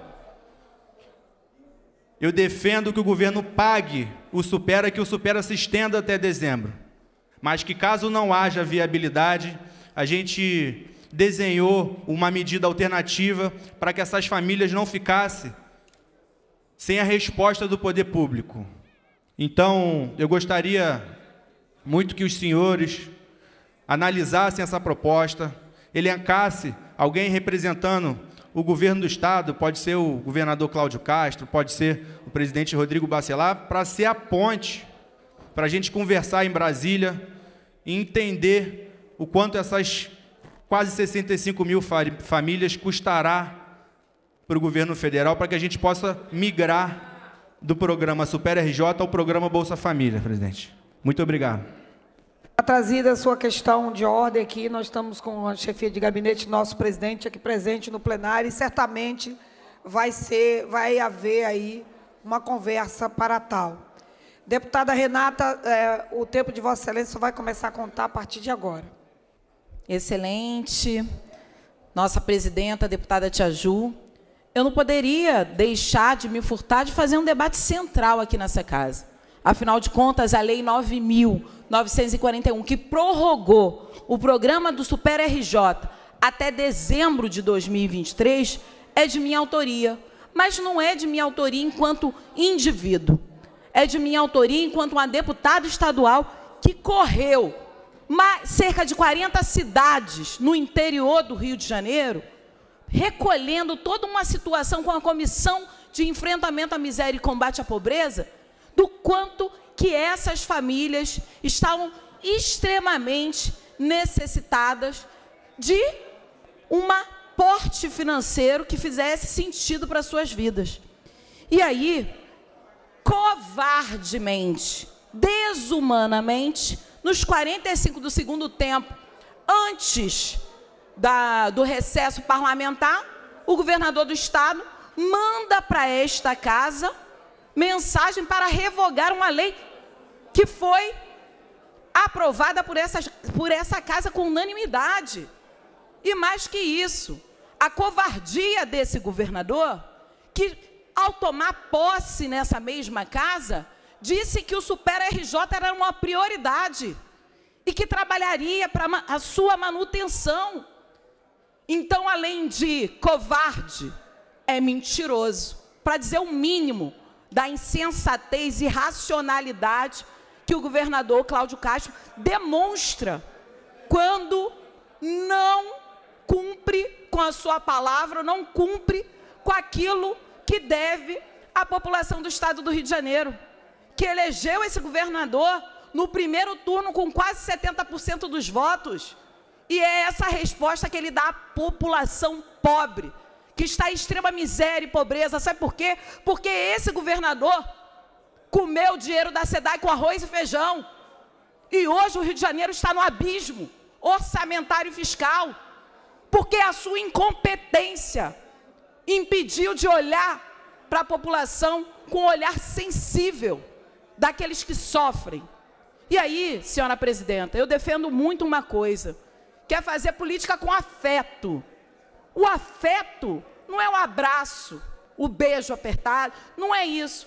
Afeto é se deixar afetar pela dor do outro, a dor de quem passa fome, a dor de quem não tem água na, encanada para beber, a dor daquelas pessoas, daquelas mulheres, mulheres pretas, que chegam na sua casa e não tem como dar arroz e feijão para o seu filho.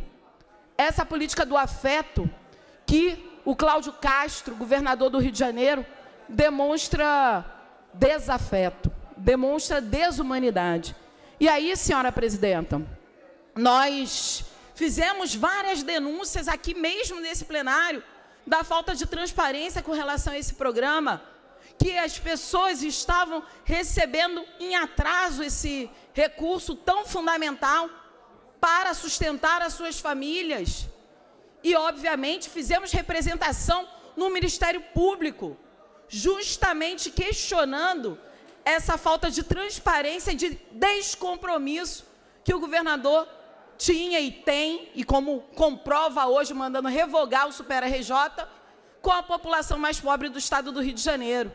E aqui já foram ditas as cidades que são maior, as, as maiores necessitadas e beneficiárias do Super RJ, como São Gonçalo, como Duque de Caxias, cidades como é, Petrópolis, que foi arrasada, arrasada por tragédias ambientais, mas que não são só ambientais, falta de prevenção, falta de reconhecimento o quanto que aquela população já estava em risco e não teve política de contenção de barreiras, não teve política de contenção. E aí as pessoas perderam familiares, perderam suas casas. E hoje muitas delas dependem exclusivamente do Super RJ para botar comida na mesa. Então, senhora presidenta, o que a gente está vendo aqui é justamente a conclusão da política da morte. A política da morte, senhora presidenta, que é a política que esse governador Cláudio Castro opera cotidianamente no estado do Rio de Janeiro. Então, dentro das favelas e da periferia, onde tem o maior número de pessoas que recebem e dependem do Super RJ, é onde tem operações policiais cotidianamente. Então, se esse governador não mata na ponta do fuzil, ele deixa morrer de fome, deixa morrer sem água, deixa morrer de inanição de políticas públicas que façam sentido para a população. E aí nós fizemos um levantamento com mais de 160 famílias que são beneficiárias do Super RJ. 82% dessas famílias falaram dos sucessivos, sucessivos atrasos e também da falta de transparência. Quase 95% dessas famílias que nós entrevistamos, elas disseram e classificaram o benefício do Super RJ como super importante e garantiria ali um mínimo para elas sobreviverem. E aí, senhora presidenta, sabemos os argumentos apresentados pelo governador sobre o regime de recuperação fiscal. Ora, quando aprovamos aqui a prorrogação do Super RJ até dezembro de 2023, já estávamos sobre o regime de recuperação fiscal. Quando o governador veio aqui na Assembleia Legislativa tomar posse, já estávamos com o regime de recuperação fiscal e ele estava ali defendendo o Super RJ como um principal programa. É claro que os 25 milhões que foram gastos em propaganda, sem dúvida nenhuma, gerou uma esperança, uma expectativa para essas pessoas que o reelegeram. Para concluir... O reelegeu. Pois não, senhora presidente. Para reelegeu. Concluir... Vou concluir, senhora presidente. O reelegeu diante da esperança que esse governo tivesse um mínimo de compromisso e complacência com a população mais pobre. E aí, os efeitos da pandemia, que o governador já disse que passou e não provou os impactos, como assim? Ele consegue comprovar que os efeitos da pandemia já passaram? Ele não apresentou a essa casa nenhum estudo de impacto, não apresentou nessa casa nenhum processo de transparência sobre o programa, não apresentou nessa casa como essas famílias receberam o Super RJ? Famílias que desde abril não recebem esse recurso. Então, senhora presidenta, é óbvio que a gente vê hoje com bons olhos o deputado, presidente dessa casa, Bacelar, hoje governando o estado do Rio de Janeiro, porque o governador é tão covarde que ele manda um pacote de maldades para essa casa e vai viajar. Esse é o nível da incompetência, covardia desse governador. E aí nós vemos com bons olhos o presidente dessa casa, hoje governando o Rio de Janeiro, Bacelar, que tenta dialogar conosco para minimizar os efeitos danosos, irracionais, desumanos, que é suspender um programa que atende cerca de 65 mil famílias extremamente pobres do estado do Rio de Janeiro. É por isso que a gente espera a sensibilidade dos deputados e das deputadas aqui nessa casa, para que essa covardia não siga, não siga impune de um olhar que defenda a dignidade humana, defenda pessoas que hoje precisam desse programa. Então, senhora presidenta, para concluir, a gente precisa lembrar que a Constituição Federal, no parágrafo único do artigo 6 diz: todo cidadão em situação de vulnerabilidade social terá direito a uma renda básica familiar, garantida pelo poder público em programa de transferência de renda. E é justamente isso que precisamos garantir: o cumprimento da Constituição no estado do Rio de Janeiro e a subsistência, subsistência dessas famílias em situação de vulnerabilidade, em especial num país como esse, onde mulheres, uma a cada cinco mulheres, chefiam as casas no, no Brasil. E são essas mulheres, mulheres pretas, que hoje sofrem com desemprego, que hoje sofrem com um crescimento pífio, né? A transferência de renda como um, motor que reduz as desigualdades sociais, fundamental para o crescimento do Estado do Rio de Janeiro, a gente Por gentileza, deputada, para concluir. Pois não. Como demonstram os dados da FGV, que tem a economia que, que menos cresce no país. É preciso repensar o que a gente está fazendo errado. Então é um absurdo, é um absurdo, senhora presidenta, que o Super RJ seja revogado sem essas famílias serem avisadas previamente, sem que essas famílias possam receber os atrasados que sequer foram pagos, sem que o governador do estado reconheça a sua covardia, a sua insensibilidade, a sua desumanidade como prática da política do Estado do Rio de Janeiro. É por isso que votamos contra a revogação do Super RJ, porque nós temos compromisso com a população, diferente do governador Cláudio Castro. Muito obrigada, senhora presidenta. Pela presidente. Próxima, próxima oradora escrita, já aí se posicionando, a deputada Verônica Lima, pois não, deputada Índia Armelau. Eu só queria deixar registrado que muito se fala da GRAM, e eu queria é, só lembrar que eu tenho um projeto na Casa Protocolado no mês 4, assim como eu tenho outro projeto com a Comissão de Segurança do mês 5, todos com requerimento de informação, que foi dado ok. Queria ver se a gente co conseguia botar em pauta, que ontem teve aqui uma audiência, infelizmente o projeto, os dois projetos não foram citados, mas já foram protocolados tem mais de um mês, tanto da comissão como o meu, com a coautoria aberta. Obrigada, presidente. Ah, deputada Verônica Lima, Vossa Excelência dispõe de cinco minutos. Obrigado, presidenta. Esperando que a senhora seja generosa comigo na marcação do meu tempo, assim como foi também com outros colegas. Queria desejar boa tarde a todas as pessoas que nos acompanham aqui pela TV Alerge e dizer algumas questões que eu penso que são importantes nesse debate do Supera. Em primeiro lugar, a gente vem acompanhando há algum tempo o desafio que está sendo para as famílias empobrecidas do estado do Rio de Janeiro, que dependiam desse projeto emergencial, receber todos os meses um aporte de recursos mínimos para garantia da sua subsistência. Primeiro, dizer que o parecer contrário que nós demos na Comissão de Constituição e Justiça é pautado, em boa medida, no artigo 6 da Constituição, que determina que todas as pessoas têm direito à dignidade humana. E o que, que a gente sabe? A gente sabe que no Brasil inteiro, no mundo e também no estado do Rio de Janeiro, em função da pandemia, muitos chefes de família, muitas pessoas empobreceram, perderam seus empregos.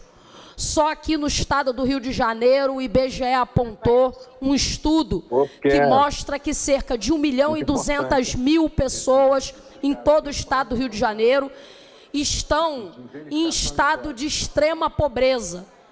Foi um acréscimo de 36%, 36% de crescimento da extrema pobreza no estado do Rio de Janeiro de 2020 a 2021. Nós estamos acompanhando o que o governo federal tem feito. Já a partir desse mês, foi aportado dentro do, bolso, do Bolsa Família milhares de reais para famílias do CAD Único no Brasil inteiro. As famílias empobrecidas com crianças pequenas passam a receber 150 reais por família. E é muito importante a gente reforçar aquilo que já foi dito aqui.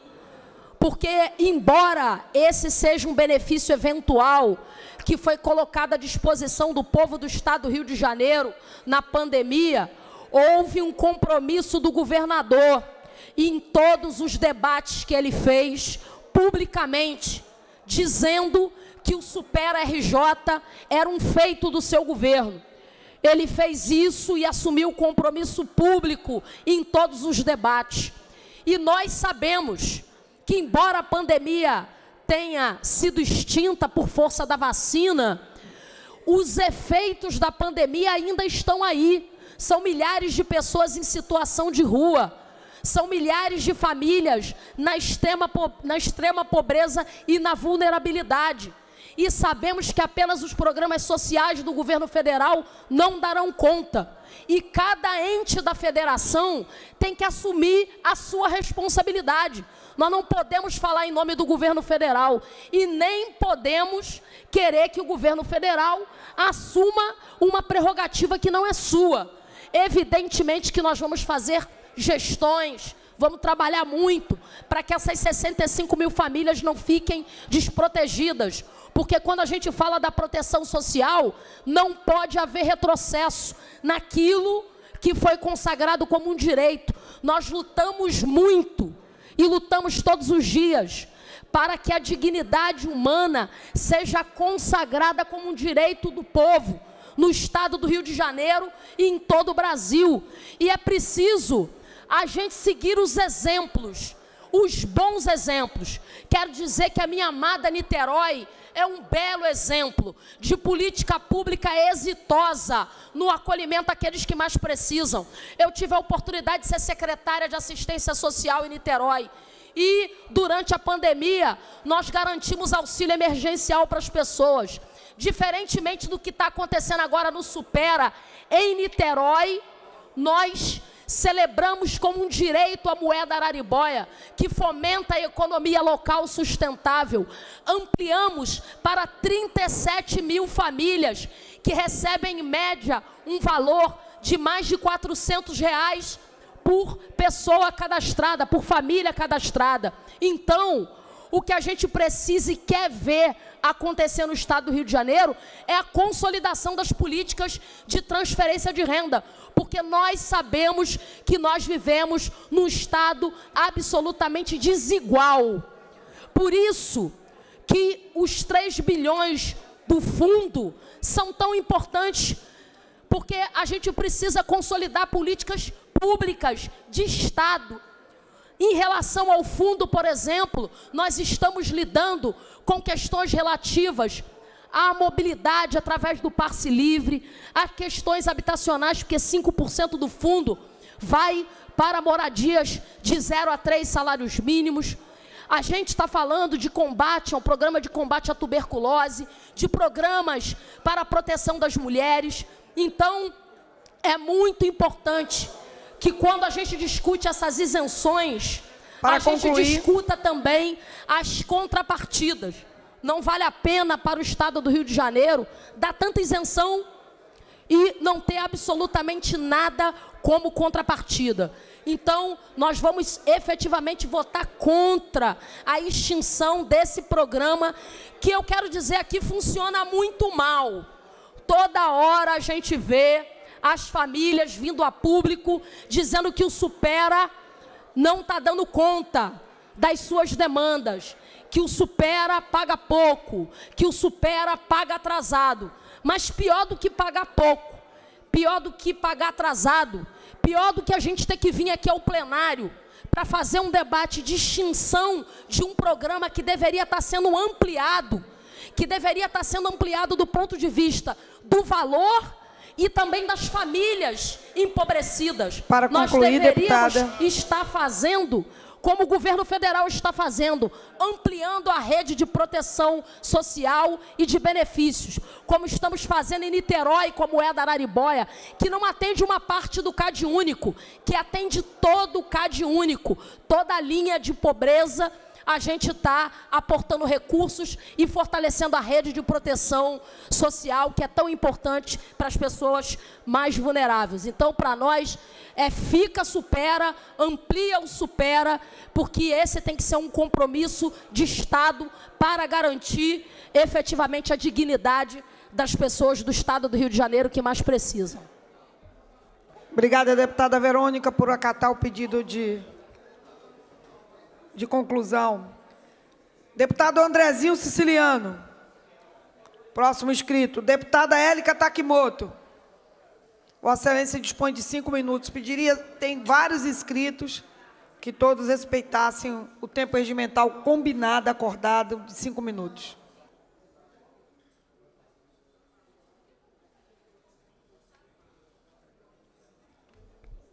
Obrigada, presidenta.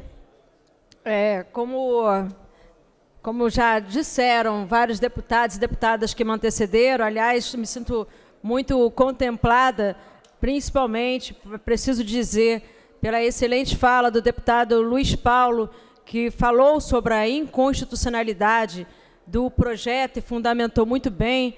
É, eu tenho só algumas coisas a acrescentar e eu seria muito, muito breve. Né? O Supera Rio é um programa de auxílio emergencial criado durante a pandemia da Covid-19 para apoiar exatamente pessoas com renda familiar mensal per capita é, igual ou inferior a 178 reais, e que estejam inscritas no CAD único, nas faixas de pobreza ou extrema pobreza. E até o início do ano, como narrado aqui, falado pela deputada Marta Rocha, que falou que Cláudio Castro mencionou isso, e de fato mencionou, é, o programa já havia atendido cerca de 477 mil famílias em situação de vulnerabilidade, injetando 557 milhões na economia de todos os 92 municípios. E, porém, né, ao contrário do que vai o governo federal, do que diz o sortudo do nosso querido presidente Luiz Inácio Lula da Silva, que para a gente movimentar a economia, a gente tem que colocar o pobre no orçamento. E Cláudio Castro faz exatamente o oposto disso. Né? Esse governo simplesmente encerrou o pagamento da folha de abril sem qualquer aviso prévio aos beneficiários que terão 90 dias para sacar qualquer dinheiro que esteja na conta. Então, uma mudança brusca como essa abala a confiança de prefeitos e da sociedade em geral nas ações do governo. Afinal, a previsão para o programa acabar era 31 de dezembro de 2023. São as cidades onde residem esses beneficiários que serão mais impactadas com menos recursos circulando na economia local. E como falado também muito bem aqui pela deputada que me antecedeu, minha companheira de, de bancada, Verônica Lima, a gente, quando você e a deputada também é, é, Renata Souza, quando você não tem, é, não coloca o pobre no orçamento, quando você tira o poder econômico dessas pessoas, você desestabiliza também a economia. Então, o que a gente tem só na cidade é do Rio de Janeiro vai deixar de receber mais de 202, 212 milhões de reais, seguidas por Nova Iguaçu, Duque de Caxias, São Gonçalo, Belfor Roxo, Campo dos Goitacazes e Niterói.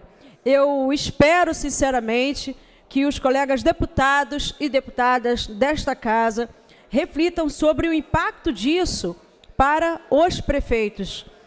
Afinal, cortar benefícios é você abandonar esses municípios à própria sorte. E aí eu, eu questiono também, questiono os deputados da base do governo. Como vocês pretendem explicar isso a quase 65 mil pessoas em situação de vulnerabilidade que recebem esse benefício? As pequenas e é, empresas e negócios locais, que são os principais empregadores do país, como, por exemplo, o Mercadinho do Bairro, a farmácia, a padaria, vão perder muito, porque esses mais de 587 milhões de reais é, não vão mais circular. e nem retornar como arrecadação de impostos via consumo ao próprio governo.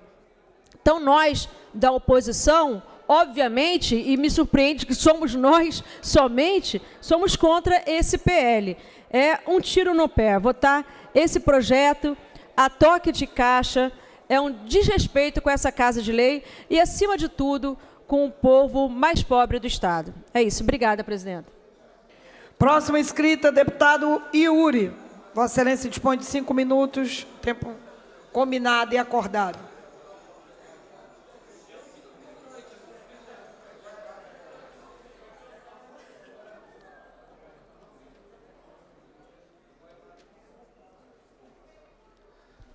Senhora Presidenta, estou muito triste e decepcionado ao perceber que, por mais uma vez, um governador do estado do Rio não cumpre com as, sua, com as suas promessas.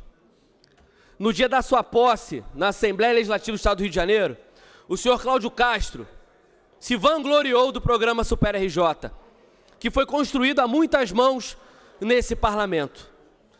E se comprometeu com a continuidade do programa, para atender as pessoas que mais precisam no estado do Rio de Janeiro. Quando nós somos eleitos, nós não recebemos um cheque em branco.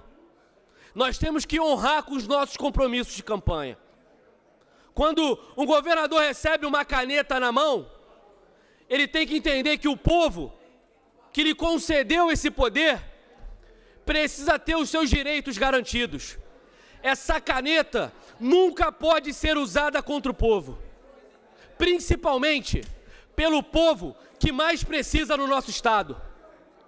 Como foi colocado aqui, cerca de 500 mil famílias já dependeram do Super RJ. Hoje são 66, porque nos últimos meses, sistematicamente, a Secretaria de Desenvolvimento Social, o governador tem cortado várias famílias que deveriam ter esse direito garantido. São cortes absurdos, são atrasos no pagamento.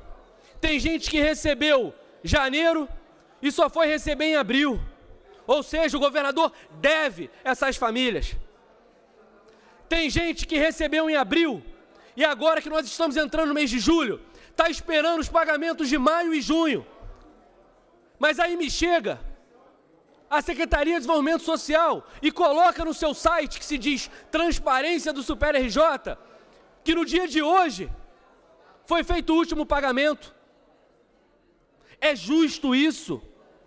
Alguém ganhar a eleição prometendo que vai continuar com o único programa de transferência de renda do nosso Estado. E assim que assume, descumprir esse compromisso. É justo nós temos pais e mães de famílias que dependem dessa média de 300 reais para botar, botar mistura na mesa, para garantir dignidade.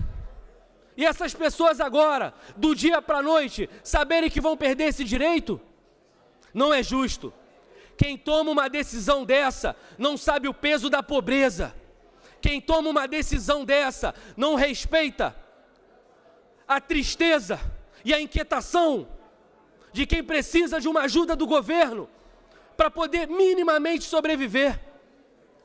Quem toma uma decisão como essa não tem a palavra empatia, alteridade, quer se colocar no lugar do outro e entender que apesar da classe política como um todo ter muitos privilégios, a crise social pode pegar a todos. Hoje são essas 66 mil famílias junto das 3 milhões que estão em pobreza no estado do Rio de Janeiro. Amanhã pode ser você que está assistindo. Amanhã pode ser alguém que tem mandato. Amanhã pode ser alguém que hoje vive uma vida abastada. Não reconhecer a injustiça social é um absurdo. Ainda mais quando isso vem das mãos de um governador.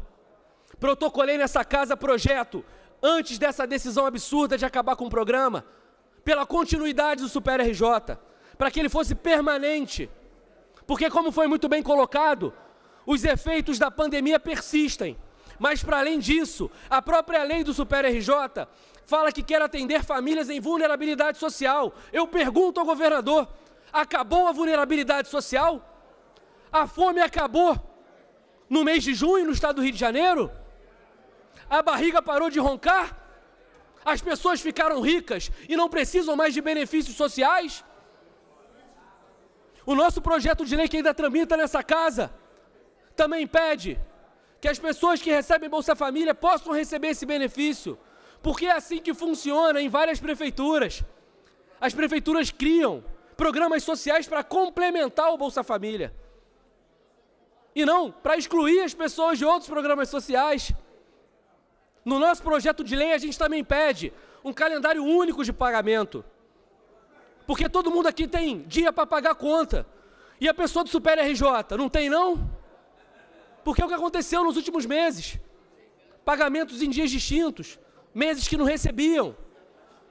Aí eu, ao invés de estar aqui para debater essas ideias, de melhorar o programa, estou tendo que vir aqui discutir uma mensagem do governador do estado, que acaba com esse programa. E o pior, ouvir de um subsecretário de uma Secretaria de Desenvolvimento Social que simplesmente os outros programas continuam. Que outros programas continuam? O Café do Trabalhador, que está cheio de obra parada e não chega para ninguém? O restaurante popular que atende poucas pessoas? Será que quem está tomando essa decisão sabe que colocar um restaurante popular no centro de uma cidade não garante que quem mora no bairro vai chegar para poder comer? Será que quem toma essa decisão sabe as filas que a gente encontra na frente desses cafés dos trabalhadores e do restaurante popular? Que esses equipamentos são importantes, mas não dão conta do problema da segurança alimentar, da segurança nutricional, na verdade, da insegurança que a gente vive. Já foi falado aqui por outros parlamentares, inclusive da direita, e eu vou repetir. Eu não aguento mais vir aqui falar o óbvio o óbvio de que a prioridade tem que ser o povo que mais precisa. É por isso que o Estado existe, Tia Ju. Para concluir, deputado. E para concluir, respeitando o tempo regimental e valorizando, que eu tenho certeza que com o gesto do presidente dessa casa, a gente vai tentar achar um acordo que garanta o direito das famílias. E aí não tem oposição situação. Aí não é para fazer um debate de esquerda ou direita, apesar de eu ter lado ser de esquerda. É fazer um debate sobre a urgência na vida das pessoas. E aí eu quero apontar o seguinte: não dá para a gente achar que o governo do Estado não tem condições de colocar 0,2 do seu orçamento para pagar o Super RJ, porque é isso que vai custar o pagamento até o final do ano. Cláudio Castro, a vida de dezenas de milhares de pessoas, o sustento dos filhos e filhas dessas pessoas depende de 0,2 do orçamento. Pense nisso antes de mandar um projeto como esse para essa casa. Eu confio nos deputados e deputadas. Eu confio na conversa que nós tivemos hoje com o presidente dessa casa. E tenho certeza, vou ficar muito decepcionado se não, que a gente vai conseguir reverter. E mostrar que o Super RJ é importante e mostrar que o Estado do Rio não pode ficar sem um programa de transferência de renda. Quem tem fome tem pressa e a gente vai falar isso sempre que esquecerem. Próximo inscrito, o deputado Carlos Mink. Vossa Excelência dispõe de cinco minutos. O próximo inscrito é o deputado doutor Serginho.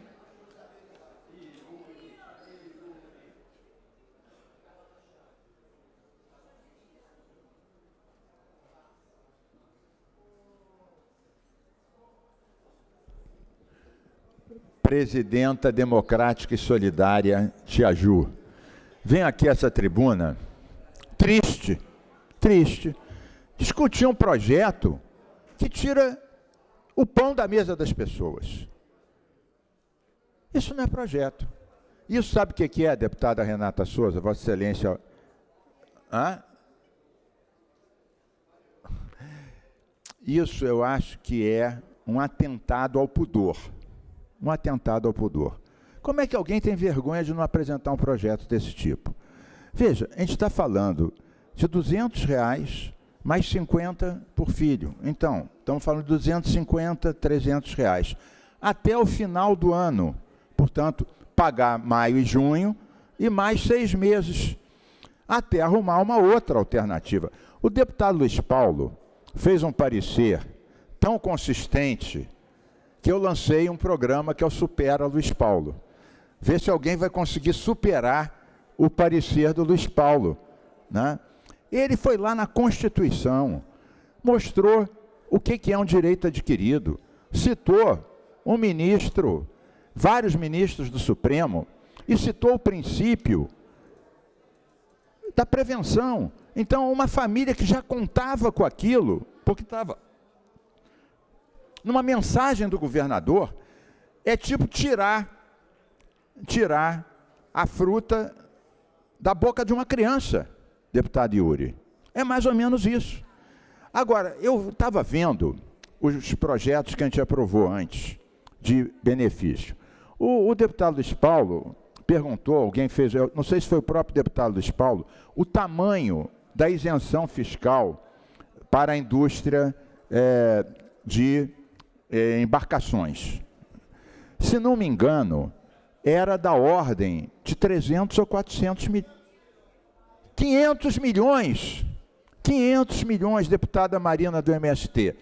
Apenas este projeto, de várias outras isenções, este apenas era de 500 milhões. Quanto custava, quanto custa 65 mil pessoas a uma base de 250 reais por seis meses? O deputado Iúria falou 0,2%, eu acho que é menos que isso, deputado Iúria. Foi a conta do Luiz Paulo? Então deve ser verdade. Mas, eu, mas, mas veja você, deputado Yuri, comparando, comparando esses 35 milhões para garantir o sustento de 65 mil famílias por seis meses, apenas um dos vários projetos de isenção que a gente votou hoje, da indústria das embarcações, da linha náutica, esse projeto, 500 milhões, um projeto de isenção. Então vejam que não está certo isso. Eu estou convencido, depois da conversa que nós, líderes da oposição, tivemos antes da sessão com o governador presidente Bacelar, também com o deputado é, Amorim, com o deputado Amorim, com o deputado doutor Serginho, eu estou convencido que isso é uma coisa tão grave que o próprio governo vai recuar e vai se abrir uma outra alternativa. Eu estou convencido disso, porque não é razoável. O custo político que o governo está pagando, o constrangimento, deputada Élica, o constrangimento, a gente conversando com os deputados da base governista, os deputados estão constrangidos de ter que votar essa coisa. Eles falam, pelo amor de Deus, convençam o governo de recuar disso, porque eu vou me queimar votando um projeto tão maligno, perverso, cruel. Então, deputada Amorim, eu estou convencido que vamos chegar a bom termo e, aliás, vamos estar fazendo um grande serviço, não só às pessoas que passam fome, que já contavam com isso, porque estava na lei, mas estamos fazendo um serviço à base do governo, estamos livrando a base do governo de um constrangimento desnecessário, vexaminoso por tão pouco. Portanto, eu acho que o bom senso vai falar mais alto, eu estou convencido disso. Até porque, apesar das nossas grandes diferenças, tem que reconhecer que o debate foi no nível elevado. Foi num nível elevado. E é este nível e a argumentação, a consistência do parecer do deputado Luiz Paulo e os dados que foram levantados pela deputada Renata Souza, autor inclusive da lei que se pretende revogar, a que se estendeu. Para né? concluir, deputado de, de tantos deputados que já falaram, eu estou convencido, deputada Tia Ju, que no espírito de Vossa Excelência, que sempre foi uma conciliadora, sempre foi uma pessoa que olhou o lado social.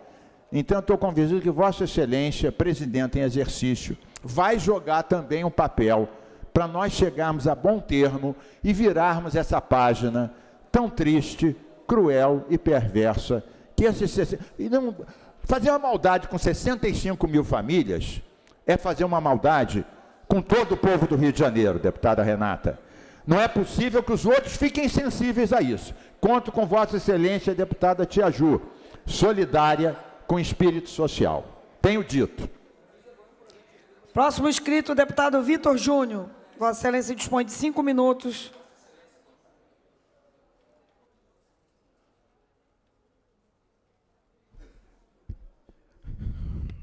querida deputada Tia Ju, todos os deputados aqui presentes. É, eu, durante a sessão, presidente, eu do meu gabinete fiquei acompanhando as discussões dos projetos, porque foram muitas mensagens encaminhadas a essa casa nesses últimos dias, e é difícil a gente aqui no plenário fazer leitura, pesquisar, buscar informação e colaborar para que esses projetos tenham um resultado positivo para o crescimento do Estado do Rio de Janeiro e, para acima de tudo, para a garantia dos direitos da população fluminense e carioca. E a gente vem, nesses últimos dias, presidente, trabalhando muito no sentido de entender e colaborar com emendas aos projetos para que possamos aqui atingir o objetivo ideal, que o Estado possa é, cumprir todas as suas funções, todas as suas obrigações nas suas diversas áreas. E aí, presidente, eu quero aqui fazer um apanhado geral, um pouco, e tratar esse projeto do Super RJ dentro de um pacote de medidas que o governador Cláudio Castro encaminhou essa casa.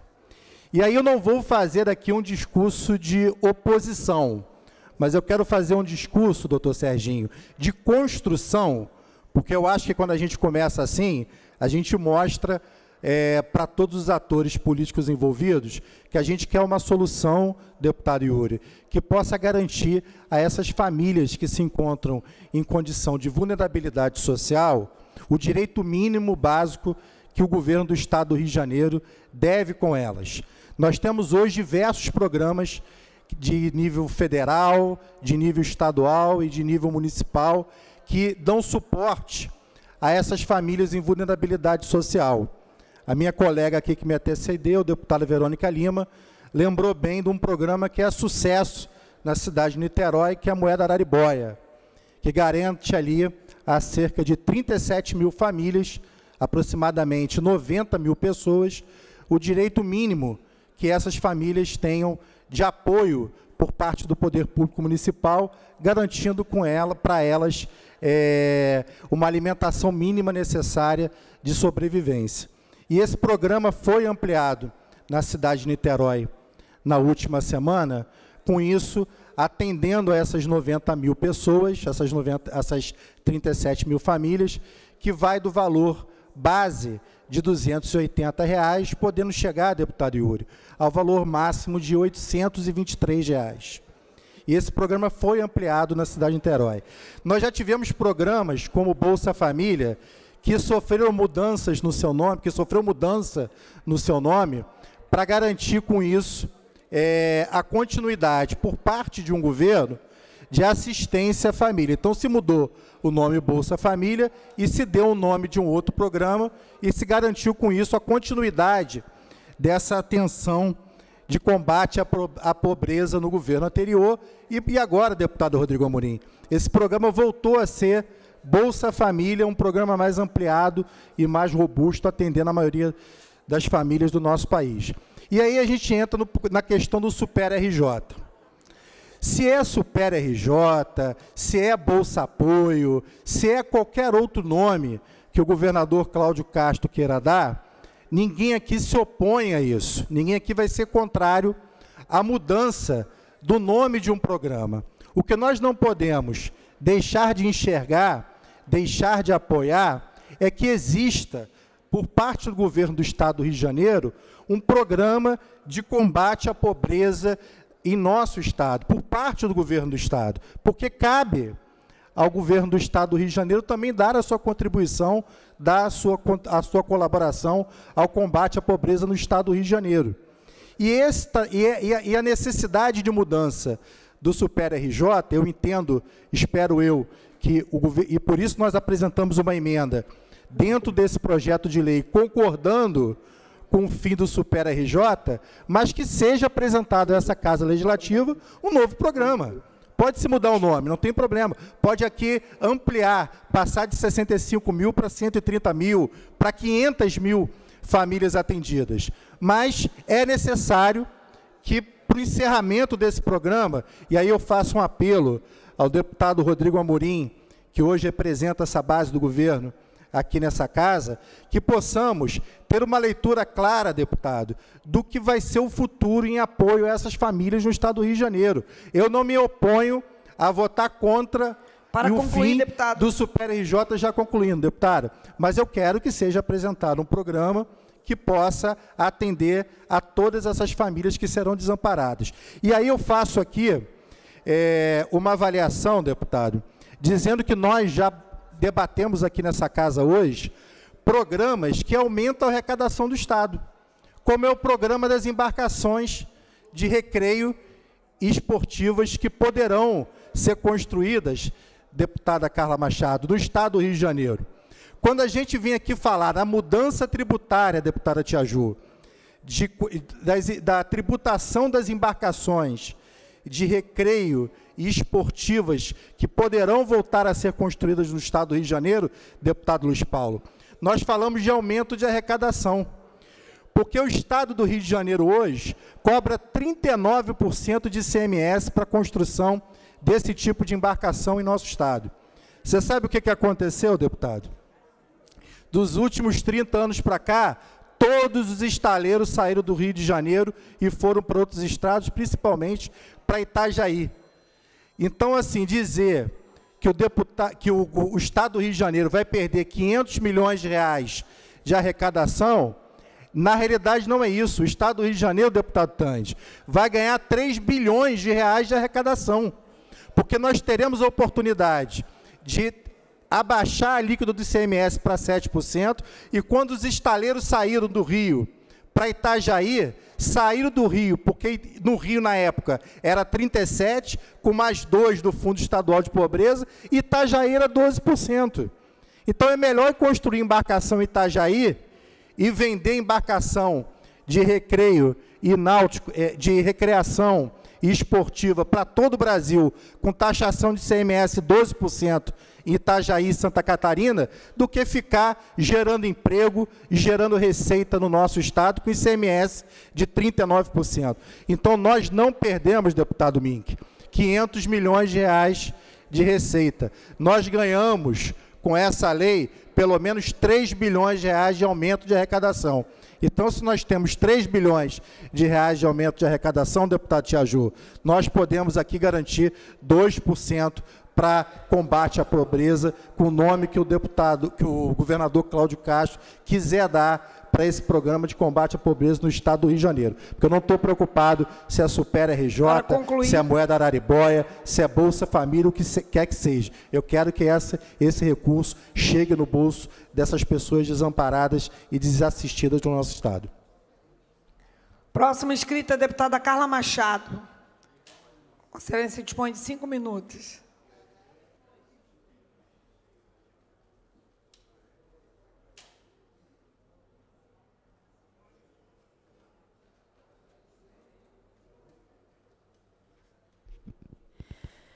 Tia Ju, nossa presidenta, colegas aqui presentes no plenário, eu acredito que eu não usarei nem os cinco minutos, Tia Ju, que a senhora está disponibilizando para cada um de nós.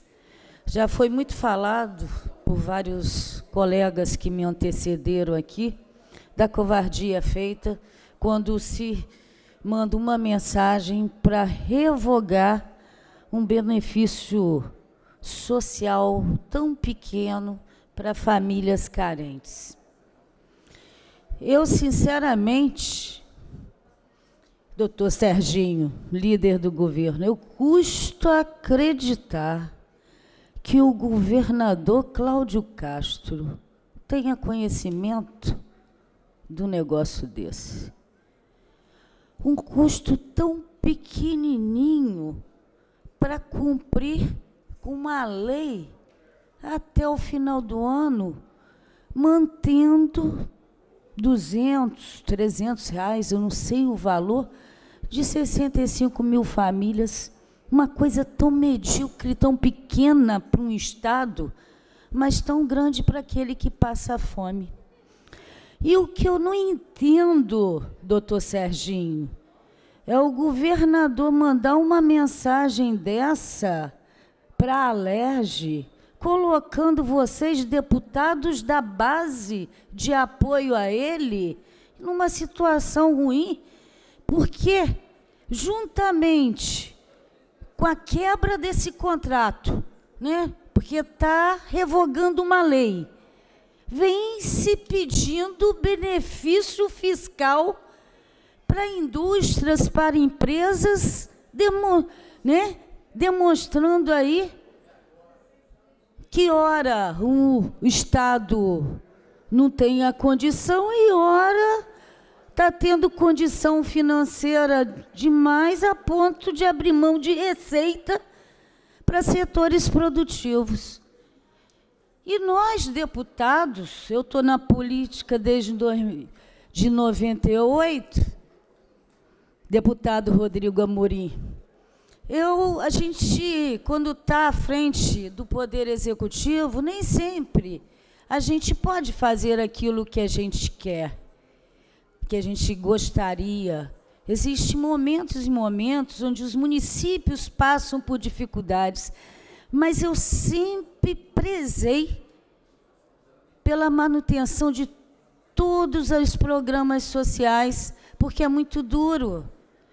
Nem né? um pobre está contando com tal benefício e abruptamente esses benefícios serem cortados. Eu custo acreditar que o governador Cláudio Castro esteja ciente disso, que manda-se mensagens de lei para essa casa para poder revogar uma lei que quando o pobre não cumpre a lei, ele tem que ir preso. Quando a gente revoga um contrato, né, uma empresa, paga-se multas e manda-se um, um projeto de lei para tirar da boca daqueles que mais precisam, que é quando a nossa obrigação de deputados, de políticos, é para trabalhar para o bem comum, para diminuir a desigualdade social e para fazer com que as leis sejam cumpridas, né, que é essa uma das missões aqui do Legislativo Fluminense. Eu acho que vocês que são da base do governo, não tenho nada contra o governador Cláudio Castro, vocês deveriam conversar com o governo para não colocá-los numa situação tão complicada, porque a gente fica envergonhado.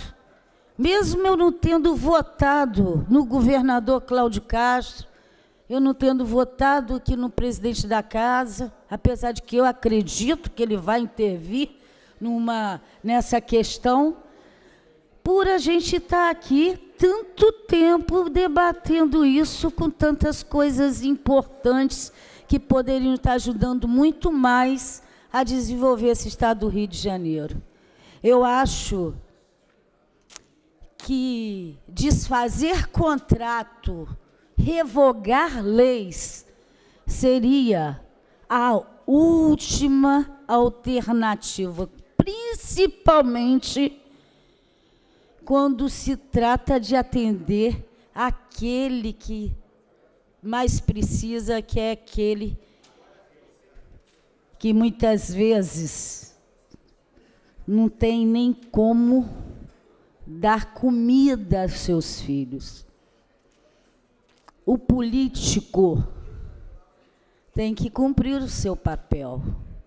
E antes de tudo, para cumprir o seu papel, ele tem que respeitar o próximo principalmente, concluir, principalmente quando esse próximo é aquele cidadão que, por ocasião da campanha eleitoral, deu o seu voto em confiança.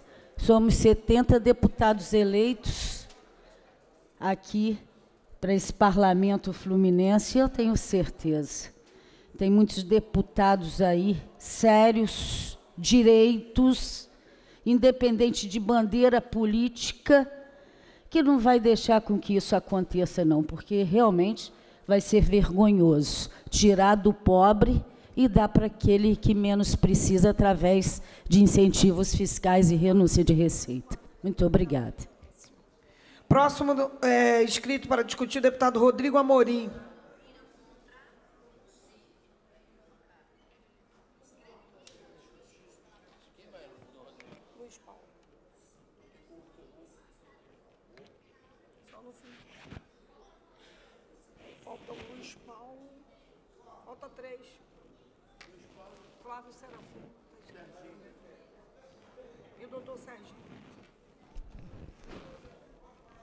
Senhora presidente, demais colegas, aqueles que nos assistem pela TV Alerj, sobretudo aqueles que nos assistem pela TV Alerj, essa é uma pauta importante eu diria que é o prenúncio de algo que muitos deputados nessa casa defendem.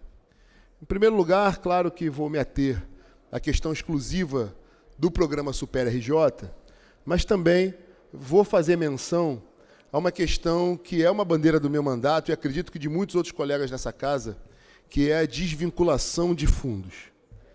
Houve uma prática recorrente, deputado Dionísio, sobretudo pela ala progressista, que não consegue ganhar a eleição ao executivo, de vincular através de fundos o orçamento do Estado do Rio de Janeiro. O que quer dizer com isso? Cria-se fundos, determina-se regras de aporte financeiro nesses fundos, de modo a imobilizar uma parcela substancial do recurso do Estado do Rio de Janeiro para aplicação obrigatória em determinadas pautas e matérias.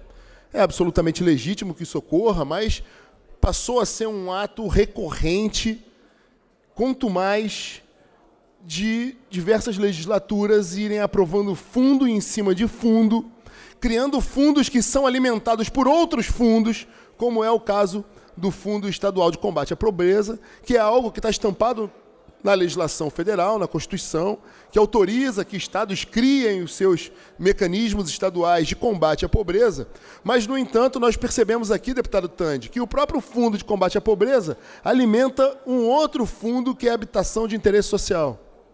Então, essa trama de fundos, um retroalimentando o outro, vai imobilizando o orçamento do Estado, de modo, em primeiro lugar, que o governador do Estado, seja ele qual for, Estou me referindo aqui, obviamente, ao governador Cláudio Castro, que ganhou com um recorde histórico de votação, mais de 5 milhões de votos, mas poderia ter sido o, o governador da oposição.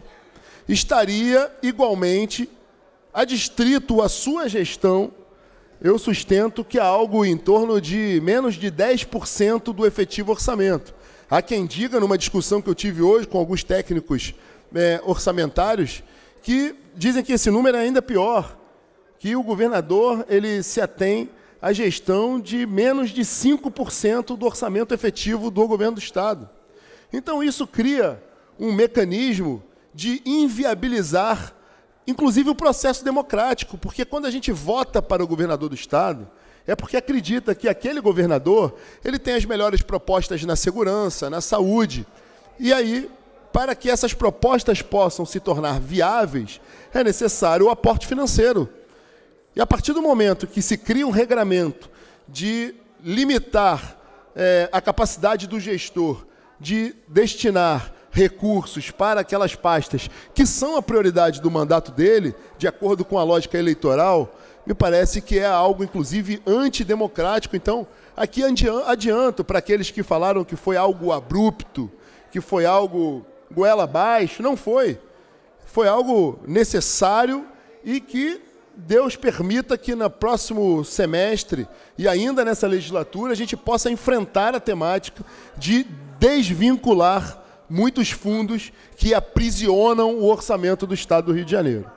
Dito isso, há algo extremamente relevante que a gente também precisa enfrentar, que é a questão do, da reforma do fundo, do, do, da continuidade do Fundo de Combate à Pobreza, mas com um mecanismo de dar maior amplitude ao destinamento desse próprio fundo.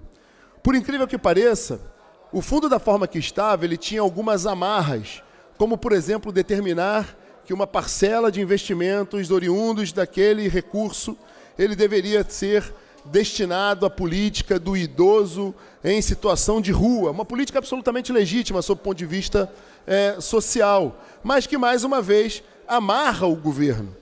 Então, a partir do momento que se renova, a partir do, do conceito que todos nós, acredito eu, é, convergimos nessa ideia, que o Estado do Rio de Janeiro não pode abrir mão de receita, é, é, fundamental uma reforma no fundo de combate à pobreza que possa dar maior amplitude, inclusive, inclusive para garantir o pagamento de servidores da educação, da saúde, da assistência social, permitir o financiamento da política habitacional, que há 15 anos estava paralisada no estado do Rio de Janeiro, e o governador Cláudio Castro é, se dignou e teve a sensibilidade de colocar em andamento novamente, com investimentos na habitação popular, com a reforma de conjuntos habitacionais do governo do deputado. Estado. Então é fundamental esse processo. Além disso, deputada Tiaju, a gente precisa encarar que o Super RJ ele teve uma motivação. Foi a pandemia, o, a pandemia terminou há muito tempo, mas ainda os dilemas se perpetuam. O fato é que o Super RJ teve alguns problemas de implementação, que é natural, da noite para o dia, se criar um fundo desse gigantismo, e é necessário que o governo agora, com calma, com tranquilidade, possa planejar a seu aporte na, numa, num fundo destinado exclusivamente, num programa é, é, é, social destinado a, especificamente à transferência de recursos para os mais necessitados. Lembrando que, nesse momento, o próprio Supera aporta para alguns empreendedores que não necessitam mais com aquela é, energia que se precisava anteriormente. A gente precisa olhar agora para quem precisa efetivamente, para o pobre, para aquele que está na. Então, é fundamental, para concluir, senhora presidente, que muitos que vociferaram hoje é, esqueceram do programa que foi cortado pelo governo federal, pelo governo Lula, que é um programa de transferência de renda. O governo Bolsonaro criou o, o, um programa que talvez tenha sido o melhor programa de inclusão, algo que ele era muito criticado durante o processo eleitoral, e eles se silenciaram aqui. O governo Cláudio Castro, com coragem, implementa, num momento crítico de enfrentamento à pandemia, o Super RJ sendo pioneiro dentro dos estados da federação, e agora todo esse alarde que tem um cunho meramente especulativo e de imposição de narrativa política, que o governador está tendo um olhar atento, cauteloso para as pessoas que necessitam, de modo a encerrar esse ciclo e começar, no momento certo, um ciclo novo, com maior amplitude, pensando efetivamente naquele que não só necessita, mas em fazer a economia girar. Claro que alguns deputados querem tirar proveito da pauta, se auto-intitularem os heróis do Super RJ, mas que na verdade não o são. Gostam muito de xingar o governador, gostam muito de, é, inclusive, inclusive, ir contra o regimento da casa no que diz respeito ao decoro.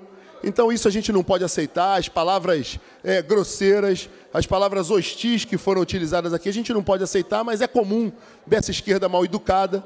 Agora tem que engolir que a gente está fazendo política efetiva, sem aceitar essa imposição de uma narrativa covarde, e lembrando que o governo do Estado está efetivamente enfrentando uma discussão para de forma concluir, certa, deputado. num momento adequado, para que a gente possa, enfim, ter um programa de investimento social é, com as reformas de desvinculação de fundos e para a criação de um novo modelo de, de, de repasse financeiro. E para concluir, deputada Tiaju, ninguém comentou aqui sobre o Comissarf, que são três técnicos da Fazenda e do Tesouro Nacional do governo Lula, que ficam aqui metendo o bedelho em tudo que se faz e que certamente por ter mais de dois anos de aplicação do Super RJ, é, teria crítica da Comissarf no sentido de se tornar um programa permanente, portanto, condenado por esses três indivíduos que determinam o que deve ser feito com o dinheiro no Rio de Janeiro. Agora, quando se critica o governo Lula porque são técnicos da Fazenda, ninguém fala nada.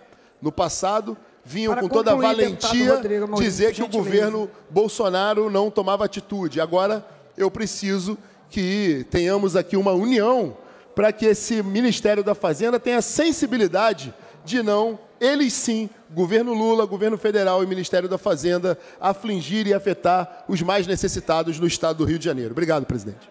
Próximo inscrito é o nobre deputado Luiz Paulo. Antes, porém, enquanto ele encaminha até a tribuna, deputado Yuri. Muito obrigado, presidente. Eu queria citar aqui a presença do vereador William Siri, vereador pela cidade do Rio de Janeiro, meu amigo, meu irmão, faz um grande trabalho em defesa da Zona Oeste, da educação e da assistência. E também mandar um beijo para o pessoal de Petrópolis que está assistindo. E dizer que a cidade tem deputado e que nós vamos lutar até o final pelas 33 mil famílias que chegaram a receber o Super RJ, pelas que não receberam ainda, a gente vai lutar até o fim. Tá bom? Obrigado, Tia Ju. Deputado Luiz Paulo. Senhora presidente, vou discutir Deputado Luiz Paulo, me permite pequena parte só para corrigir. não. Eu falei comissarf em razão da, da, discussão anterior, mas é o Conselho de Acompanhamento do Regime do Governo Federal que eu me referi. Obrigado. Senhor presidente, inclusive vou solicitar ao deputado Amorim que ouça a minha fala. Porque na CCJ eu discuti a forma e agora vou discutir o mérito. Deputado Rodrigo Amorim, com toda sinceridade. Eu, nos meus 20 anos de parlamento, eu jamais vi um, vi um projeto de lei como este da extinção da supervia que faça uma covardia inominável contra os mais miseráveis sob o ponto de vista do poder aquisitivo. Isso é liquidar a vida de 65 mil famílias que passam fome. Eu não consigo acreditar que deputados que ganham 30 mil reais, como eu, que também sou deputado, possa deitar a cabeça no travesseiro e dizer que da noite para o dia, o auxílio emergencial, emergencial, que na média paga míseros 300, mil, 300 reais por mês, vai acabar. Meu sentimento de culpa cristão não me permite. E acredito que as senhoras, senhores deputados, não conseguiriam fazer esse voto. Eu fico abismado que o governador tenha mandado essa mensagem. Possivelmente não foi um assessor que sugeriu a ele. Se o foi, foi um obsessor. Um obsessor que no ouvido soprou essa indignidade eu estou triste, perplexo e emocionado. Mas a reunião que tivemos hoje e que Vossa Excelência participou, deputado Amorim, com o presidente governador Bacelar, me animou, porque ele disse que buscaria uma saída honrosa, que seria manter o pagamento dos atrasados de maio e junho.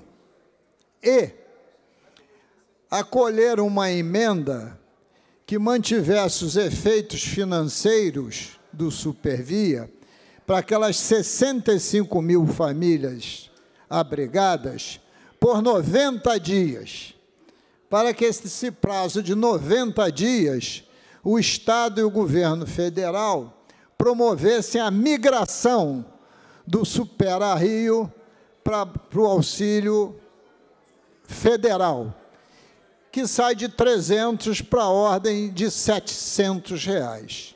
Ficou o presidente governador de contatar o governador efetivo, que está no exterior, para tentar essa solução, que dará a resposta amanhã às 10h30. Vossa Excelência participou desse encontro com uma série de outros deputados que estão aqui, Mink, Yuri, Élica, Marta Rocha, enfim. E me parece que essa pode ser, de fato, uma saída. Mas Vossa Excelência, deputado Rodrigo Amorim, se enganou no seu discurso. Não somente no nome no nome Comissarf. Isso é comum. Eu ainda há pouco, em vez de falar Supera Rio, eu falei Supervia. Se engana.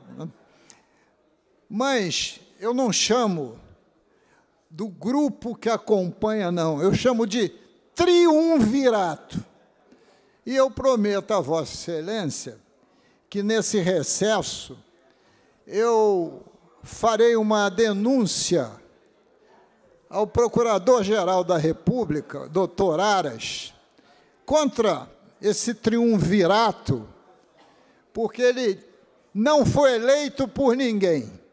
Ele não pertence ao Congresso Nacional, não é Câmara, não é Senado, não são secretários de Fazenda, não são deputados nem vereadores. E querem dizer o que governador e deputados podem fazer. Não tem isso na Constituição, isto é um absurdo. Então, como eu não posso representar o Supremo, vou representar ao Procurador-Geral. Mas também quero dizer que 20 milhões de reais por mês é um gasto pífio. Pífio. Porque se o senhor for no orçamento de 2023, está previsto no Fundo Estadual de Combate à Pobreza 300 milhões de reais para o Supera Rio. Se eu dividir isso por 12, dá um pouquinho mais de 20 milhões, mas era expectativa. Na verdade, com somente 65 mil famílias, é em torno de 20, mil, 20 milhões por mês. Faltam oito meses. Oito meses daria 160 milhões. 160 milhões, eu dividi aqui pelos 20, 240 bilhões que damos de benefício fiscal. Representa 0,7%. O deputado Yuri dividiu pela receita corrente líquida. Deu 2%. E eu queria dizer ao senhor que antes de vir para cá, eu fiz um levantamento. Um levantamento no sistema, no sistema da, do CIAF. Nós temos hoje, em 2022, 26 fundos com valores liquidados, inclusive no judiciário. Os valores desses 20, 26 fundos em 2022 somaram a bagatela de quase 40 bilhões de reais. É claro que o fundo do judiciário somente tem a bagatela de 27 bilhões de reais. Para, e, para concluir, deputado. Vou concluir. Esse número é importante para o deputado Amorim. E que na, na LOA, na LOA, tem previsto fundos de 30, 39 fundos. 39 fundos. Bastava pegar um fundo desse para suprir o Supera Rio. E, finalmente, deputado Amorim, não é verdade que o Supera Rio fere o regime de recuperação fiscal. Digo e repito, se o senhor ler as leis do regime de recuperação fiscal, o que não pode ter é despesa continuada. O Supera Rio é despesa temporária, tanto é que ele formalmente se extingue 31 de 12 de 23. E se o senhor entrar lá no site do Triunvirato, não tem uma linha contrária ao Supera Rio. Pode entrar.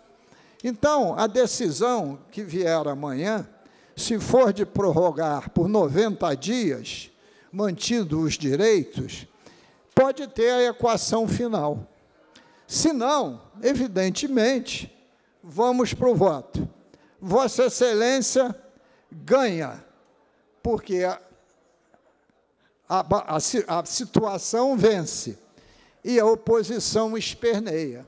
Mas, na verdade, a oposição será a vencedora política e a base terá a derrota política. Porque custa-me crer que os deputados de São Gonçalo, de Duque de Caxias, de São João de Miriti e da cidade do Rio de Janeiro, que tem a grande maioria das 65 famílias, poderão sair na rua dos seus municípios, principalmente entre os mais pobres, e olhar no olho daquele cidadão e dizer assim: Eu lhe tirei uma ajuda de míseros 300 reais por mês. Era isso, senhora presidente. Próximo orador inscrito é o novo deputado Flávio Serafim. Vossa Excelência dispõe de cinco minutos. Logo em seguida, a deputada Marina, do MST.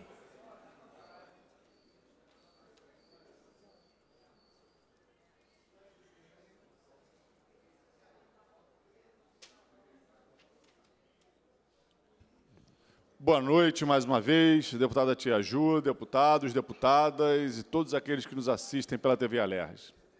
Eu venho à tribuna agora para refutar o fim do programa Super RJ. Um deputado subiu aqui na tribuna e disse que a gente vem aqui fazer disputa política, porque era normal um governo interromper um projeto de governos anteriores. Eu quero dizer que esse deputado provavelmente nunca passou fome na vida para precisar de um programa de transferência de renda e ver o governo, de forma que eu não sei se é perversa ou incompetente, atrasar o pagamento desse programa, querer cancelar o programa, para só depois, em algum momento, talvez, mandar um programa substituto para casa. O que a oposição está fazendo hoje para o governo Cláudio Castro, para os deputados da base do governo, é um favor. É o favor de dizer que se o governo insistir em acabar com o Super RJ, nós vamos usar todas as nossas ferramentas regimentais, todas as nossas ferramentas de pressão política para impedir que isso aconteça. Porque para a gente, não basta sair daqui com a vitória moral. Ah, o governo ganhou a votação, mas perdeu politicamente porque a gente defendeu o Super RJ. Isso para a gente não basta. A gente quer sair daqui com a vitória de que o governo não vai deixar 60 mil famílias no estado do Rio de Janeiro sem pão na mesa por mais algumas semanas ou meses. Sabe-se lá quanto tempo vai demorar? até ele, de fato, reelaborar e colocar em prática o programa de transferência de renda de combate à extrema pobreza que tenha a sua cara. Se o governo quer fazer um programa com a sua cara, que faça, mas não interrompa o que está em curso hoje. Não deixe a população com fome. Esse é o debate que a gente tem feito desde o início. Não aceitamos que a população do Estado do Rio de Janeiro passe fome. E hoje, quando a oposição foi chamada a dialogar sobre isso, isso foi o argumento que nós botamos na mesa. Não queremos interrupção do programa de transferência de renda, única ferramenta que o Estado tem própria para enfrentar a extrema pobreza de forma efetiva. O deputado vem aqui também e fala assim: porque os deputados querem, então, ficar vinculando verbas do Fundo Estadual de Combate à Pobreza, como se isso fosse um problema. O Fundo Estadual de Combate à Pobreza, por ano, deputado Dionísio, arrecada mais de 5 bilhões de reais. Mais de 5 bilhões para combater a pobreza. E a gente quer dizer sim que, que a gente considera importante de garantir com esse fundo? A gente quer sim que tenha programa de transferência de renda tal qual o Super RJ. A gente quer sim que tenha programa de habitação de interesse social que a gente vai discutir daqui a pouco no âmbito do FEC. Sabe por quê, deputado? Porque no Rio de Janeiro, nós somos o Estado que, por ano, mais morrem pessoas em decorrência de desastres socioambientais. Em Petrópolis, recentemente, morreram mais de 250 pessoas. Se o Fundo de Habitação de Interesse Social desse Estado tivesse sendo investido na íntegra, desde que ele foi criado, sem dúvida nenhuma, morreria muito menos gente no Estado do Rio de Janeiro do que tem morrido. Se para o deputado que veio aqui defender o governo, isso é capricho de parlamentar de oposição, eu quero dizer que nós, deputados que lutamos nessa casa para que esse fundo fosse criado inicialmente, deputado Luiz Paulo, deputado Gilberto Palmares, e depois, para que ele viesse sendo mantido até aqui, isso para a gente é fazer política pública que muda a vida do povo trabalhador do Estado. É salvar vida, é mudar a realidade concreta das pessoas, é fazer com que famílias que choram cada vez que chove e tem que esperar para ver se a sirene vai tocar e vão ter que abandonar as suas casas no meio da madrugada, vivam com dignidade. Mas tem deputado que cresceu só tomando iogurte, soltando pipa na frente do ventilador e não sabe o que é o sofrimento dessas famílias. Tem que botar o pé na lama, tem que visitar a periferia, tem que visitar as favelas do Estado, para saber que quando a gente está falando de um programa como Super RJ, para saber que quando a gente está falando de habitação de interesse social, a gente não está falando é, de capricho de parlamentar. Nós estamos falando de medidas que têm que se transformar em política de Estado e mudar a vida do povo. Tomando iogurte com granola no café da manhã é mole. Agora eu quero ver sem ter dinheiro para comprar café com pão. Obrigada, deputado. Próxima oradora, a deputada Marina, do MST. A excelência dispõe de cinco minutos.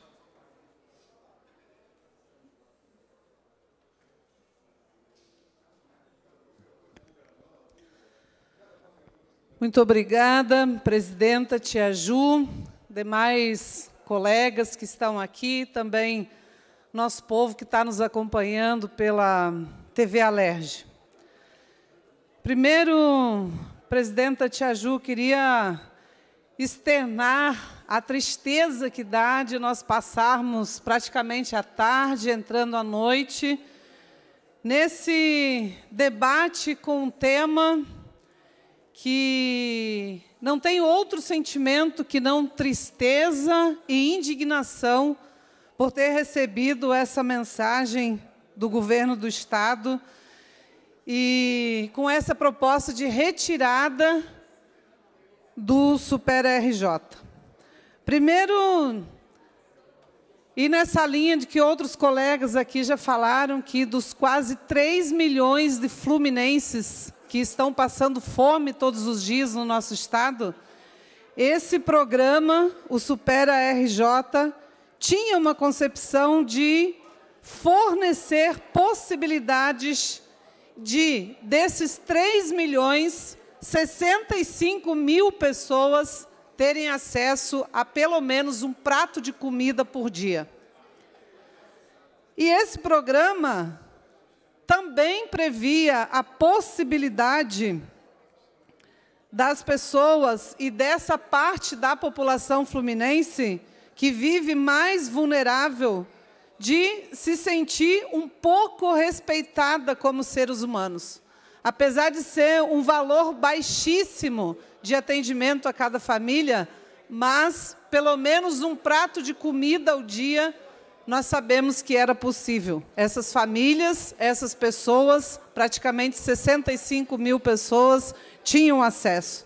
Então, há sim sobre o olhar sobre essa, essa cifra, sobre esse valor, um olhar de algum tipo de cuidado sobre o nosso povo fluminense que vive em maior vulnerabilidade, que vive em situação de maior pobreza, que vive em estado não de insegurança alimentar, mas de fome mesmo. Nós estamos falando de cerca de 3 milhões de famélicos no nosso estado. Diante disso, com essa mensagem de encerramento abrupto do programa do Supera RJ, eu queria colocar aqui algumas questões ao governador do nosso estado para que elas possam ser refletidas e respondidas ao nosso povo. Primeiro, qual a proposta apresentada pelo governo do estado para substituir ou compensar o encerramento do programa Supera RJ, que hoje atende 65 mil pessoas no nosso estado. Segundo, governador, de que forma esses núcleos familiares sobreviverão sem essa renda? Qual a resposta que o senhor tem para essa população, mas para nós também, que temos muita preocupação com isso? Terceiro, foi realizado, por acaso, governador, um estudo de impacto social relacionado aos núcleos familiares que recebiam o benefício do Supera RJ? E quarto, como é que o governador não tem dinheiro para manter o programa mas quer baixar a alíquota de impostos de lanchas e jet ski no nosso estado? Então, são questões muito contraditórias e que nos fazem a cada dia ficar com um olhar muito mais preocupado sobre o futuro e sustentação do nosso povo aqui no nosso estado. Eu acredito que o executivo deve responder para essas famílias fluminenses por que e como serão conduzidas as ações referente ao Supera. A ausência dessas respostas é a prova de como famílias pobres são tratadas e vistas pelo governo do nosso Estado. A prática é o critério da verdade, e assim sendo, mostre que o governador, a partir dessas ações, se furta de responsabilidade e cuidado com a população que mais necessita.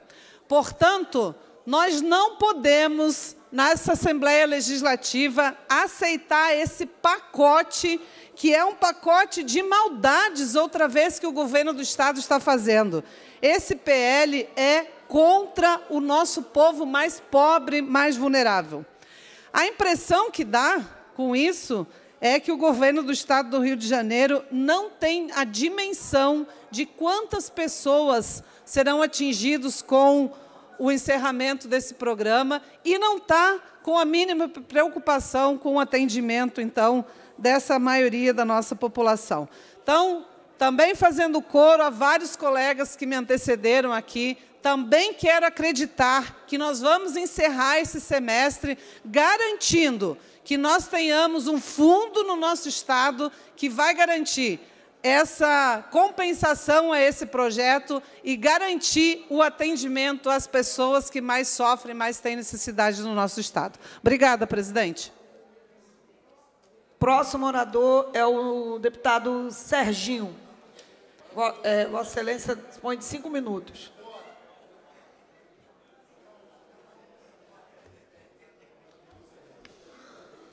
Excelentíssima senhora presidente, senhoras e senhores deputados presentes na ALERJ, senhoras e senhores que nos assistem pela TV ALERJ nesse momento. Senhora presidente, hoje, ao longo de uma longa sessão, a gente pôde ouvir aqui atentamente, desde o início do primeiro projeto, os deputados de oposição pontuando sobre os benefícios fiscais que têm sido concedidos, sobre o programa do Super RJ, e também sobre o projeto que ainda há de vir referente ao Fundo de Combate à Pobreza. Aqui na qualidade de líder de governo imperioso a gente trazer uma mensagem de que devemos pensar o Estado do Rio de Janeiro a longo prazo. Diferentemente do que aconteceu em momentos anteriores, em que esta casa concedeu benefícios, aumentos à torta e à direita, sem dialogar com o Poder Executivo, órgão e poder competente para gerir e aferir o orçamento, as despesas e receitas do Estado, para que não cheguemos ao ponto que chegamos anteriormente por irresponsabilidade, uma verdadeira quebradeira do Estado do Rio de Janeiro. Neste ponto, queria me dirigir a cada colega aqui presente para pactuar que o Estado do Rio de Janeiro, nesta gestão, tem um compromisso de legado com gestões futuras, com gerações futuras.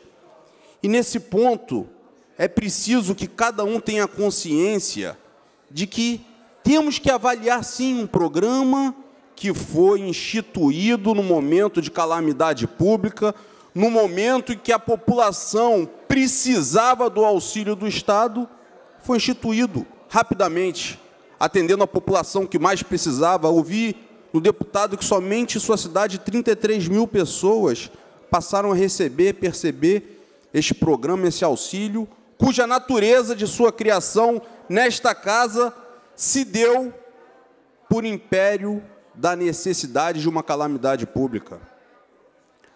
Agora, há que se ter em mente que o Estado do Rio de Janeiro vive efetivamente uma diminuição de suas receitas, fruto da diminuição do ICMS do combustível. Há que se ter um equilíbrio na avaliação de tudo aquilo que é implementado no Estado para que nós não atrapalhemos o pagamento do funcionalismo público. Venhamos atender aqueles que verdadeiramente estejam em situação de vulnerabilidade, porque muitos daqueles que receberam lá atrás o Super RJ, neste momento não têm a mesma condição e necessidade. Agora, discutir isso jogando para a galera não é o que vai nos levar a alcançar aquilo que a gente precisa que é um Estado verdadeiramente equilibrado. É isso que nós precisamos ter em mente e a responsabilidade como parlamentar de dialogar com a sociedade e enfrentar pautas, muitas vezes difíceis, com seriedade. Aqui se falou em diminuição e renúncia de receita para atender o setor produtivo de lancha. O Estado do Rio de Janeiro vive hoje uma situação de competitividade fiscal com outros estados, e o que a gente está vendo debaixo dos nossos olhos é uma onda de desindustrialização do estado do Rio de Janeiro. Se nós não diminuirmos a tributação do setor produtivo, nós perderemos vagas de emprego. E ao contrário, e aqui, respeitando todo o viés ideológico que existe dos deputados de esquerda, que certamente olham, têm um olhar de um Estado inchado, um Estado com a máquina mais forte, ao contrário de nós que temos um, um olhar atento para a iniciativa privada. A redução da carga tributária, ao meu olhar, ela atrai novas empresas, mantém rígidos postos de empregos que poderíamos perder na guerra fiscal para outros estados e eleva o estado do Rio de Janeiro para um aumento de arrecadação. Então não se perde, não se renuncia aquilo que não se tem. Conceder benefício fiscal para a indústria é essencial para que a gente aumente a arrecadação do Estado e possa, sim, libertar o Estado do Rio de Janeiro da sua dependência dos royalties do petróleo, como a gente vivenciou isso, um desespero no mês passado, por uma simples tuitada de um senador dizendo que poderíamos vir a perdê-lo. Agora, ao longo de todo o dia, a gente vem dialogando, olhando olho no olho de cada deputado, sinalizamos da possibilidade da manhã, de manhã estarmos dialogando sobre de que forma que a gente chega ao melhor consenso. Mostramos pontualmente com clareza que o governador Cláudio Castro nos referenciou que este programa foi elaborado e entabulado por uma situação de crise pandêmica e que, obviamente, para a realidade do Estado do Rio de Janeiro, há que se ter programas outros, isso falado da boca do Poder Executivo, programas outros que se adequem à realidade financeira de um Estado do Rio de Janeiro e, sobretudo, à necessidade social daquele que efetivamente carece. Há que se ter um equilíbrio. Para concluir. Há que se ter um equilíbrio, porque o cobertor é curto. Há que se ter responsabilidade com as gerações futuras. E no que se refere para terminar, senhora presidente, ao Fundo de Combate à Pobreza, o deputado Rodrigo Amorim me antecedeu aqui e falou muito bem. Quem foi eleito para gerir as políticas públicas que serão empregadas pelo Estado do Rio de Janeiro é o governador. é o chefe do Poder Executivo. Não nos caberia aqui limitá-lo sobremaneira no exercício da aplicação do orçamento, principalmente no momento em que ele tem que ter a flexibilidade de olhar, legitimado pelo povo, quais são as prioridades de alocação do orçamento do Estado do Rio de Janeiro. Dentro dessa ordem, a gente agradece a paciência de cada deputado, sobretudo os da base de governo que aqui se encontram até esse momento, e com responsabilidade vamos enfrentar as pautas dialogando com cada deputado da oposição para que alcancemos aquilo que é melhor para o Estado do Rio de Janeiro, sopesando equilíbrio orçamentário e necessidades da população. Muito obrigado.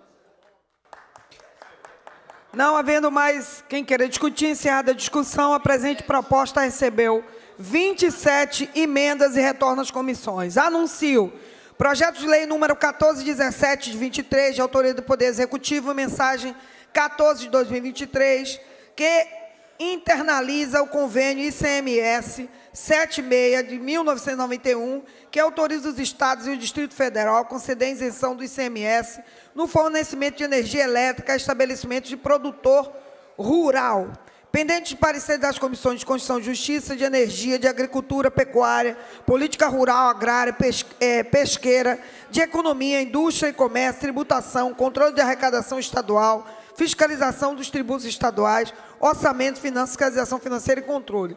Para emitir parecer pela Comissão de Constituição e Justiça, deputado Rodrigo Amorim.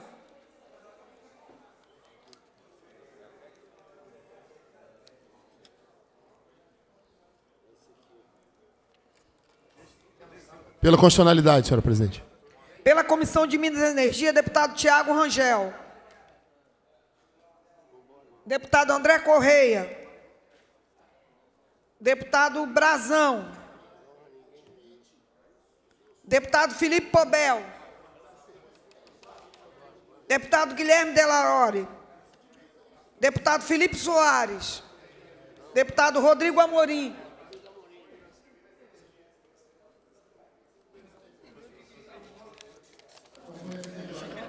pela Comissão de Agricultura, Pecuária, Políticas Rurais, Agrárias e Pesqueira, Agrárias e Pesqueira, deputado Valceasa.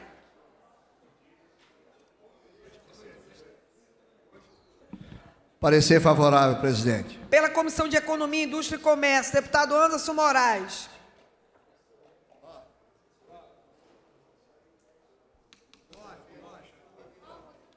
Presidente, acompanho o parecer da CCJ. Pela Comissão de Tributação, Controle da Arrecadação Estadual e Fiscalização dos Tributos Estaduais, deputado Arthur Monteiro. Deputado Luiz Paulo.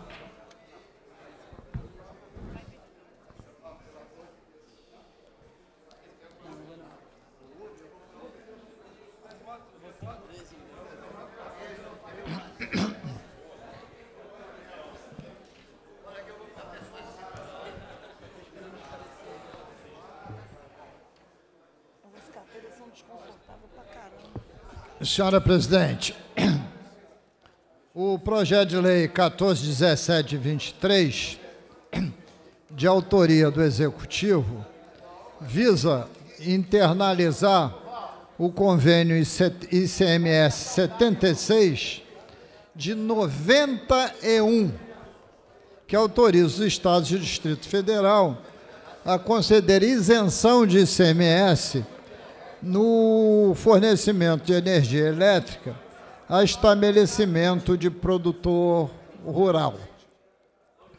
E por que, senhora presidente?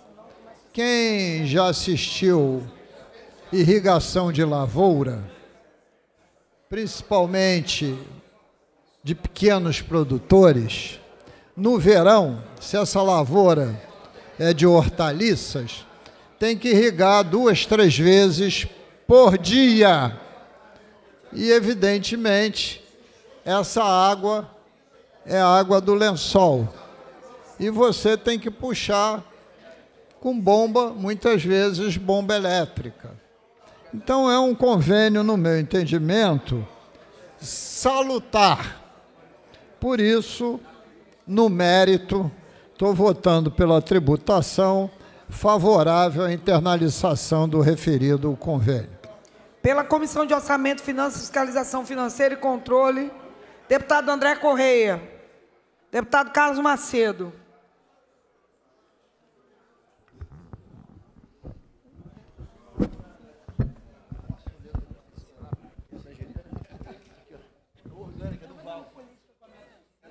Acompanha a CCJ, presidente. Com os pareceres emitidos, em discussão. Não havendo quem queira discutir, encerrada a discussão, a presente proposta recebeu 13 emendas e retorna às comissões. Deputada Dani. Senhora Presidenta, a gente conversou algumas horas atrás, né, no início da sessão. De lá para cá foram longas horas de debate. É, e eu queria reafirmar a questão de ordem que eu fiz no início do plenário. Entendo e sempre defendi, nossa bancada inteira do pessoal sempre foi plenamente a favor de ter estudo de impacto sobre isenções fiscais, até para que a gente possa comprovar a contrapartida social. É, no entanto, acho temerário o precedente que se abre hoje, pois revogar leis desse parlamento, e não é lei de deputado A ou B, é lei do parlamento. O projeto que o último projeto da outra extraordinária, ele é um projeto também da mesma forma que esse, é, onde passou aqui a tramitação pela casa, recebendo constitucionalidade da CCJ, né, por unanimidade de seus membros.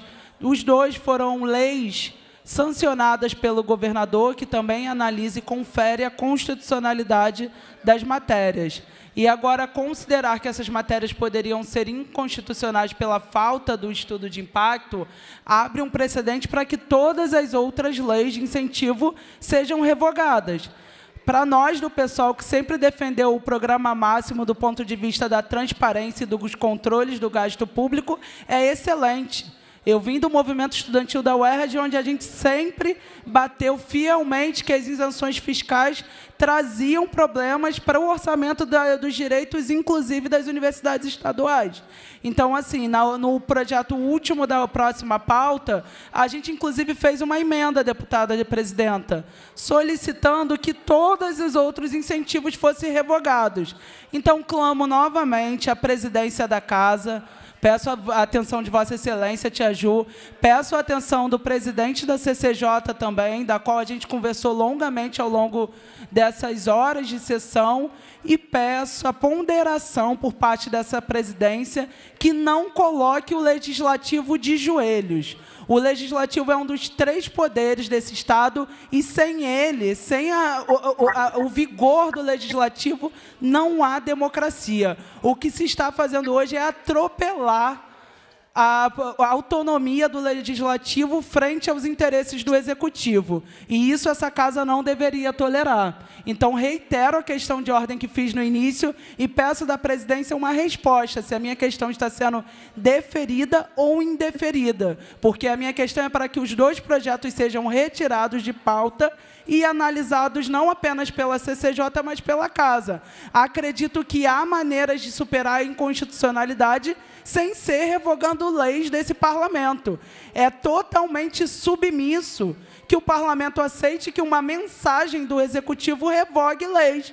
A autonomia de revogação de leis é nossa. A única coisa sobre leis que o executivo pode fazer é vetar ou não. Há dois anos atrás ele não vetou nem essa matéria nem a outra. Agora ele não pode exigir revogação da matéria. Isso é poder do parlamento. Então clamo aqui, especialmente a base, pois muitos deputados da base aprovam leis de incentivos fiscais.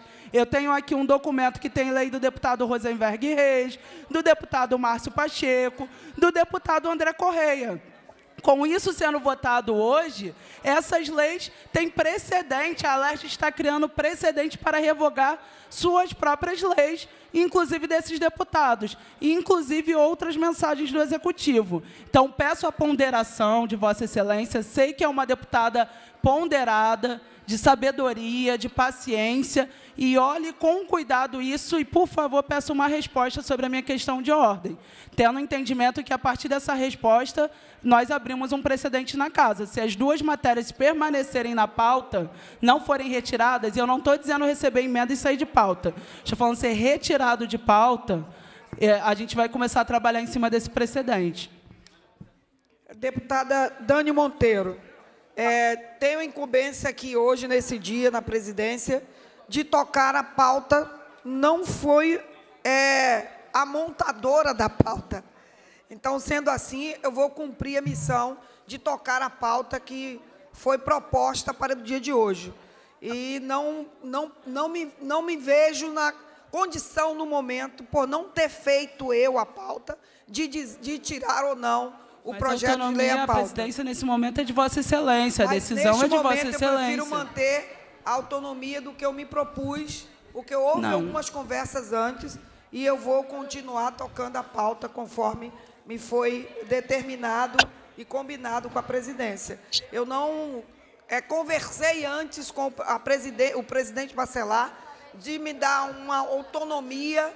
Eu sei que enquanto presidente interino aqui nesse momento eu teria, mas como tudo no parlamento, e desde que eu cheguei aqui eu faço com esse respeito, conversa e diálogo, eu não me vejo é, na autonomia de o fazer sem consultá-lo. Então, a mesa, a partir da, Então, de Vossa eu- Excelência, eu está... teria que a mesa está, está- sendo consultada e eu, está eu mantendo vou continuar uma, uma relação pauta. submissa com o executivo. Isso é muito temerário. A gente está abrindo. Eu entendo Vossa Excelência, entendo esse lugar, mas de fato o que hoje a resposta que Vossa Excelência está me dando Amanhã, Alberto. abre um precedente de submissão terrível para esse parlamento. Hoje a gente está votando medidas antipopulares. Eu tenho certeza que muitos deputados aqui que têm bases populares não concordam com o fim do Supera Rio, não concordam em revogar leis dessa casa. Uma coisa é um debate de revogar, que fiz com o presidente da CCJ, de legislações que já estão inócuas ou vencidas. Agora a gente está falando de impacto real para a sociedade.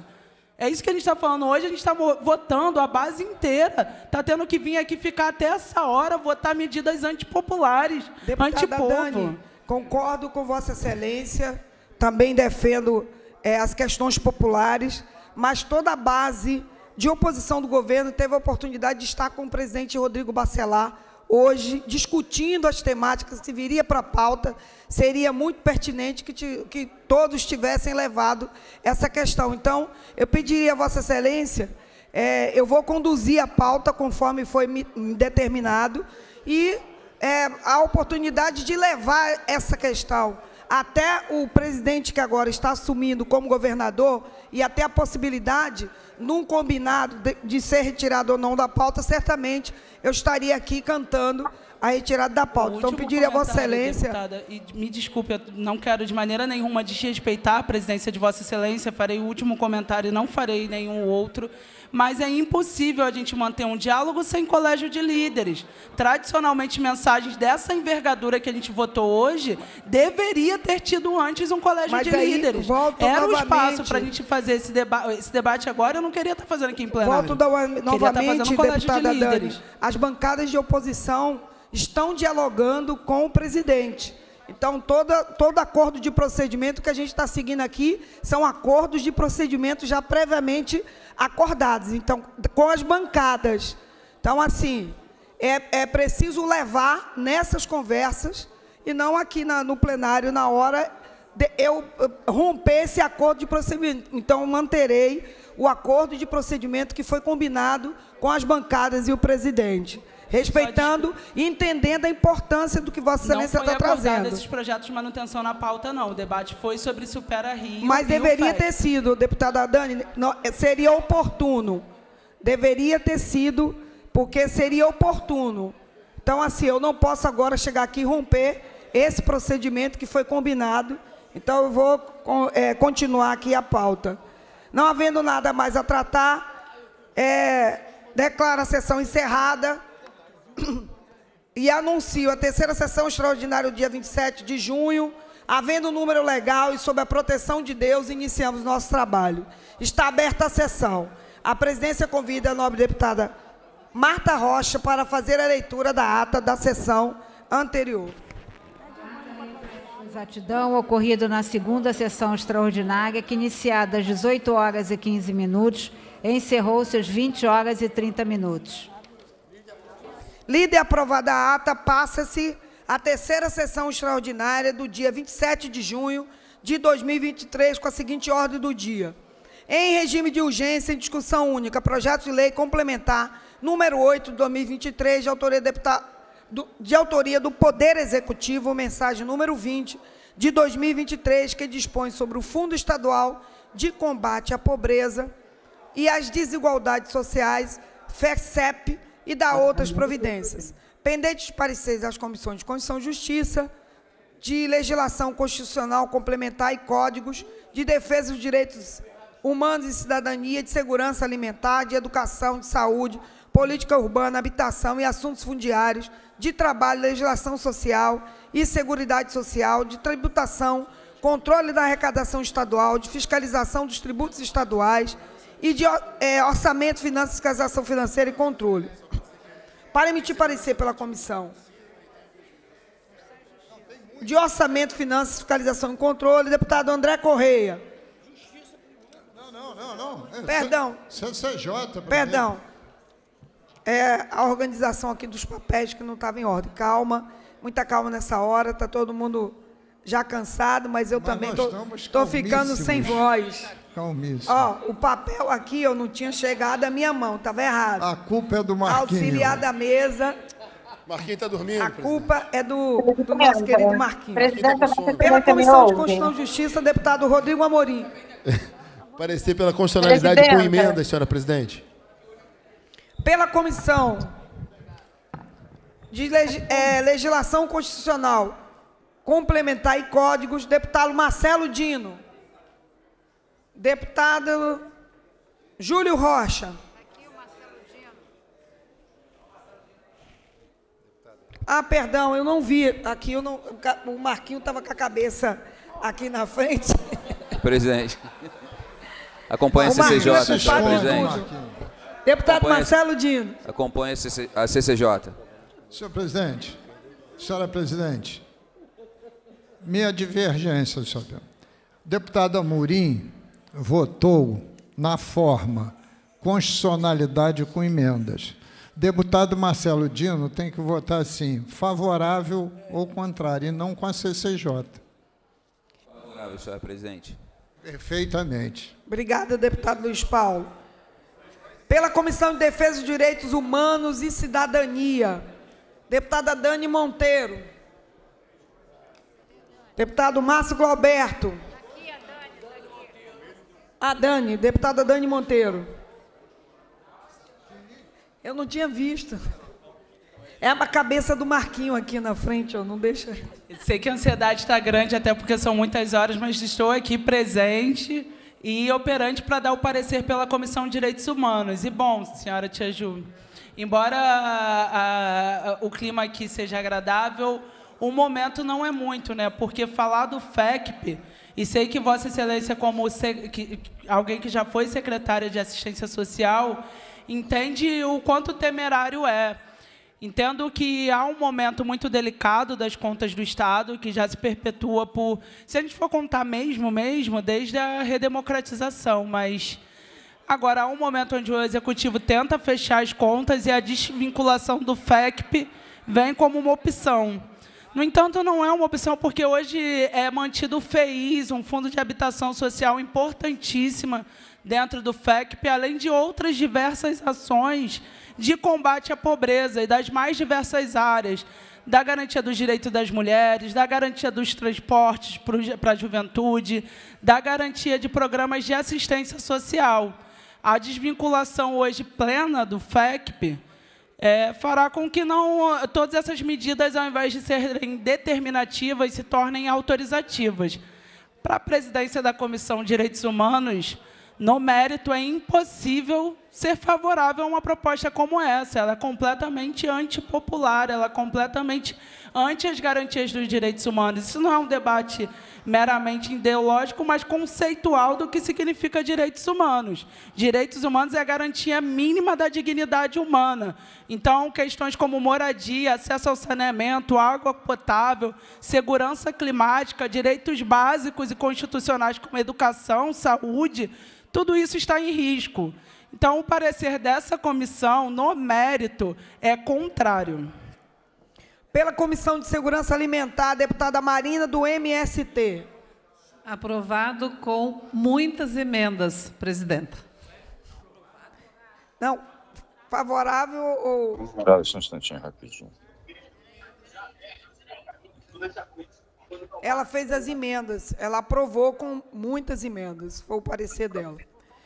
Pela Comissão de Educação, deputado Alain Lopes.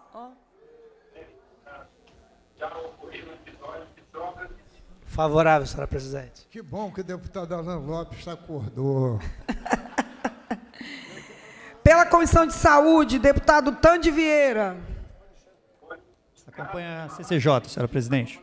Pela Comissão de Política Urbana, Habitação e Assuntos Fundiários, deputado Cláudio Caiado. Deputada, é, deputado Renato Miranda.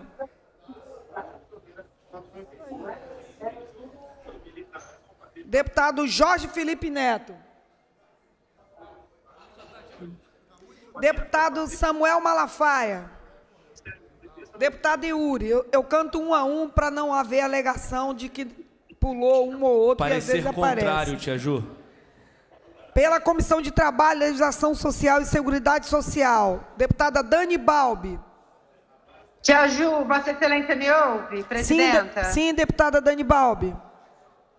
Então, não poderia me furtar, emitir opinião numa discussão com o impacto que essa discussão tem. É, a desvinculação dos mínimos que garantem a hidratação de outros fundos tão importantes do Fundo de Combate à Pobreza, e é aqui o Fundo de Habitação, o Fundo de Combate à Violência contra a Mulher, para nós é uma questão é, que ataca diretamente as políticas estruturantes para essas populações, e aqui explicitamente população trabalhadora, mulheres negras, mulheres mais vulneráveis, vítimas de violência doméstica, população que ainda é, precisa de moradia, portanto, que é objeto do déficit de moradia aqui no estado do Rio de Janeiro. É, nesse sentido, é, para que nós possamos, ainda assim, caminhar é, e fortalecer o canal de diálogo para que nós possamos garantir assistência a essa população, a essas populações no estado do Rio de Janeiro, que ainda é um estado que tem índices alarmantes de desemprego, de desassistência, é, eu caminho o parecer favorável, com muitas emendas, para que nós possamos garantir e identificar, através dessas emendas que, ora, a comissão apresenta, aquelas políticas essenciais, políticas que vão hidratar o fundo de apoio à construção de moradias populares, ou seja, o fundo, o programa de habitação aqui do Estado do Rio de Janeiro, para que nós não desvinculemos é, o programa de é, assistência a mulheres vítimas de violência doméstica do Fundo é, de Combate à Pobreza e para que nós possamos garantir o controle social e a atuação do parlamento nesse fundo, presidenta. Esse é o meu parecer, favorável com todas as emendas que garantem a continuidade das políticas públicas de assistência social aos grupos marginalizados, população LGBTQIA+, mulheres negras, povo negro, enfim. Deputada Dani Balbi, eu peço que, é, por gentileza, peça a sua assessoria que nos faça chegar essas emendas aqui, por gentileza. As emendas que Vossa Excelência é, acabou de, de anunciar. Já, já encaminhei aqui para a assessoria o protocolo das emendas. Elas já devem estar na mesa em alguns segundos, assim eu espero. Agradeço, Vossa Excelência. Obrigado pela Comissão de Tributação, Controle da Arrecadação Estadual, Fiscalização dos Tributos Estaduais, deputado Arthur Monteiro. Deputado Luiz Paulo. Senhora, senhora presidente, não querendo ser chato, mas sendo, a Comissão de Constituição e Justiça vota a forma. Todas as outras comissões votam mérito. Então, quando a CCJ votou forma e disse constitucional, eu não pedi verificação nem voto separado. Porque é constitucional. E por que, que é constitucional? O projeto do Fundo Estadual de Combate à Pobreza nunca teve origem no Executivo. A Lei 4056 foi criada por autoria dos deputados Neca e Eduardo Cunha, no, no tempo em que os bichos falavam ainda. E sucessivamente foi renovada, porque sempre foi um fundo temporário, foi sendo renovado. E, salvo erro de memória, essa que está em vigor foi proposta nossa e que está vigindo até 31 de dezembro deste ano. Este projeto, senhora presidente, tem um mérito, um mérito. Porque se você ler o artigo 1 os 2% que incidem sobre todos os produtos, menos, menos os da cesta básica, passou a incidir aquela mesma alíquota, dois pontos percentuais. Mas deixou de ser provisório para ser permanente. E no inciso segundo, ele cria mais 2% em cima da linha B e C do artigo 14 da Lei 2657/96. Isto é, em energia e telecomunicação. 2 mais 2 passa a ter 4. E este é provisório. E está vigindo na proposta até 31 de dezembro de 2031, que é o ano que termina o fundo, que termina o regime de recuperação fiscal. Esse é o mérito. E qual é o erro deste fundo? é que ele destruiu todas as emendas construídas que arrolavam percentuais para as diversas áreas de combate à pobreza, deixando só dispositivos genéricos para o governo investi-lo como bem o quisesse. E ainda mais, senhora presidente, é este deputado o autor da lei do Fundo de Habitação de Interesse Social. E eu o fiz com dois outros deputados. Um está assistindo a sessão, que é o deputado André Correia. E o, o terceiro foi o grande deputado petista Gilberto Palmares, que criamos o FEIS, com 10% do Fundo Estadual de Combate à Pobreza para ser investido num dos graves problemas deste Estado, que é a habitação de interesse social. E o governo, não é este não, os anteriores, não cumpriram os 10%, quase todos eles.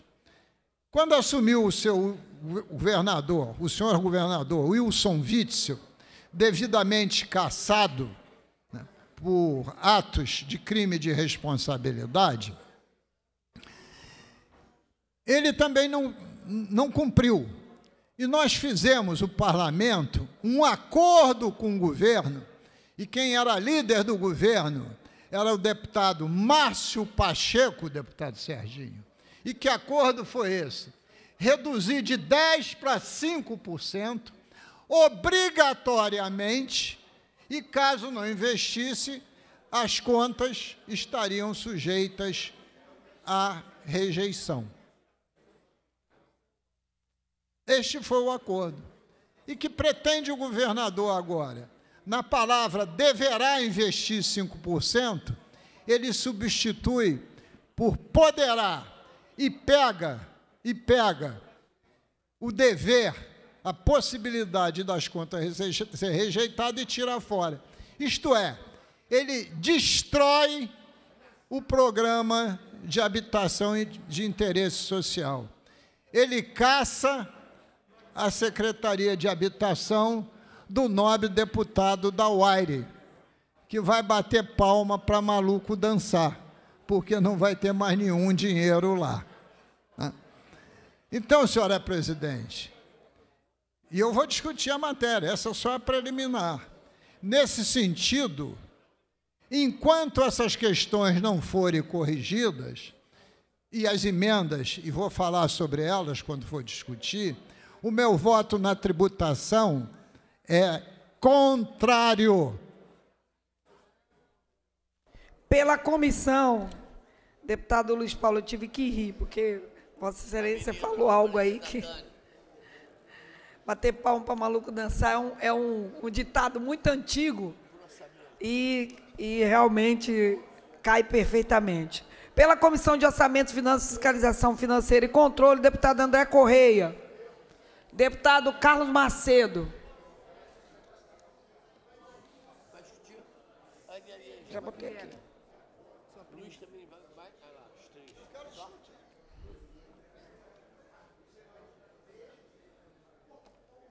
Acompanha a CCJ, presidente.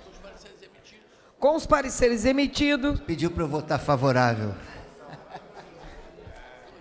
Favorável ou não favorável, né? Com os pareceres emitidos em discussão. Pra para discutir, discutir pra já inscrita a deputada Marta Rocha, Renata Souza, Luiz Paulo, que já estava aqui também, Élica, Élica, Carla, Carla e Flávio. Flávio. A deputada Verônica, achei que ela tinha levantado a mão. Para discutir, primeira escrita, a deputada Renata Souza. É, não, deputada Renata, depois é a deputada Marta, mas pode ser, ela já está aqui, se Vossa Excelência ceder. Deputada Bom, Marta Rocha. Eu quero pedir desculpas à deputada Renata, mas eu entendi que eu seria a primeira a discutir, tá? Obrigada pela sua gentileza. Senhora Presidente, em primeiro lugar, eu quero cumprimentar os 22 deputados que se encontram no plenário às 8h45, né? quando nós estamos talvez discutindo, se não o primeiro, o segundo projeto mais importante desse pacote que lá em 2016, na crise das finanças e da economia do Estado do Rio de Janeiro, quando nós fomos cercados por bombas e tivemos que votar contra os servidores, eu denominei e alcunhei o pacote de maldade. E hoje quero repetir aqui esse projeto que faz parte desse grande pacote de maldade. Primeiro, não dá para falar do Fundo de Combate à Pobreza sem falar da contextualização da pobreza no Estado do Rio de Janeiro. Então, nós vivemos um cenário de ampliação da pobreza após a pandemia. A, capital do Estado, proporcionalmente ao número de pobres dentro da linha de 497 reais mensais, passou de 11% de 2018 para 16% de 2021. E o índice relativo à pobreza entre os anos de 19 e 20 por unidade da federação, mostra que o Rio de Janeiro cresceu 4,04 percentuais no período que demonstra a ampliação dessa pobreza. Né? Logo, nós estamos falando de dados alarmantes, logo nós estamos falando que a pobreza no estado do Rio de Janeiro atinge 2 milhões e 700 mil pessoas. Né? ou seja, mais da metade dos fluminenses tem algum tipo de restrição alimentar. Se nós pensarmos naquilo que é denominado como segurança alimentar, insegurança alimentar, insegurança alimentar moderada e insegurança alimentar grave, que é aquela pessoa que faz apenas uma refeição por dia ou então fica o dia inteiro sem ter o que comer. E o que a gente assistiu aqui, não obstante a questão da pobreza, é que temos que também fazer um link de juntar a pobreza com o desemprego.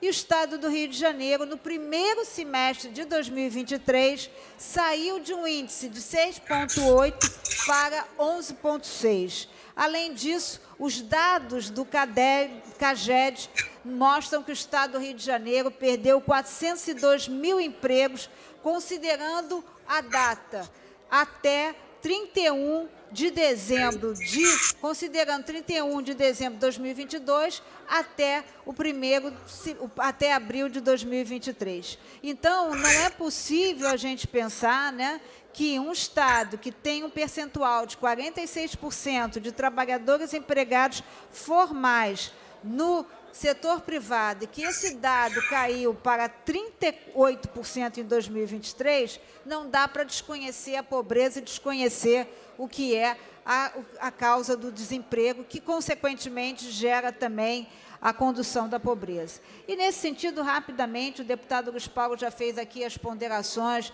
relativas né, ao Fundo Especial de, de Habitação de Interesse Social, é lamentável que na proposta apresentada pelo governo a gente retire a oportunidade da obrigação da habitação de interesse social para poder aplicar esse recurso e tão grave quanto isso é a gente deixar de considerar que a não aplicação desses recursos não vai impedir a, a, não vai impedir que a gente não aceite, não concorde com a prestação de contas.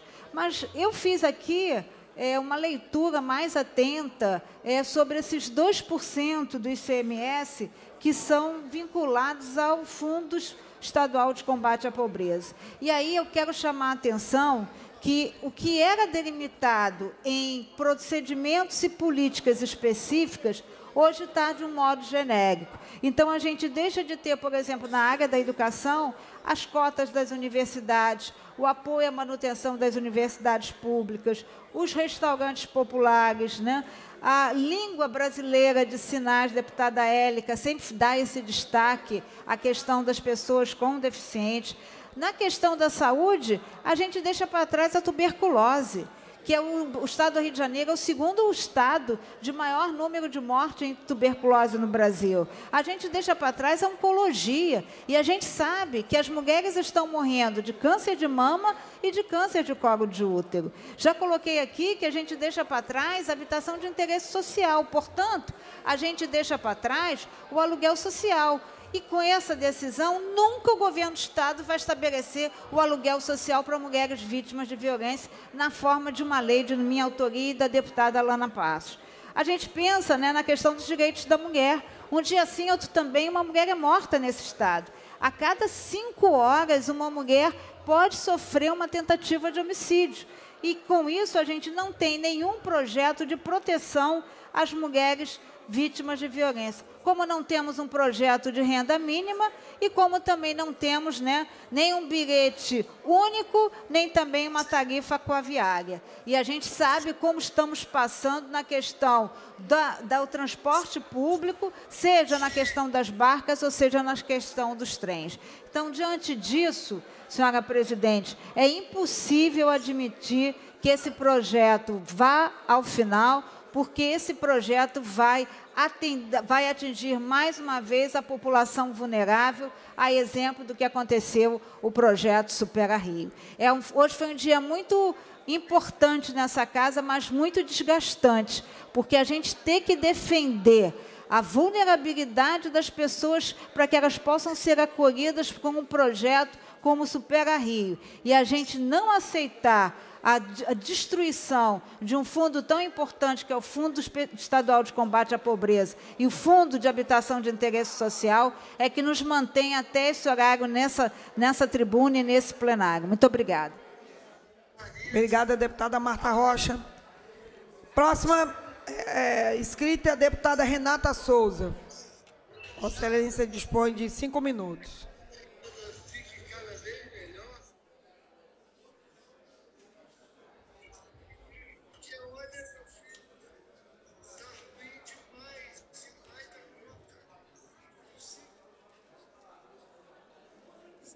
Senhora presidenta, senhoras deputadas, senhores deputados.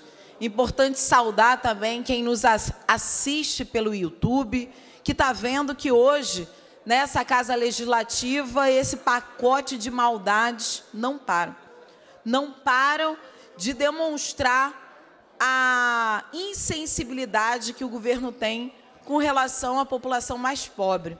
Apresentar aqui o Fundo de Combate à Pobreza, que é um tema tão central e fundamental, e desvincular, por exemplo, recursos que iriam para o FEIS, que é o Fundo Especial né, de, de especial interesse habitacional, programa de reprodução assistida do governo, programas de combate à tuberculose, à dengue, à chikungunya e à zika, Lembrando que essas são endemias e pandemias correntes no estado do Rio de Janeiro. aquisição de mamógrafos. Prestem atenção, vocês mulheres, aquisição de mamógrafos. Uma coisa que é tão fundamental e importante, você que depende do Sistema Único de Saúde para fazer um exame de mamografia. E não há mamógrafo para que você possa fazer seu exame e tenha a prevenção do câncer de mama tão, é, tão absurdo no que tange às mulheres e que a gente sabe que não só a prevenção, mas a detecção da possibilidade de um câncer de mama precisa de um mamógrafo. Então, pense você, aquisição de mamógrafo é também um, um dos dispositivos desvinculados do programa é, de combate e enfrentamento aí à pobreza no estado do Rio de Janeiro. O Fundo Estadual de Enfrentamento à Violência contra as Mulheres, como presidenta da Comissão de Defesa dos Direitos da Mulher, eu não posso me calar diante de mais um ataque às mulheres.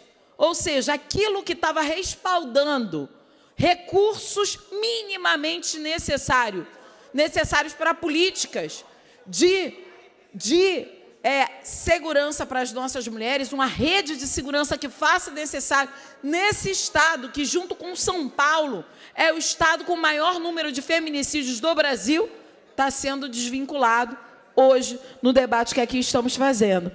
A rede de atenção psicossocial, e quando a gente fala disso hoje, RAPs, aqueles e aquelas hoje em sofrimento, em, com a sua saúde mental fragilizada, não vai ter recursos experimentados e vinculados desse, desse programa. A prevenção e mitigação de ri, riscos geotécnicos, ou seja, a gente está falando também de meio ambiente e de prevenção a toda essa situação. É, educação inclusiva, ou seja, PCDs, vamos prestar atenção que está desvinculando também os fundos necessários para os PCDs. Transporte para alunos das diferentes modalidades de ensino médio público. Então, aqueles e aquelas que a gente fala, quanto que é importante mobilidade urbana, o quanto que é importante ter o mínimo necessário, está sendo destruído. E o Fundo Estadual da Juventude, quando a gente fala o quanto que é importante políticas para as juventudes. Esses daqui são apenas alguns dos recursos destinados ao Fundo de Combate à Pobreza que estão sendo desvinculados. Ou seja, todas essas políticas podem estar sendo desmontadas nesse momento que essa casa vota a desvinculação do fundo, do fundo Estadual de Combate à, à Pobreza. Então, mais uma vez, a questão das desigualdades sociais, de gênero, de raça, de classe, de território, está colocada aqui dentro dessa casa. Falamos o que representa a revogação do Super RJ, o quanto que isso é covarde, uma atitude covarde, cruel, desumana do governo do Estado. E agora a gente está vendo isso acontecer com o Fundo de Combate à Pobreza. As pessoas devem lembrar, no, é, no final do ano de 2021, votávamos aqui, inclusive, com a prestação de contas feitas pelo governo e o Tribunal de Contas do Estado rejeitando as contas do governo, justamente porque o governo, esse do Cláudio Castro, não investiu o mínimo necessário dos fundos de combate à pobreza, como se não tivesse pobreza no estado do Rio de Janeiro. Então, o governador vive num mundo encantado, não vive no mundo da realidade de extrema miséria e pobreza. E eu posso dizer muito bem isso, porque eu conheço a pobreza de perto, diferente de muitos deputados e deputadas dessa casa. Eu conheço a pobreza de perto. Cria da favela da Maré, uma favela com 140 mil habitantes, que tem gente nos bolsões de pobreza vivendo dentro do valão. É disso que a gente está falando aqui quando a gente fala de habitação de especial interesse social. É disso que a gente está tratando aqui. Então, quando você não sente a dor do outro, você faz políticas irracionais, desumanas como essa, que a gente está vendo aqui e discutir a essa hora da noite, senhora presidenta, nove horas da noite, aqui na Assembleia Legislativa, o pacote de maldades desse governo, insensível à dor da população do Estado do Rio de Janeiro, é olhar com muita atenção do tamanho da crise que esse Estado está. Da crise de humanidade, inclusive. Para concluir, deputada.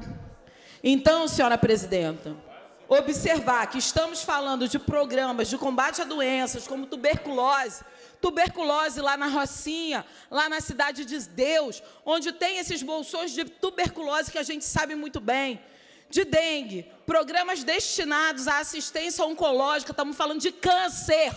Estamos falando de câncer a rede de atenção psicossocial, a educação inclusiva, ao transporte de alunos do ensino médio público, ao Fundo Estadual de Juventude. E, principalmente, estamos falando aqui de recursos que vão deixar de ser destinados para o Fundo Estadual de, de Combate à Violência contra as Mulheres.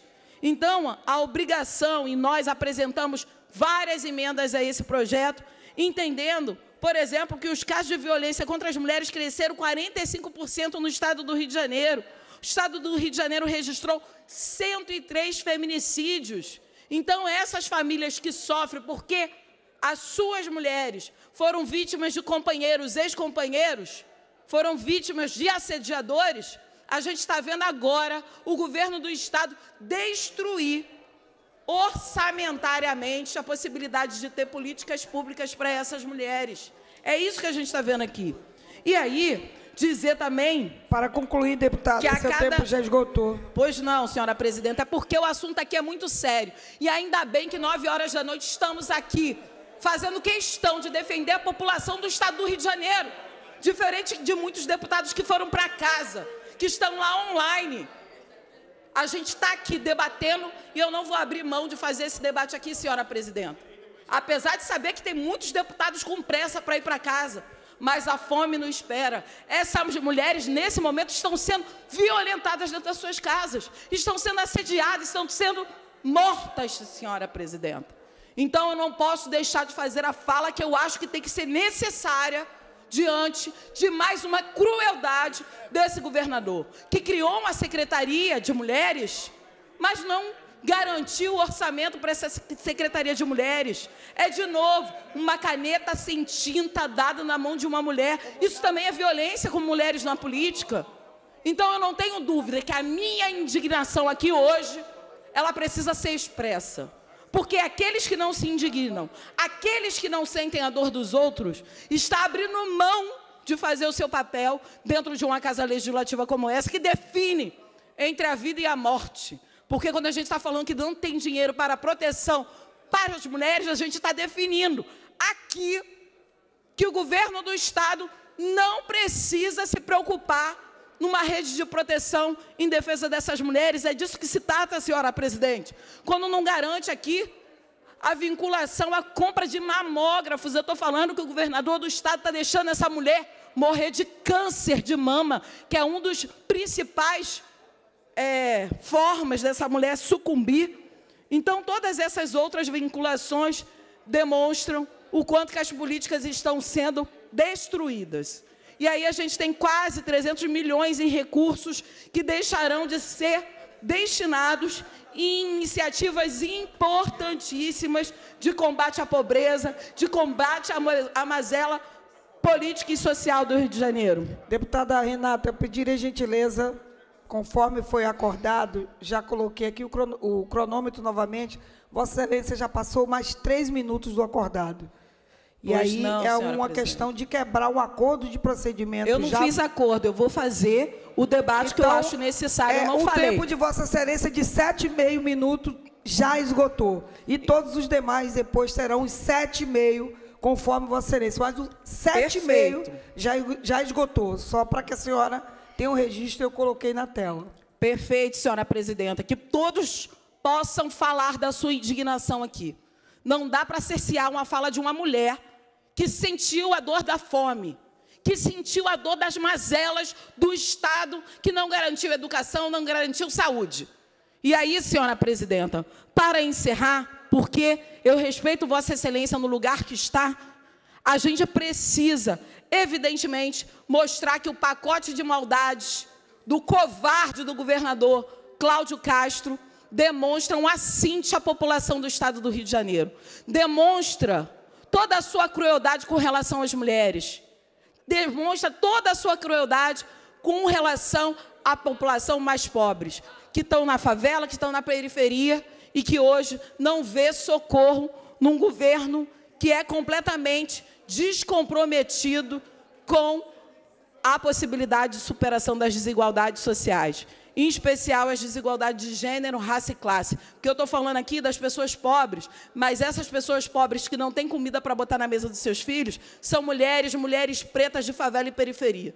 Então, senhora presidenta, muito obrigado. É por isso que isso que representa hoje a desvinculação do Fundo de Combate à Pobreza é, de novo, mais uma das crueldades, covardias e desumanidade do governador Cláudio Castro. Obrigada, presidente.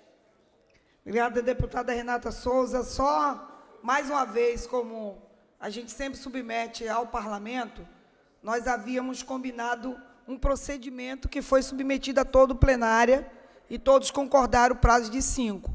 Como houve, a Vossa Excelência falou, sete minutos e meio, eu não acho justo agora manter só cinco para os demais. Então, eu queria submeter ao parlamento, se todos estão de acordo, também fazer uso dos sete minutos e meio, já que o acordo foi rompido, vamos manter o acordo de sete minutos e meio para todos os demais, porque será injusto eu não manter isso após o, a quebra do acordo.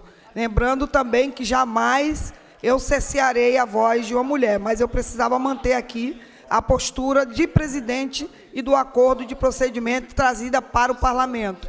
Não acordado por mim, mas acordado com todo o conjunto do parlamento. Próximo orador, o próximo orador é o nobre deputado Luiz Paulo. Vossa Excelência terá sete minutos e meio, conforme o tempo regimental.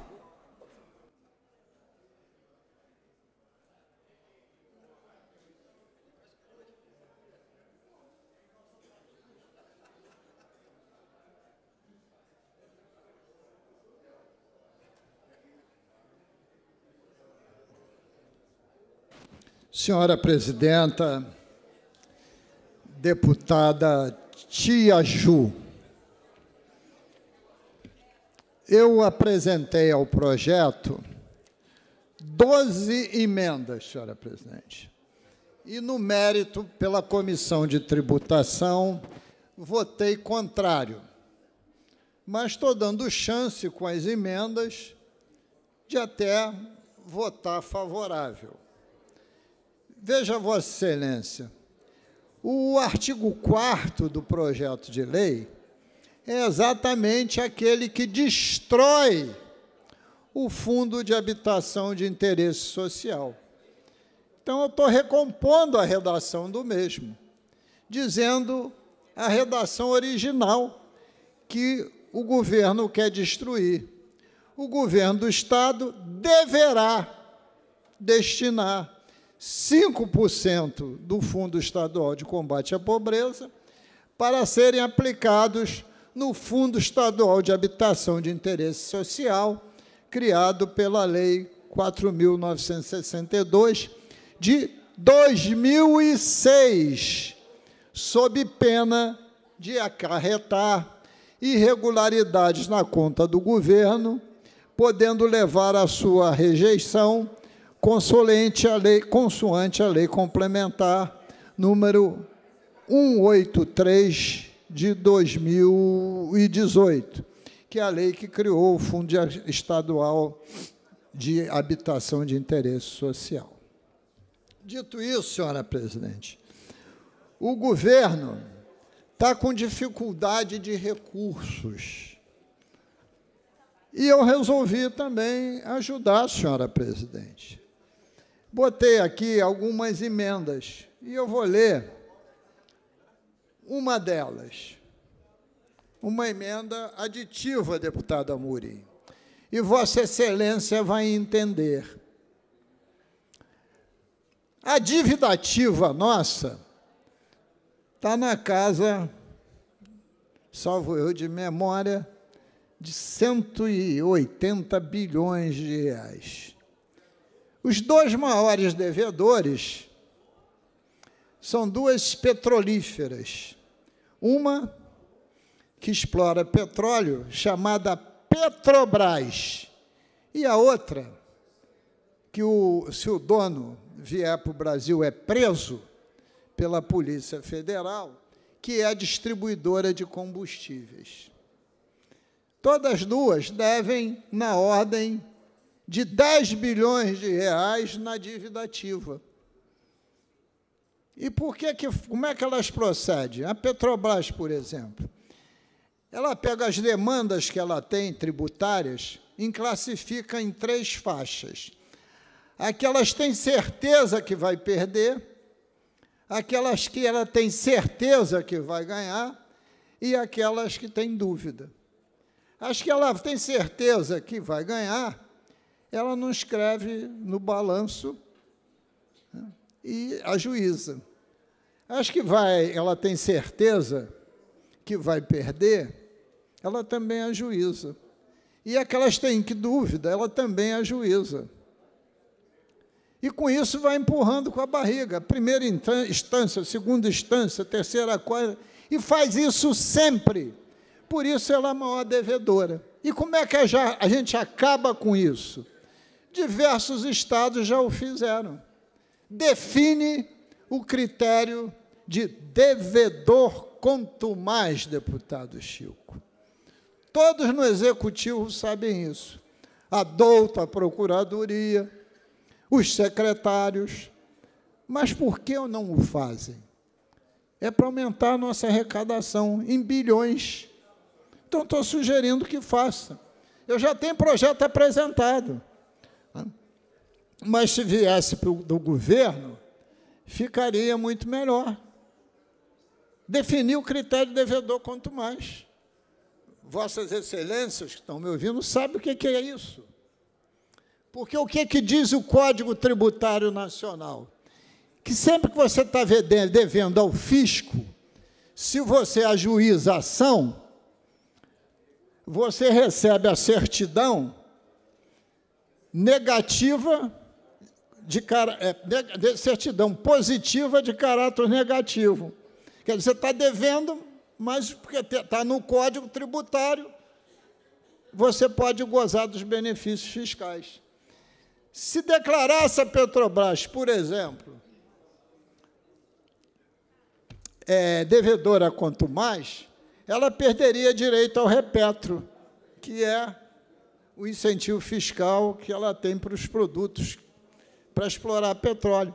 Isto é, um vovó viu a uva. Eu estou emendando aqui só para alertar.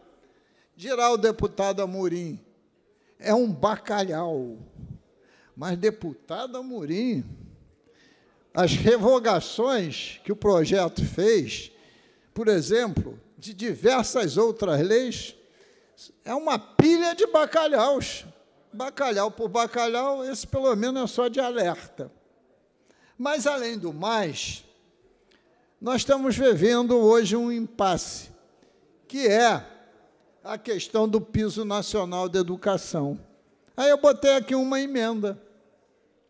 Fica o Poder Executivo autorizado a utilizar, a utilizar os recursos oriundos do Fundo Estadual de Combate à Pobreza, que ele já pode utilizar, pode utilizar para educação, pode pagar pessoal da educação, pode pagar pessoal da saúde, pode pagar até inativo,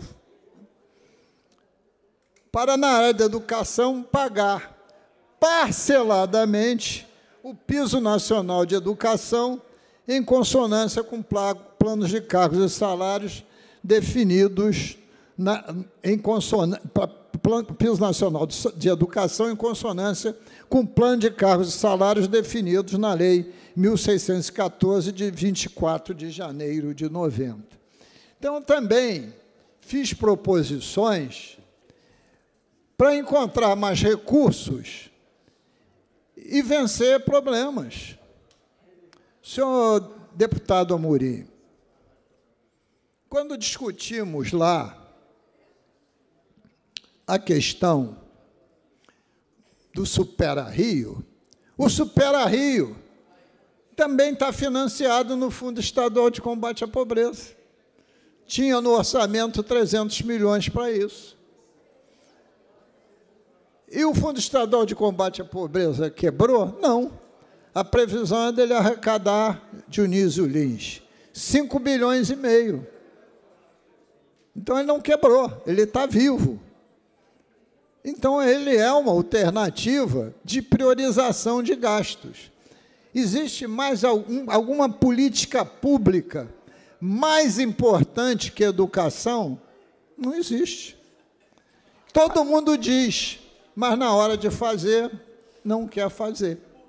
Claro que o piso, o piso nacional de educação é um aumento de despesa de 5 bilhões. Assim afirmou o deputado presidente Rodrigo Bacelar aqui em plenário. Para concluir, deputado. Vou concluir, senhora presidente. Pode ter 5 bilhões de uma vez? Neste orçamento é impossível, mas parceladamente pode. Os governos já fizeram isso inúmeras vezes.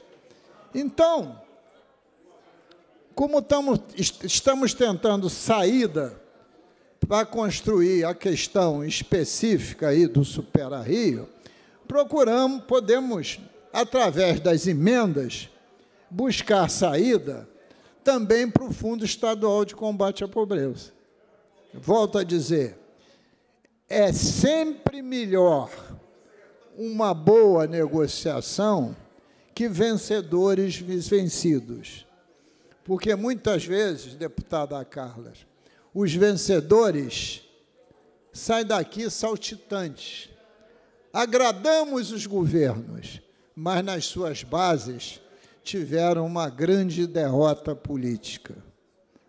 Muito obrigado, senhora presidente. Próximo, próximo orador inscrito é a deputada Élica Takimoto. Logo em seguida, a deputada Carla Machado. Vossa Excelência dispõe de 10 minutos, perdão, 7 minutos e meio.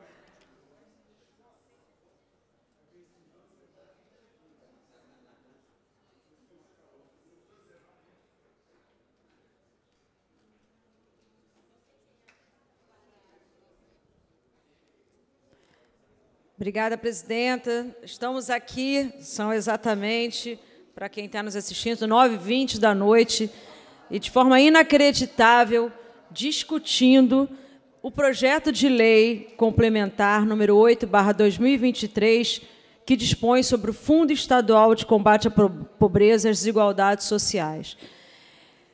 Olha, incluir o pobre no orçamento, como eu já falei aqui hoje, é o caminho que o presidente Luiz Inácio Lula da Silva mostrou que é o caminho mais seguro para a gente reverter as questões de economia nesse país. Então, enquanto Lula está reforçando e aprimorando os programas sociais, fazendo o que ele falou que iria fazer, que é cuidar da população, o governador Cláudio Castro, ele quer atacar com a obrigação de aplicar recursos em projetos e programas direcionados ao povo mais pobre do estado do Rio de Janeiro. Esse projeto de lei, para quem não entendeu, vocês que estão nos assistindo na TV Alerj, população fluminense, vocês precisam entender que isso é uma maldade muito grande, porque desobriga a aplicação de recursos do Fundo Estadual de Combate à Pobreza e à Desigualdades Sociais em vários aspectos, citando algum deles. Uma complementação financeira de famílias cuja renda mensal seja inferior ao salário mínimo. Restaurantes populares, auxílio para a construção de habitações populares e saneamento e programas de pagamento de aluguel social para o reassentamento da população de baixa renda. Esses são alguns exemplos, outros já foram citados aqui anteriormente. Ou seja, o governo desobriga, com esse projeto de lei, aplicar o recurso do fundo a programas e projetos importantes para a população mais vulnerável do estado do Rio de Janeiro. Basta a gente andar pelas ruas, é, seja na capital, seja Baixada, demais regiões, é para a gente ver a realidade. Pessoas em situação, em situação de rua, jovens pedindo esmolas, uma evasão escolar altíssima histórica, famílias morando em abrigos com idosos e crianças. Ou seja, o governador, com isso, parece que não está enxergando essa situação, está desrespeitando os direitos fundamentais, como acesso à alimentação, acesso à saúde, à moradia, que são direitos básicos assegurados na nossa Constituição. O IBGE apontou, em dezembro de 2022, que mais de 4 milhões de pessoas vivem abaixo da linha da pobreza no estado do Rio de, de, eh, de, do Rio de Janeiro. Entre elas, 1,2 milhão de fluminenses estavam em situação de extrema pobreza. Para o Banco Mundial, para a gente ter um parâmetro aqui, estão em situação de extrema pobreza as famílias que sobrevivem com menos de é, 1,9 dólar ao dia. E, à época, esse valor correspondia a 168 reais mensais por pessoa, um pouco mais de 5 reais por dia. É sobre essas pessoas que a gente está falando aqui, que a gente está defendendo aqui. E, proporcionalmente, o Rio de Janeiro é o estado com mais pessoas nessa condição. São 7,3% da população fluminense. Essa é a nossa situação hoje. E a gente está aqui discutindo isso. É inacreditável. O governador vira, virou as costas para um dado com, concreto. O nosso povo está empobrecido, com um salário mínimo sem reajuste desde 2019 ganhando pão a cada dia, trabalhando em bicos, em situações, em trabalhos completamente informais, em condições insalubres de trabalho. Os jovens estão abandonando as escolas para ajudar as suas famílias nas despesas diárias. E quem não se lembra da imagem dilacerante de pessoas revirando carcaças e ossos na cidade do Rio de Janeiro para se alimentar? Essa imagem foi uma imagem que circulou o mundo. E esse é o retrato do nosso Estado hoje. O governador Cláudio Castro, ele não me parece nada sensível à fome, assim como alguns companheiros aqui dessa casa. Porque esse projeto de lei acaba com a obrigatoriedade de aplicar recursos do Fundo do Combate à Pobreza aos restaurantes populares, por exemplo. Então, você que nos assiste pela TV Alerge, e mora no Rio de Janeiro, mora em Belfor Roxo, Campo dos Goitacazes, Duque de Caxias, Niterói, Petrópolis, São Gonçalo e Volta Redonda, saiba que o governador Cláudio Castro não vai vincular o orçamento dos restaurantes populares ao Fundo de Combate à Pobreza. É isso. E o Fundo Estadual de Habitação de, Habitação de Interesse Social, que equivale, como já falado aqui, a 5% do Fundo de Combate à Pobreza, também está sob ameaça. E é um programa fundamental que atende milhares de famílias que estão sem moradia, porque os imóveis desabaram durante as enchentes em várias partes do estado do Rio. Só nesse mês de junho, para vocês terem noção, mais de 8 mil pessoas receberam aluguel social, com destaque para o Rio de Janeiro, Petrópolis, Niterói, Teresópolis e Laje de Muriaé. Então, você eleitor.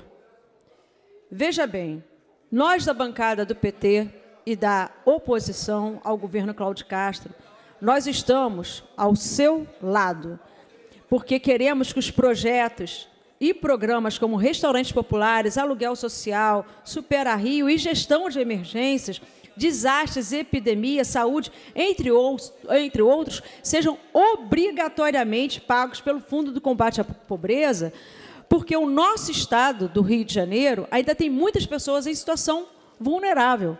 Como falei, é só você andar, a gente saindo daqui nove e meia, daqui no centro da cidade, ver a quantidade de famílias que estão dormindo nas calçadas hoje, e numa noite de frio.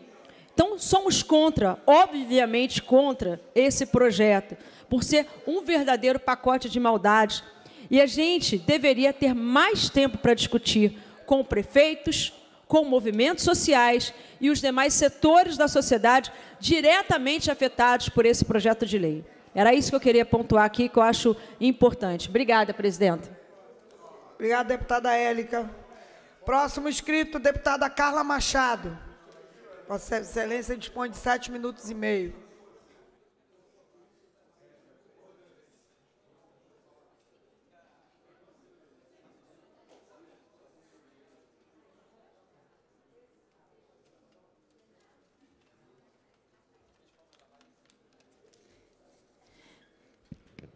Deputada Tia Ju, presidindo os trabalhos da casa, a gente parabeniza, né? Diz que a mulher é o sexo frágil, né, Tia Ju? Mas a senhora aí, ó, heroína da resistência.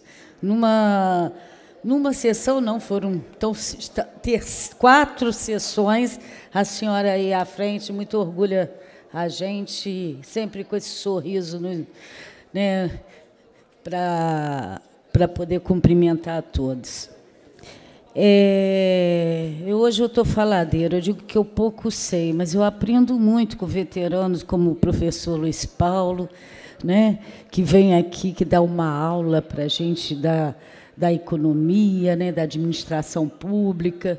A gente escuta tantos companheiros e companheiras aí né, com muito mais experiência, mas eu não poderia deixar de vir aqui né, para poder dizer da nossa tristeza quando a gente vê que na briga né, do rochedo contra o mar, quem se dá mal são os mariscos.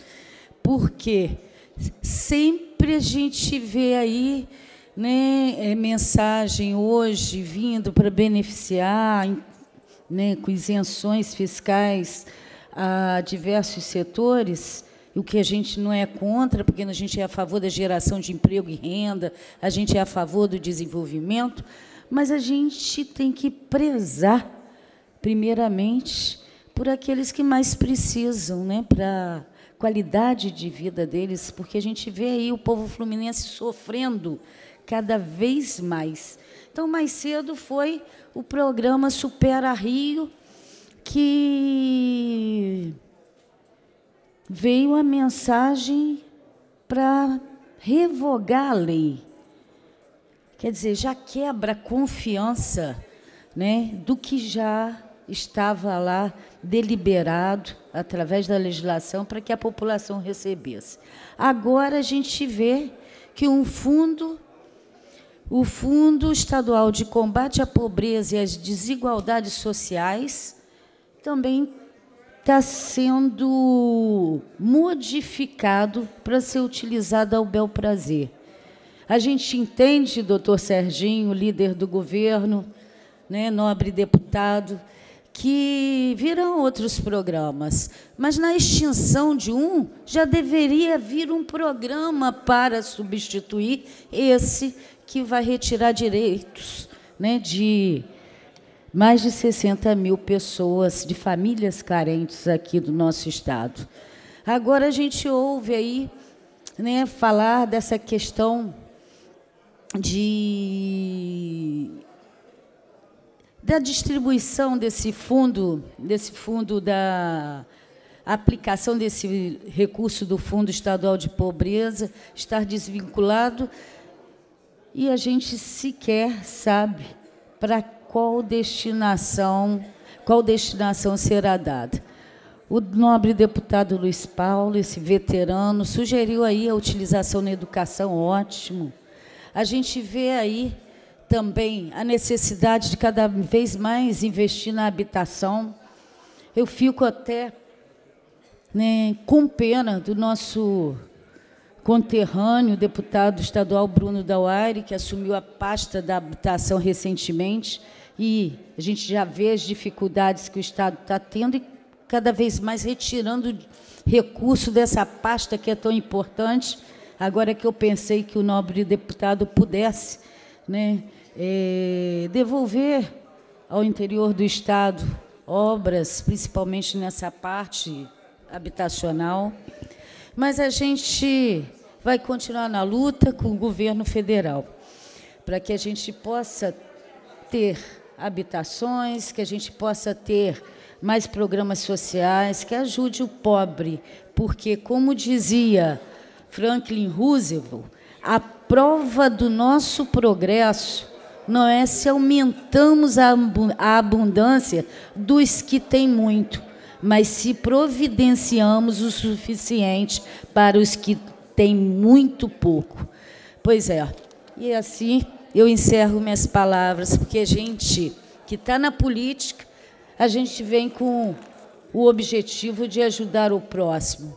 E cada vez mais a gente está vendo aí benefícios sendo tirados, mesmo que existam outras alternativas, conforme o deputado Luiz Paulo colocou agora há pouco, numa melhor cobrança né, das receitas, numa melhor distribuição, numa gestão mais eficiente e mais sensível às causas populares.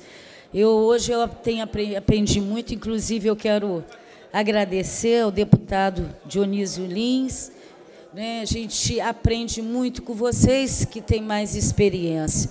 E hoje, deputado, eu fiquei muito triste pelas coisas, pelas mensagens que eu estive aqui, mas tenho que parabenizar, Rodrigo, mesmo discordando da nossa colega, não sei no aspecto regimental, mas na questão também da, do incentivo fiscal para os, para os agricultores, para os produtores rurais, porque nosso Estado, nosso país, ele precisa produzir.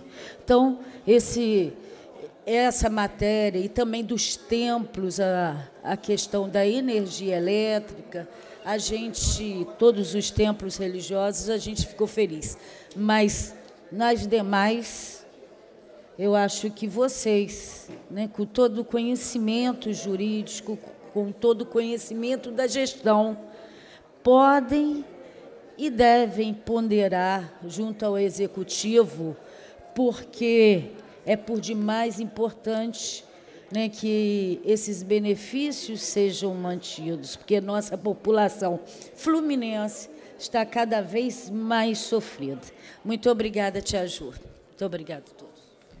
Próximo inscrito é o deputado Flávio Serafim. Vossa Excelência dispõe de sete minutos e meio.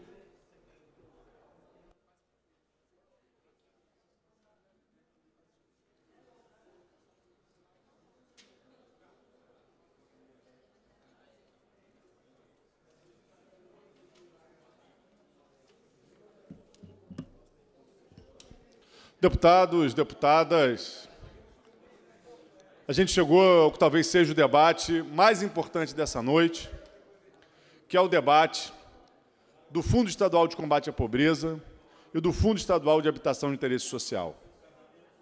Quem nos assiste na TV Alerj deve se perguntar o que é o Fundo Estadual de Combate à Pobreza. Ele é um fundo permitido pela Constituição que é formado provisoriamente com incremento na cobrança do ICMS para financiar ações de combate à pobreza. Ou seja, a população paga mais impostos para que o Estado tenha condições de combater a pobreza. No Estado do Rio de Janeiro, o Fundo Estadual de Combate à Pobreza tem levado a uma arrecadação anual de cerca de 5 bilhões de reais. 5 bilhões de reais. Então, quando esses deputados, que se dizem da direita, que dizem que são contra imposto, vierem aqui na tribuna defender o Fundo Estadual de Combate à Pobreza, mas que tem que deixar o governador gastar onde quiser, na verdade o que ele está dizendo é o seguinte: a gente quer aumentar o seu imposto e que o governador gaste com o que ele quiser. Não vem dizer que é liberal defendendo aumento de imposto. A gente fala, se for necessário ter imposto para garantir os direitos sociais da população, a gente defende que se tenha imposto de forma equilibrada, desde que não leve, obviamente, a uma crise. Por isso, o imposto tem que ser preferencialmente sobre a riqueza, sobre a renda, sobre o patrimônio não sobre o consumo, como é a estrutura tributária do nosso país e aqui do Rio de Janeiro. Nós aqui estamos falando de ICMS, é aumentar imposto sobre o consumo, sobre os serviços. É o imposto que você que está nos assistindo vai pagar. É disso que a gente está falando aqui. 5 bilhões por ano em imposto. Eu votei favorável. Já o Fundo Estadual de Combate à Pobreza, duas ou três vezes. Por quê? Porque o Estado do Rio de Janeiro tem estado numa situação de crise econômica e social prolongada. E o Fundo Estadual de Combate à Pobreza tem sido um instrumento importante para financiar políticas de combate à pobreza e para ajudar o governo a fechar as contas. Mas hoje, pela primeira vez, em quase 10 anos que eu cheguei nesse parlamento, eu cheguei nessa casa em dúvida. Será que eu voto a favor? Ou será que eu voto contra o Fundo Estadual de Combate à Pobreza? Porque esse fundo, que tem 5 bilhões de reais de arrecadação, ele tem 283 milhões de reais, 283 milhões de reais, que são vinculados. Vinculados a quê? Vinculados a políticas de combate à pobreza, ao Fundo Estadual de Habitação de Interesse Social. Aí são 180 milhões de reais que te ajudam. De 5 bilhões, 180 milhões de reais vão para o Fundo Estadual de Habitação de Interesse Social. O governo está dizendo que é muito. Mas em Petrópolis morreram 250 pessoas ano passado. Tem 500 mil pessoas no estado do Rio de Janeiro morando em áreas de risco. O que a gente quer para dar 5 bilhões de reais na mão do governo é que ele se comprometa. Eu vou investir 180 milhões de reais para tentar evitar que novas tragédias aconteçam. Será que é muito, Tia Ju? De 5 bilhões e meio quase, 180 milhões de reais para habitação de interesse social. Além disso, são 3%, dividido em mais de 10 ações. Combate à tuberculose. O estado do Rio de Janeiro é recordista em tuberculose. Será que não tem sensibilidade da gente financiar uma política? O que, o governo propõe para tirar do Fundo Estadual de Combate à Pobreza? Diz que, que o governo propõe. A gente tem, por exemplo, no Fundo Estadual de Combate à Pobreza, financiando o passe livre dos estudantes das escolas técnicas. A gente tinha turma de formação profissional, deputado Dionísio, que começava com 30 alunos, terminava com 3. Agora, com o pagamento do passe livre, tem terminado 10, 12. Se a gente conseguisse ter uma bolsa, a gente conseguia terminar com os 30. Mas pelo menos estão terminando 10, 12. É dinheiro que o governo está deixando de desperdiçar com a evasão escolar, que é uma tristeza no nosso Estado e que na formação técnica é ainda maior. É isso que a gente está querendo manter o carimbo. E virou um cavalo de batalha, deputado Dionísio. Vossa Excelência, que já está aqui há alguns mandatos, quantas vezes a gente votou o Fundo Estadual de Combate à Pobreza por acordo? Nós da oposição concordamos dar 5 bilhões para o governo investir, votar por consenso, desde que ele tenha um compromisso mínimo com políticas públicas de combate à pobreza. E o Fundo Estadual de Habitação de Interesse Social, quando ele começou, ele tinha 10%. Só que o governo não investia. O Tribunal de Contas começou a reclamar, a gente aqui na LERD começou a pressionar, fechamos um acordo. É 5%, mas o governo tem que cumprir. O governo não está cumprindo. E as pessoas continuam morrendo quando acontecem chuvas fortes no nosso estado. As pessoas continuam convivendo com saneamento ausente, convivendo com esgoto na porta de casa. E o Fundo Estadual de Habitação de Interesse Social, ele é uma política que é interessante, porque ele prevê a participação popular no Conselho Gestor. Para o governo pactuar, discutir com a sociedade. O governo não pode ter medo de discutir com a sociedade, de formular política pública de forma planejada, de forma permanente. Então eu quero concluir fazendo um apelo ao governador Cláudio Castro. Governador, você tem aqui 15 deputados de oposição, pelo menos, 15 a 20, que estão dispostos a votar para que o senhor tenha mais de 5 bilhões de reais de novo, de forma permanente nos próximos anos, para investir em políticas de combate à pobreza. Para isso que a gente quer é que o fundo seja realmente de combate à pobreza. E que uma parte dele, que não chega a 8%, esteja carimbada de políticas públicas que a gente não abre mão. Todos os governos anteriores fizeram isso. Isso se chama um mínimo de diálogo, respeitoso com o parlamento. O senhor pode estar fazendo a opção de não quero dialogar, vou mandar para casa, vou exercer a maioria, vou esmagar a minoria e vou gastar essa partezinha que é entre 5% e 8% da maneira que eu quiser. Faça isso. A gente vai avaliar se vai votar a favor, se vai votar contra. O governo vai ganhar no voto, provavelmente, mas eu me pergunto: será que vai ganhar na sociedade? Será que vai ganhar na sociedade? Ao acabar com a política de combate à tuberculose, ao acabar com a política de habitação de interesse social? Porque realmente. Para concluir, deputado. E eu quero concluir falando isso. Realmente é inacreditável que, diante de um desafio tão grande, de um Estado que está passando por tantos dilemas, uma política que garante mais de 5 bilhões de reais de receita para o Estado, ela se transforme num cavalo de batalha, ou porque o governador quer fazer com que o Fundo de Combate à Pobreza não seja mais para combater a pobreza, ou porque o governador resolveu exercer o poder de tal forma autoritária como a gente nunca viu antes no estado do Rio de Janeiro. Próximo inscrito, deputado Rodrigo Amorim. Vossa Excelência dispõe de sete minutos e meio.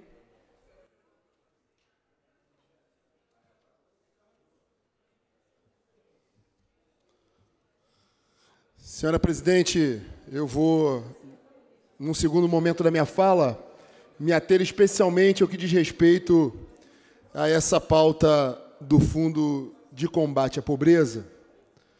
Aliás, já falei anteriormente, mas até confesso, senhora presidente, que eu faria essa discussão por ocasião da votação definitiva.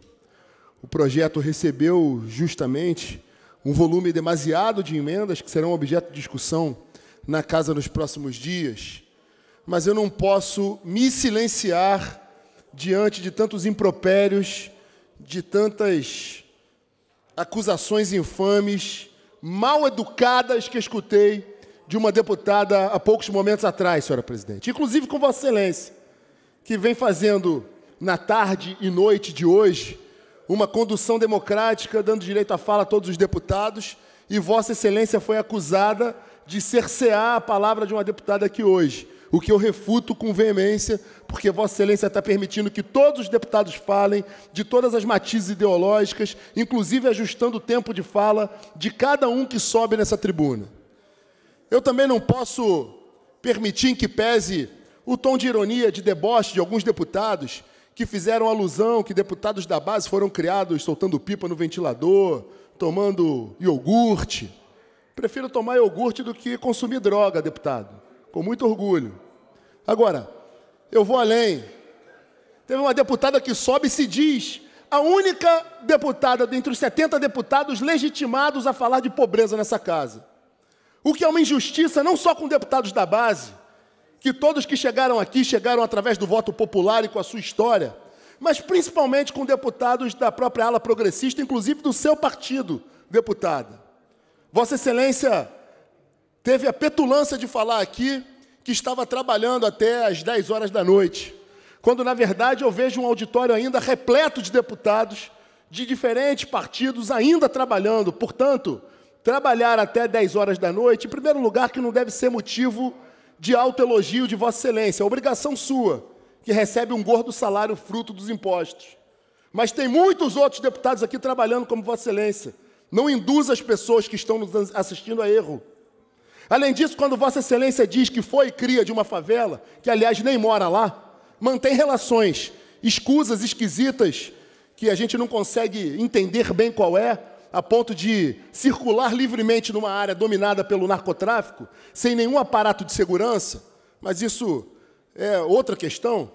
Vossa Excelência diz respeito a deputadas do seu partido, como a deputada Dani Monteiro, que vem de favela, que tem a família moradora de favela, que tem um pai deficiente. Vossa Excelência desrespeita a história de luta da deputada Marina do MST, que vem dos movimentos populares. Ou a deputada Marina do MST era da aristocracia. Vossa Excelência desrespeita a deputada Tia Ju, que vem do Nordeste, que vem da Bahia, de uma família pobre do sertão nordestino. E graças ao seu mérito próprio, meritocracia, que é uma palavra que a senhora não conhece, porque se fez politicamente no caixão de uma vereadora, Vossa Excelência desrespeita a deputada que está presidindo essa casa hoje. Vossa Excelência desrespeita a história de luta do deputado Dionísio Lins, que tem uma esposa vereadora da cidade do Rio de Janeiro e tem como base eleitoral um dos bairros mais pobres dessa cidade. E veio de onde? Da aristocracia, deputada? Não conhece a pobreza? E outros tantos outros deputados, como a deputada Dani Balbi, como o deputado professor Josemar, como o deputado Yuri, que vem e faz a militância reconhecida na cidade de Petrópolis, que o levou a ser vereador da cidade, faz uma militância justa e honesta no que diz respeito à habitação popular, fez o discurso nessa casa hoje contrário às emendas do governo, mas com coerência. Participou do colégio da reunião com a presidência, representando a liderança do seu partido, ponderou diversas vezes a sua discordância com o que estava sendo apresentado, mas com bases técnicas. O deputado Luiz Paulo, que nos sucedeu, durante todo o tempo foi propositivo, tentando criar alternativas, soluções para a manutenção de um fundo importante, criando alternativas para que nós possamos incrementar a receita do Estado do Rio de Janeiro, indo além no enfrentamento à sonegação, que é outro problema que a gente tem que enfrentar nessa casa. Todos os deputados foram absolutamente propositivos, tiveram um discurso honesto. Óbvio que há uma questão ideológica, que há uma questão política que é legítima. Agora, eu tenho que trazer verdades. O deputado que me antecede fala que o Rio de Janeiro é o estado com maior incidência de tuberculose. É uma mentira. O maior estado com incidência de tuberculose é o Amazonas e Roraima, deputado. Não é o Rio de Janeiro. A deputada que vem aqui diz que a pobreza incrementou no Rio de Janeiro, que é uma mentira. Eu trago dados do IPEA, que em 2022 nós tivemos um decréscimo na pobreza, não só do Rio de Janeiro, mas no Brasil. Então, Vossas Excelências estão mentindo numa narrativa vil de tentar, mais uma vez, colocar uns contra os outros. É legítimo a discussão. Agora, é uma questão ideológica querer gradativamente desvincular fundos para desamarrar a obrigação do governador de aplicar recursos como os vossas excelências querem. Vossas excelências têm que entender de uma vez por todas que não ganharam a eleição. Aliás, tomaram uma surra histórica na eleição para o executivo. O governador Cláudio Castro foi o recordista na história eleitoral do Rio de Janeiro, com mais de 5 milhões de votos. Essa casa passou a ter uma base governista legítima de mais de dois terços de deputados governistas que ganharam as eleições. Portanto, não me admira que nós possamos discutir e vencer democraticamente no voto, e poderíamos ter feito hoje, em que pese qualquer tentativa de atrapalhar a pauta, de criar obstrução que está regimentalmente garantido. Mas houve aqui nessa tarde, nessa noite, uma discussão legítima e eu tenho a mais absoluta convicção que, com a liderança do presidente, hoje governador Rodrigo Bacelar, nós chegaremos ao entendimento para criar ali um mecanismo de transição na extinção do fundo é, que está sendo do, do, do programa Supera. A gente vai criar, como está criando, alternativas para ampliar a base de investimento do Fundo Estadual da Pobreza, que Vossa Excelência não sabe nem o nome. Vossa Excelência não sabe o nome do que está discutindo. Vem aqui vociferar como se surdo fôssemos aos gritos, sem nenhum argumento técnico diferente de outros deputados do seu partido. Vossa Excelência não tem o direito de gritar, falando mentiras, fazendo ataques levianos, covardes, ofendendo as pessoas. Vossa Excelência não é o arauto da moralidade, deputada. Caia na real. Vossa Excelência tem um mandato legítimo, conquistado pelas urnas, mas não pode ofender seus colegas, seja da oposição, seja da situação e do seu próprio partido. Faça discussão com decência, com coerência, com argumentos técnicos, deputada. Vossa Excelência não traz argumentos técnicos. Vossa, Excelência mentiu, ofendeu e não propôs absolutamente nada, talvez porque não tem a capacidade, capacidade técnica de fazê-la. Não Para sabe nem o nome deputado. do fundo, não sabe sequer o nome do fundo que a gente está discutindo. Também não deve entender, não deve ter estudado essa parte que se trata de um fundo criado por uma emenda constitucional em que habilitou os estados a criarem na sua, no seu ordenamento um fundo especial de combate à pobreza. Nós não podemos prescindir e não estamos criando imposto algum, deputada. Para não há criação deputado. de imposto algum. Vossa Excelência desconhece a matéria numa profunda ignorância. Não há criação de imposto, deputado. Entenda isso. Nós não podemos prescindir dessa arrecadação que já está feita há mais de 20 anos, deputado. Agora, o que fazemos hoje é ampliar a base de investimento e tirar as amarras que impedem o governador de investir em outras áreas de fomento, inclusive no pagamento de salário. Agora, para concluir, presidente, vem aqui e fala que o governador Cláudio Castro vai acabar com a política de enfrentamento à violência, de enfrentamento ao combate à pobreza. Para concluir, como, e, e, aí é, o discurso é tão contraditório, porque momentos antes fala que a política de enfrentamento do governo, essas mazelas todas colocadas, é uma porcaria de política. Aí, quando vem falar do fundo, fala que vai destruir o enfrentamento a essas políticas. Vossa Excelência tem que buscar coerência no seu discurso, deputado. Para concluir, então, deputado. presidente, concluindo e não passando aqui da minha fala, como fez a deputada, eu gostaria de dizer que a discussão é pertinente, com bases técnicas, e o que a gente está fazendo é garantir o investimento no combate à pobreza no Rio de Janeiro. Obrigado, presidente. Próximo orador, deputado professor Josimar. A excelência dispõe de sete minutos.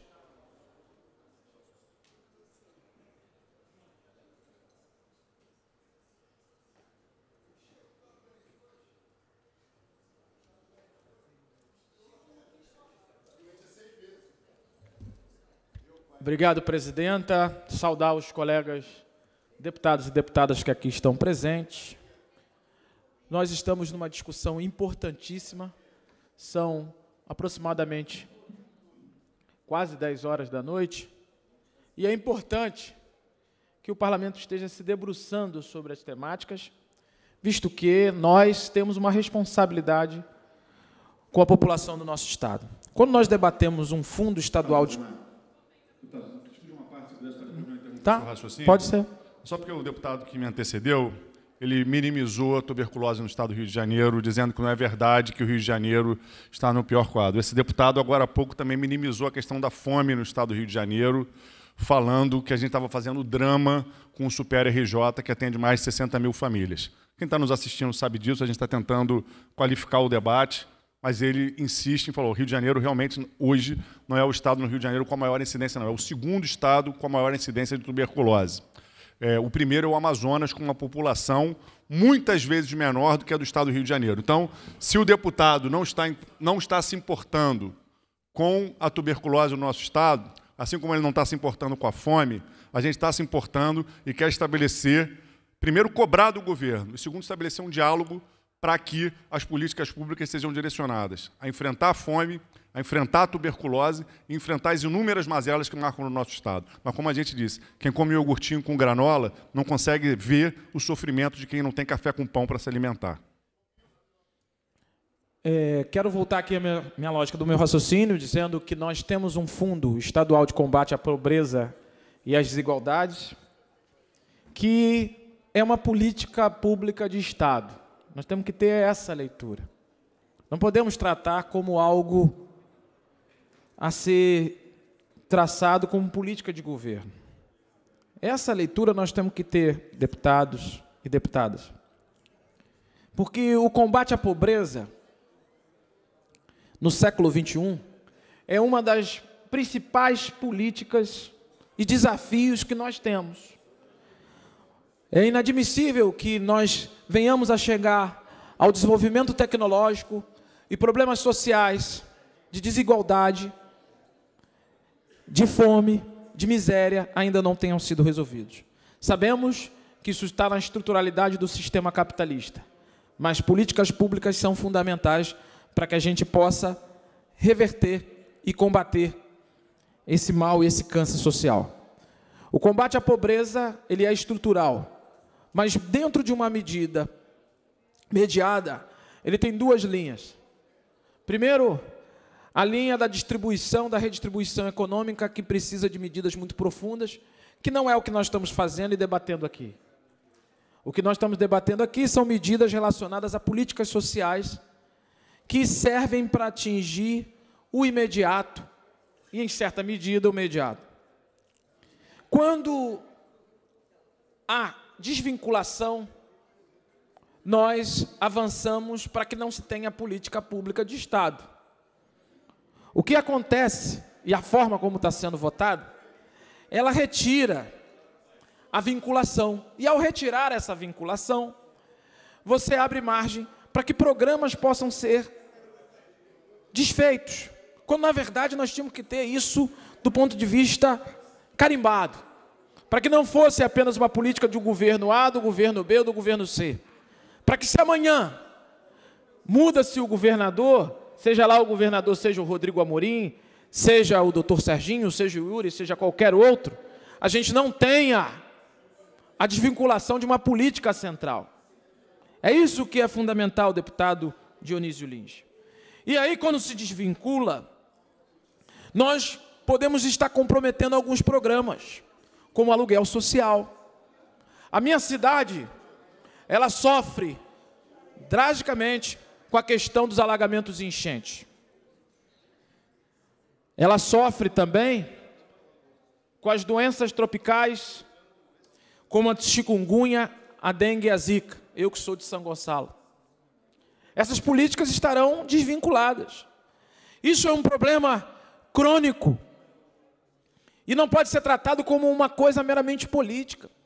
Nós precisamos superar e ter claro que a pobreza e a miséria, eu falo isso, não sou o único, existem outros deputados e deputadas que vêm, que conhecem a realidade dos, dos grotões do estado do Rio de Janeiro, outros que fazem trabalhos sociais e que reconhecem. A gente vê que as medidas e os programas podem ajudar a combater a fome, podem ajudar a combater as desigualdades sociais e podem incluir as pessoas dentro dos ambientes escolares, dentro das políticas públicas que são fundamentais. Por isso que a proposta que os colegas apresentam, ou melhor, que o governo apresenta, de desvinculação das receitas que são ainda muito pequenas, ela vai na contramão daquilo que nós achamos que é fundamental. Achamos que é importante que a gente tenha a necessidade de avançar e a perspectiva do governo com a, com a retirada de programas com a retirada e a desvinculação de receitas, caminha para que a gente não avance. Pelo contrário, nós damos aqui um cheque em branco ao governador e ao seu grupo. Não faço aqui debate moral, mas é um debate do ponto de vista político de quais as prioridades que nós temos. Quero falar isso levando em consideração que é preciso elevar o nível do debate e elevar também o nosso olhar, melhorar o nosso olhar sobre aqueles que vivem lá na ponta. Esse é o nosso papel enquanto deputados estaduais. Nós não estamos aqui para legislar para nós mesmos. Precisamos ter altivez, ter a capacidade de entender as necessidades que estão lá na ponta. Aquele que vive na miséria e na pobreza precisa, muitas das vezes, do mínimo para sair e chegar ao mínimo mais essencial. A fome, ela não tem pressa. Sabemos que é um problema estrutural do próprio sistema capitalista.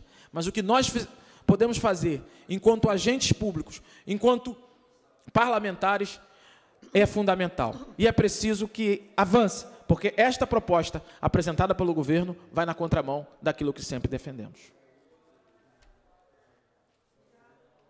Próximo orador escrito, o nobre deputado Fred Pacheco. Enquanto ele se dirige, pois não, deputada, é, se puder ser breve, por conta do próximo pois inscrito. Não, deputada. Não, muito rápido, senhora presidenta, 10 horas da noite, e a gente está aqui, sim, num esforço de fazer um debate central do que representa o Fundo de Combate à Pobreza. E é claro, senhora presidenta, eu fiz a minha fala ali e o deputado da base do governo usou os sete minutos dele para tentar deslegitimar me humilhar, me colocar contra companheiros aqui, falou inclusive que sou mentirosa e falou: olha o, o, plenário abarrotado. Abarrotado não, aqui estão aquelas pessoas que estão comprometidas com esse debate. Então ele passou quase oito minutos falando de mim e não defendeu o governador dele, porque sabe que nem tecnicamente é plausível de uma defesa. Mas, senhora presidenta, nada diferente daquilo que a gente já ouviu em outros momentos. Só peço esse uma parte de um minuto agora para dizer para Vossa Excelência que de maneira nenhuma fui desrespeitosa a Vossa Excelência. Pelo contrário, observei que o deputado em questão, ele faz várias falas, aponta para mim quando está ali, como de costume. Nada novo no mundo da violência política de gênero, mas dizer, essencialmente, senhora presidenta, que respeito todos os deputados e deputadas aqui da casa e que quando um deputado da base do governo quiser defender o governo, fale sete minutos do governo. Não precisa tentar humilhar, deslegitimar uma deputada aqui que defende, sim, o preto, o pobre, o favelado, e que é da favela da Maré com muito orgulho. Muito obrigada, presidenta. Deputado Fred Pacheco, Vossa Excelência dispõe de sete minutos e meio. Boa noite, presidenta Tia Ju, nobres deputados, amigos, deputadas. Eu queria. Claro. Deputada, quando quiser fazer uso da palavra, faça parte. Não invada o microfone à força, como fez agora. Defendi o que considero um gesto de coragem do governador de tirar fundos que foram impostos por 20 anos de vertente progressista no parlamento, travando a capacidade e a flexibilidade do governador poder governar. Já disse que se Vossas Excelências quiserem gerir o orçamento do Estado, se candidatem ao governo do Estado e vençam. Eu sei que nunca serão, porque a população do Rio de Janeiro não os engole. Agora, querer desdizer o que disse, está gravado, deputada. Vossa Excelência disse que a presidência dos trabalhos estava cerceando as suas palavras, ipsim verbis. E eu fui revelado aqui. E o que eu fiz, além de defender um projeto que eu considero meritório, foi trazer verdades. Não sei se Vossa Excelência deve ter lido a Bíblia, mas fala lá: conhecereis a, a verdade, a verdade vos libertará. Não posso aceitar que um deputado da oposição fale que o Rio de Janeiro está no pior nível de enfrentamento à tuberculose. É mentira, eu desmistifiquei. Não posso falar, não posso falar, não posso deixar falar que a pobreza aumentou, quando na verdade diminuiu em todo o Brasil. É mentira também, deputada. Eu trouxe verdades e as trarei, defendendo um projeto que considero meritório. E Vossa Excelência desrespeitou os seus colegas, inclusive, quando Vossa Excelência não é a única representante do povo de favela no Rio de Janeiro. Vossa Excelência não é a única que está legitimada a falar de pobreza aqui nesse parlamento. Desrespeita os seus colegas de bancada, os colegas progressistas e os demais colegas dessa casa, como a própria presidente deputada Tia Ju.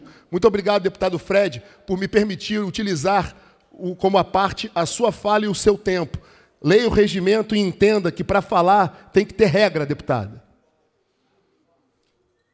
Presidenta Tia Ju, meu amigo também deputado Rodrigo Amorim, eu queria dizer, na verdade, de maneira também muito breve, que, ao contrário de. Na verdade, eu quero tomar uma palavra que foi dita por um dos nobres deputados também da esquerda e da oposição, dizendo que o nosso governador é covarde. E eu não posso concordar com essa palavra porque, na minha cabeça, tomar medidas tão impopulares como estas, que estão sendo e são impopulares, é preciso ter muita coragem para fazer isso. É preciso coragem para discutir um fundo de pobreza ou então ter que estancar um programa que é sucesso, que é o programa do Supera RJ, que foi criado e foi discutido nesta casa e colocado com muita responsabilidade pelo governador, dizendo em um momento pandêmico que seria sim um socorro para as famílias mais pobres. E eu não tenho a menor dificuldade em dizer que nosso governador Cláudio Castro não fica feliz em tomar uma decisão como essa. Em ter que parar um programa que, de fato, faz com que uma família pare de receber um valor que vai ajudar a colocar comida na mesa. Eu não sou, não vou usar de narrativa ou de retórica para dizer que isso é, é fácil de fazer. É simples. Se nós olharmos para as nossas casas, eu acho que cada deputado aqui, que é pai e mãe de família, já pôde dizer ao seu filho, em algum momento da sua história, quando ele lhe pediu um presente ou alguma coisa para, enfim, que ele gostaria, você, porque não tinha condições, disse a ele: Não, filho, agora eu não posso lhe dar porque não tenho dinheiro. Porque em algum momento você foi responsável em ter que fazer e tomar algumas medidas para reequilibrar o orçamento da sua casa. E é assim que funciona um grande Estado. O Rio de Janeiro tem uma história de quebradeira. O Rio de Janeiro foi mal administrado durante muitos anos. E eu gostaria, meus queridos amigos que estão aqui da esquerda, que eu respeito muito, vocês sabem disso. Eu gostaria que nós fizéssemos apenas uma, um exercício aqui, se fosse o Marcelo Freixo o governador hoje. Assim como é o Lula, o presidente da República, que já está tomando medidas impopulares também. É só olhar para os os jornais e vocês verão que é necessário tomar algumas medidas de reequilíbrio. Isto faz parte da repactuação fiscal, isso faz parte de reequilibrar o orçamento, receita e despesa. É necessário fazer esse tipo de ajuste. Quando o Cláudio, quando o nosso governador Cláudio Castro então precisa olhar para o seu estado por conta de não vou discutir tecnicamente porque tudo foi dito inclusive por todos vocês que estavam aqui. Vossas excelências deixaram isso bem claro. Agora, o que é preciso dizer? Cláudio Castro tem sido corajoso em discutir este assunto. E nós, da base do governo, também estamos com coragem para botar a cara lá fora depois e olhar para aqueles que votaram em nós e, com muito argumento, dizer: é preciso coragem para fazer os reequilíbrios necessários para fazer com que esse Estado continue pulsante, crescendo com responsabilidade e não de uma maneira onde só a narrativa dê um, talvez uma direção utópica. Portanto, eu peço a vossas excelências que eu acho que neste caso ser oposição é mais fácil talvez, porque vir ao microfone e dizer é, que o governador é covarde porque toma medidas impopulares talvez seja mais fácil do que entrar na discussão e buscar talvez as melhores soluções para que de fato o Rio de Janeiro continue crescendo, como eu tenho certeza que está. Então, aqui eu coloco a minha, minha solidariedade ao meu amigo e governador Cláudio Castro, dizendo: parabéns, governador, é preciso muita coragem para, inclusive, às vezes ser impopular. Muito obrigado, presidente.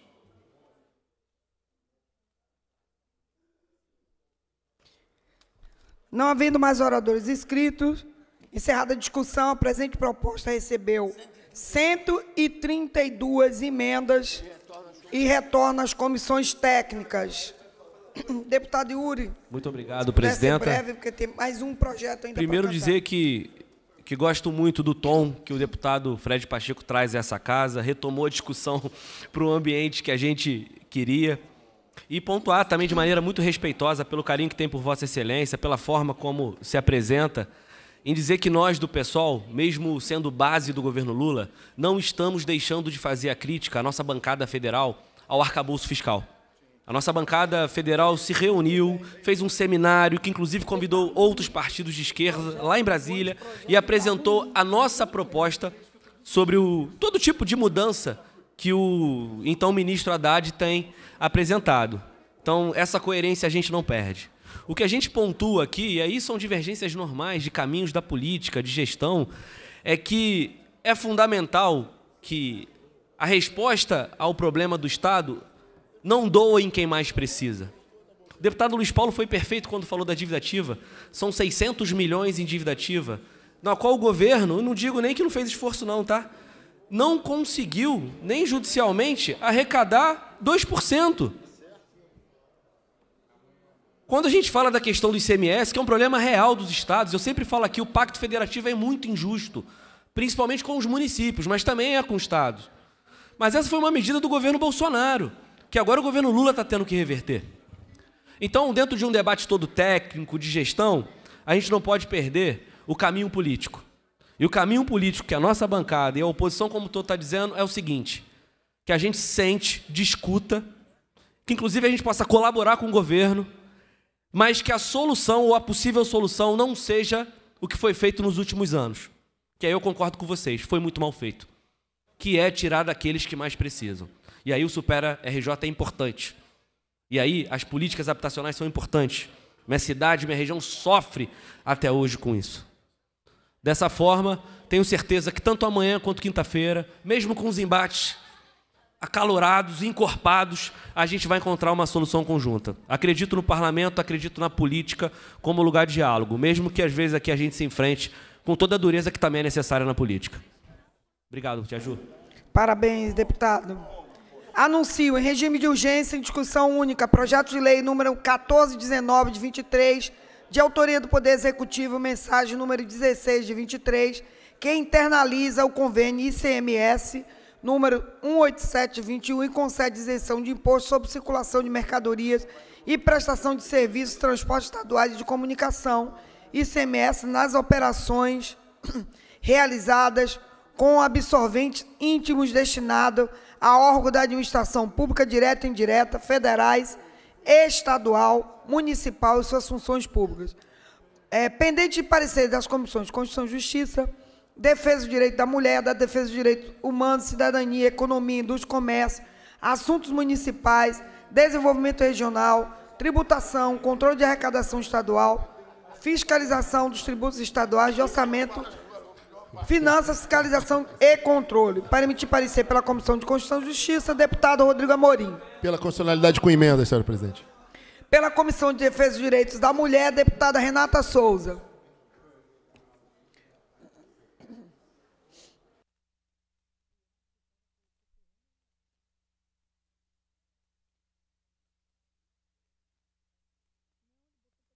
Senhora presidência, senhora presidente, de acordo com a coerência com o debate que a gente tem colocado aqui e, e diante da prejudicabilidade que até na, é, no direito, pois não?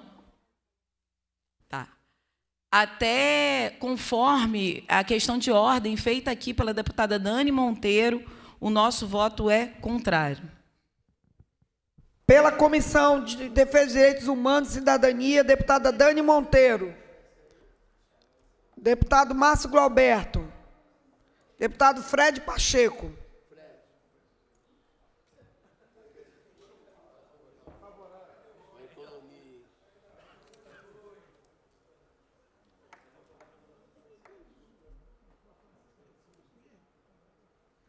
Presidente, acompanha a CCJ.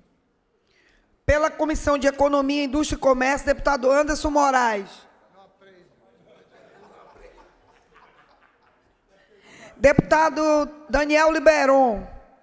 Deputada Célio Jordão, deputado Felipe Soares, deputada Dani Balbi, deputado Tiago Rangel, deputado Valdo Ceasa, deputado Douglas Ruas, deputado Luiz Paulo. Ah, Douglas Ruas está aqui, perdão. Deputado Douglas Ruas. Parecer favorável, presidente. Aprendeu, deputado Luiz Paulo. Pela Comissão de Assuntos Municipais e Desenvolvimento Regional, deputado Renato Machado. Deputado Carlos Macedo. Deputado Yuri. Parecer contrário, senhora presidenta, justificando no sentido que já existe uma lei aprovada de autoria da minha companheira Dani Monteiro e reforço o que ela disse. Esse parlamento precisa ser respeitado, esse parlamento precisa ser valorizado. Se a lei foi sancionada ou promulgada, essa discussão sobre o impacto foi superada no próprio processo legislativo. O governo do Estado que faça, então, o impacto para executar a lei, mas não mandar uma mensagem revogando. Isso é um desrespeito a uma deputada eleita, inclusive por duas vezes nessa casa pela Comissão de Tributação, Controle de Arrecadação Estadual e Fiscalização dos Tributos Estaduais, deputado Arthur Monteiro. Deputado Luiz Paulo. Senhora presidente, respaldado no parecer do deputado Douglas Ruas, eu queria só fazer uma preliminar, senhora presidente. Porque eu tenho um entendimento diferente do deputado Yuri. Não, não é briga, entendimento. Entendimento. O governo pode revogar um projeto de um deputado que tenha virado lei, desde que ele apresente uma alternativa para ele. E é o que está acontecendo. Até porque o projeto é de um deputado, mas quando vira lei, é do parlamento. Se ele simplesmente revogasse, eu ia me alinhar àqueles que seriam contrários, porque seria um ato de força e profundamente desrespeitoso. Ele, de graça, resolve revogar uma lei, porque ele não gostou da lei. Se ele não gostasse da lei, ele devia vetar. Né? Mas, como uma lei foi sancionada, ele gostou da lei. Agora, esta lei, no tempo, não cumpriu algum preceito constitucional ou infraconstitucional. E ele está mandando outra, cumprindo. Então, nesse sentido, nesse sentido, eu estou votando no mérito favorável, acompanhando o deputado Douglas Ruas. Obrigada pela rica explicação, deputado Luiz Paulo. Pela Comissão de Orçamento, Fiscalização Financeira e Controle, deputado André Correia. Deputado Carlos Macedo. Deputado Douglas Rua. Parecer favorável, presidente. Com os pareceres emitidos, em discussão. Não havendo quem queira discutir, encerrar a discussão, a presente proposta recebeu cinco emendas e retorna às comissões. Nada mais havendo a tratar, está encerrada a sessão. Tenham todos uma boa noite, bom descanso. E vamos à próxima sessão. Obrigada.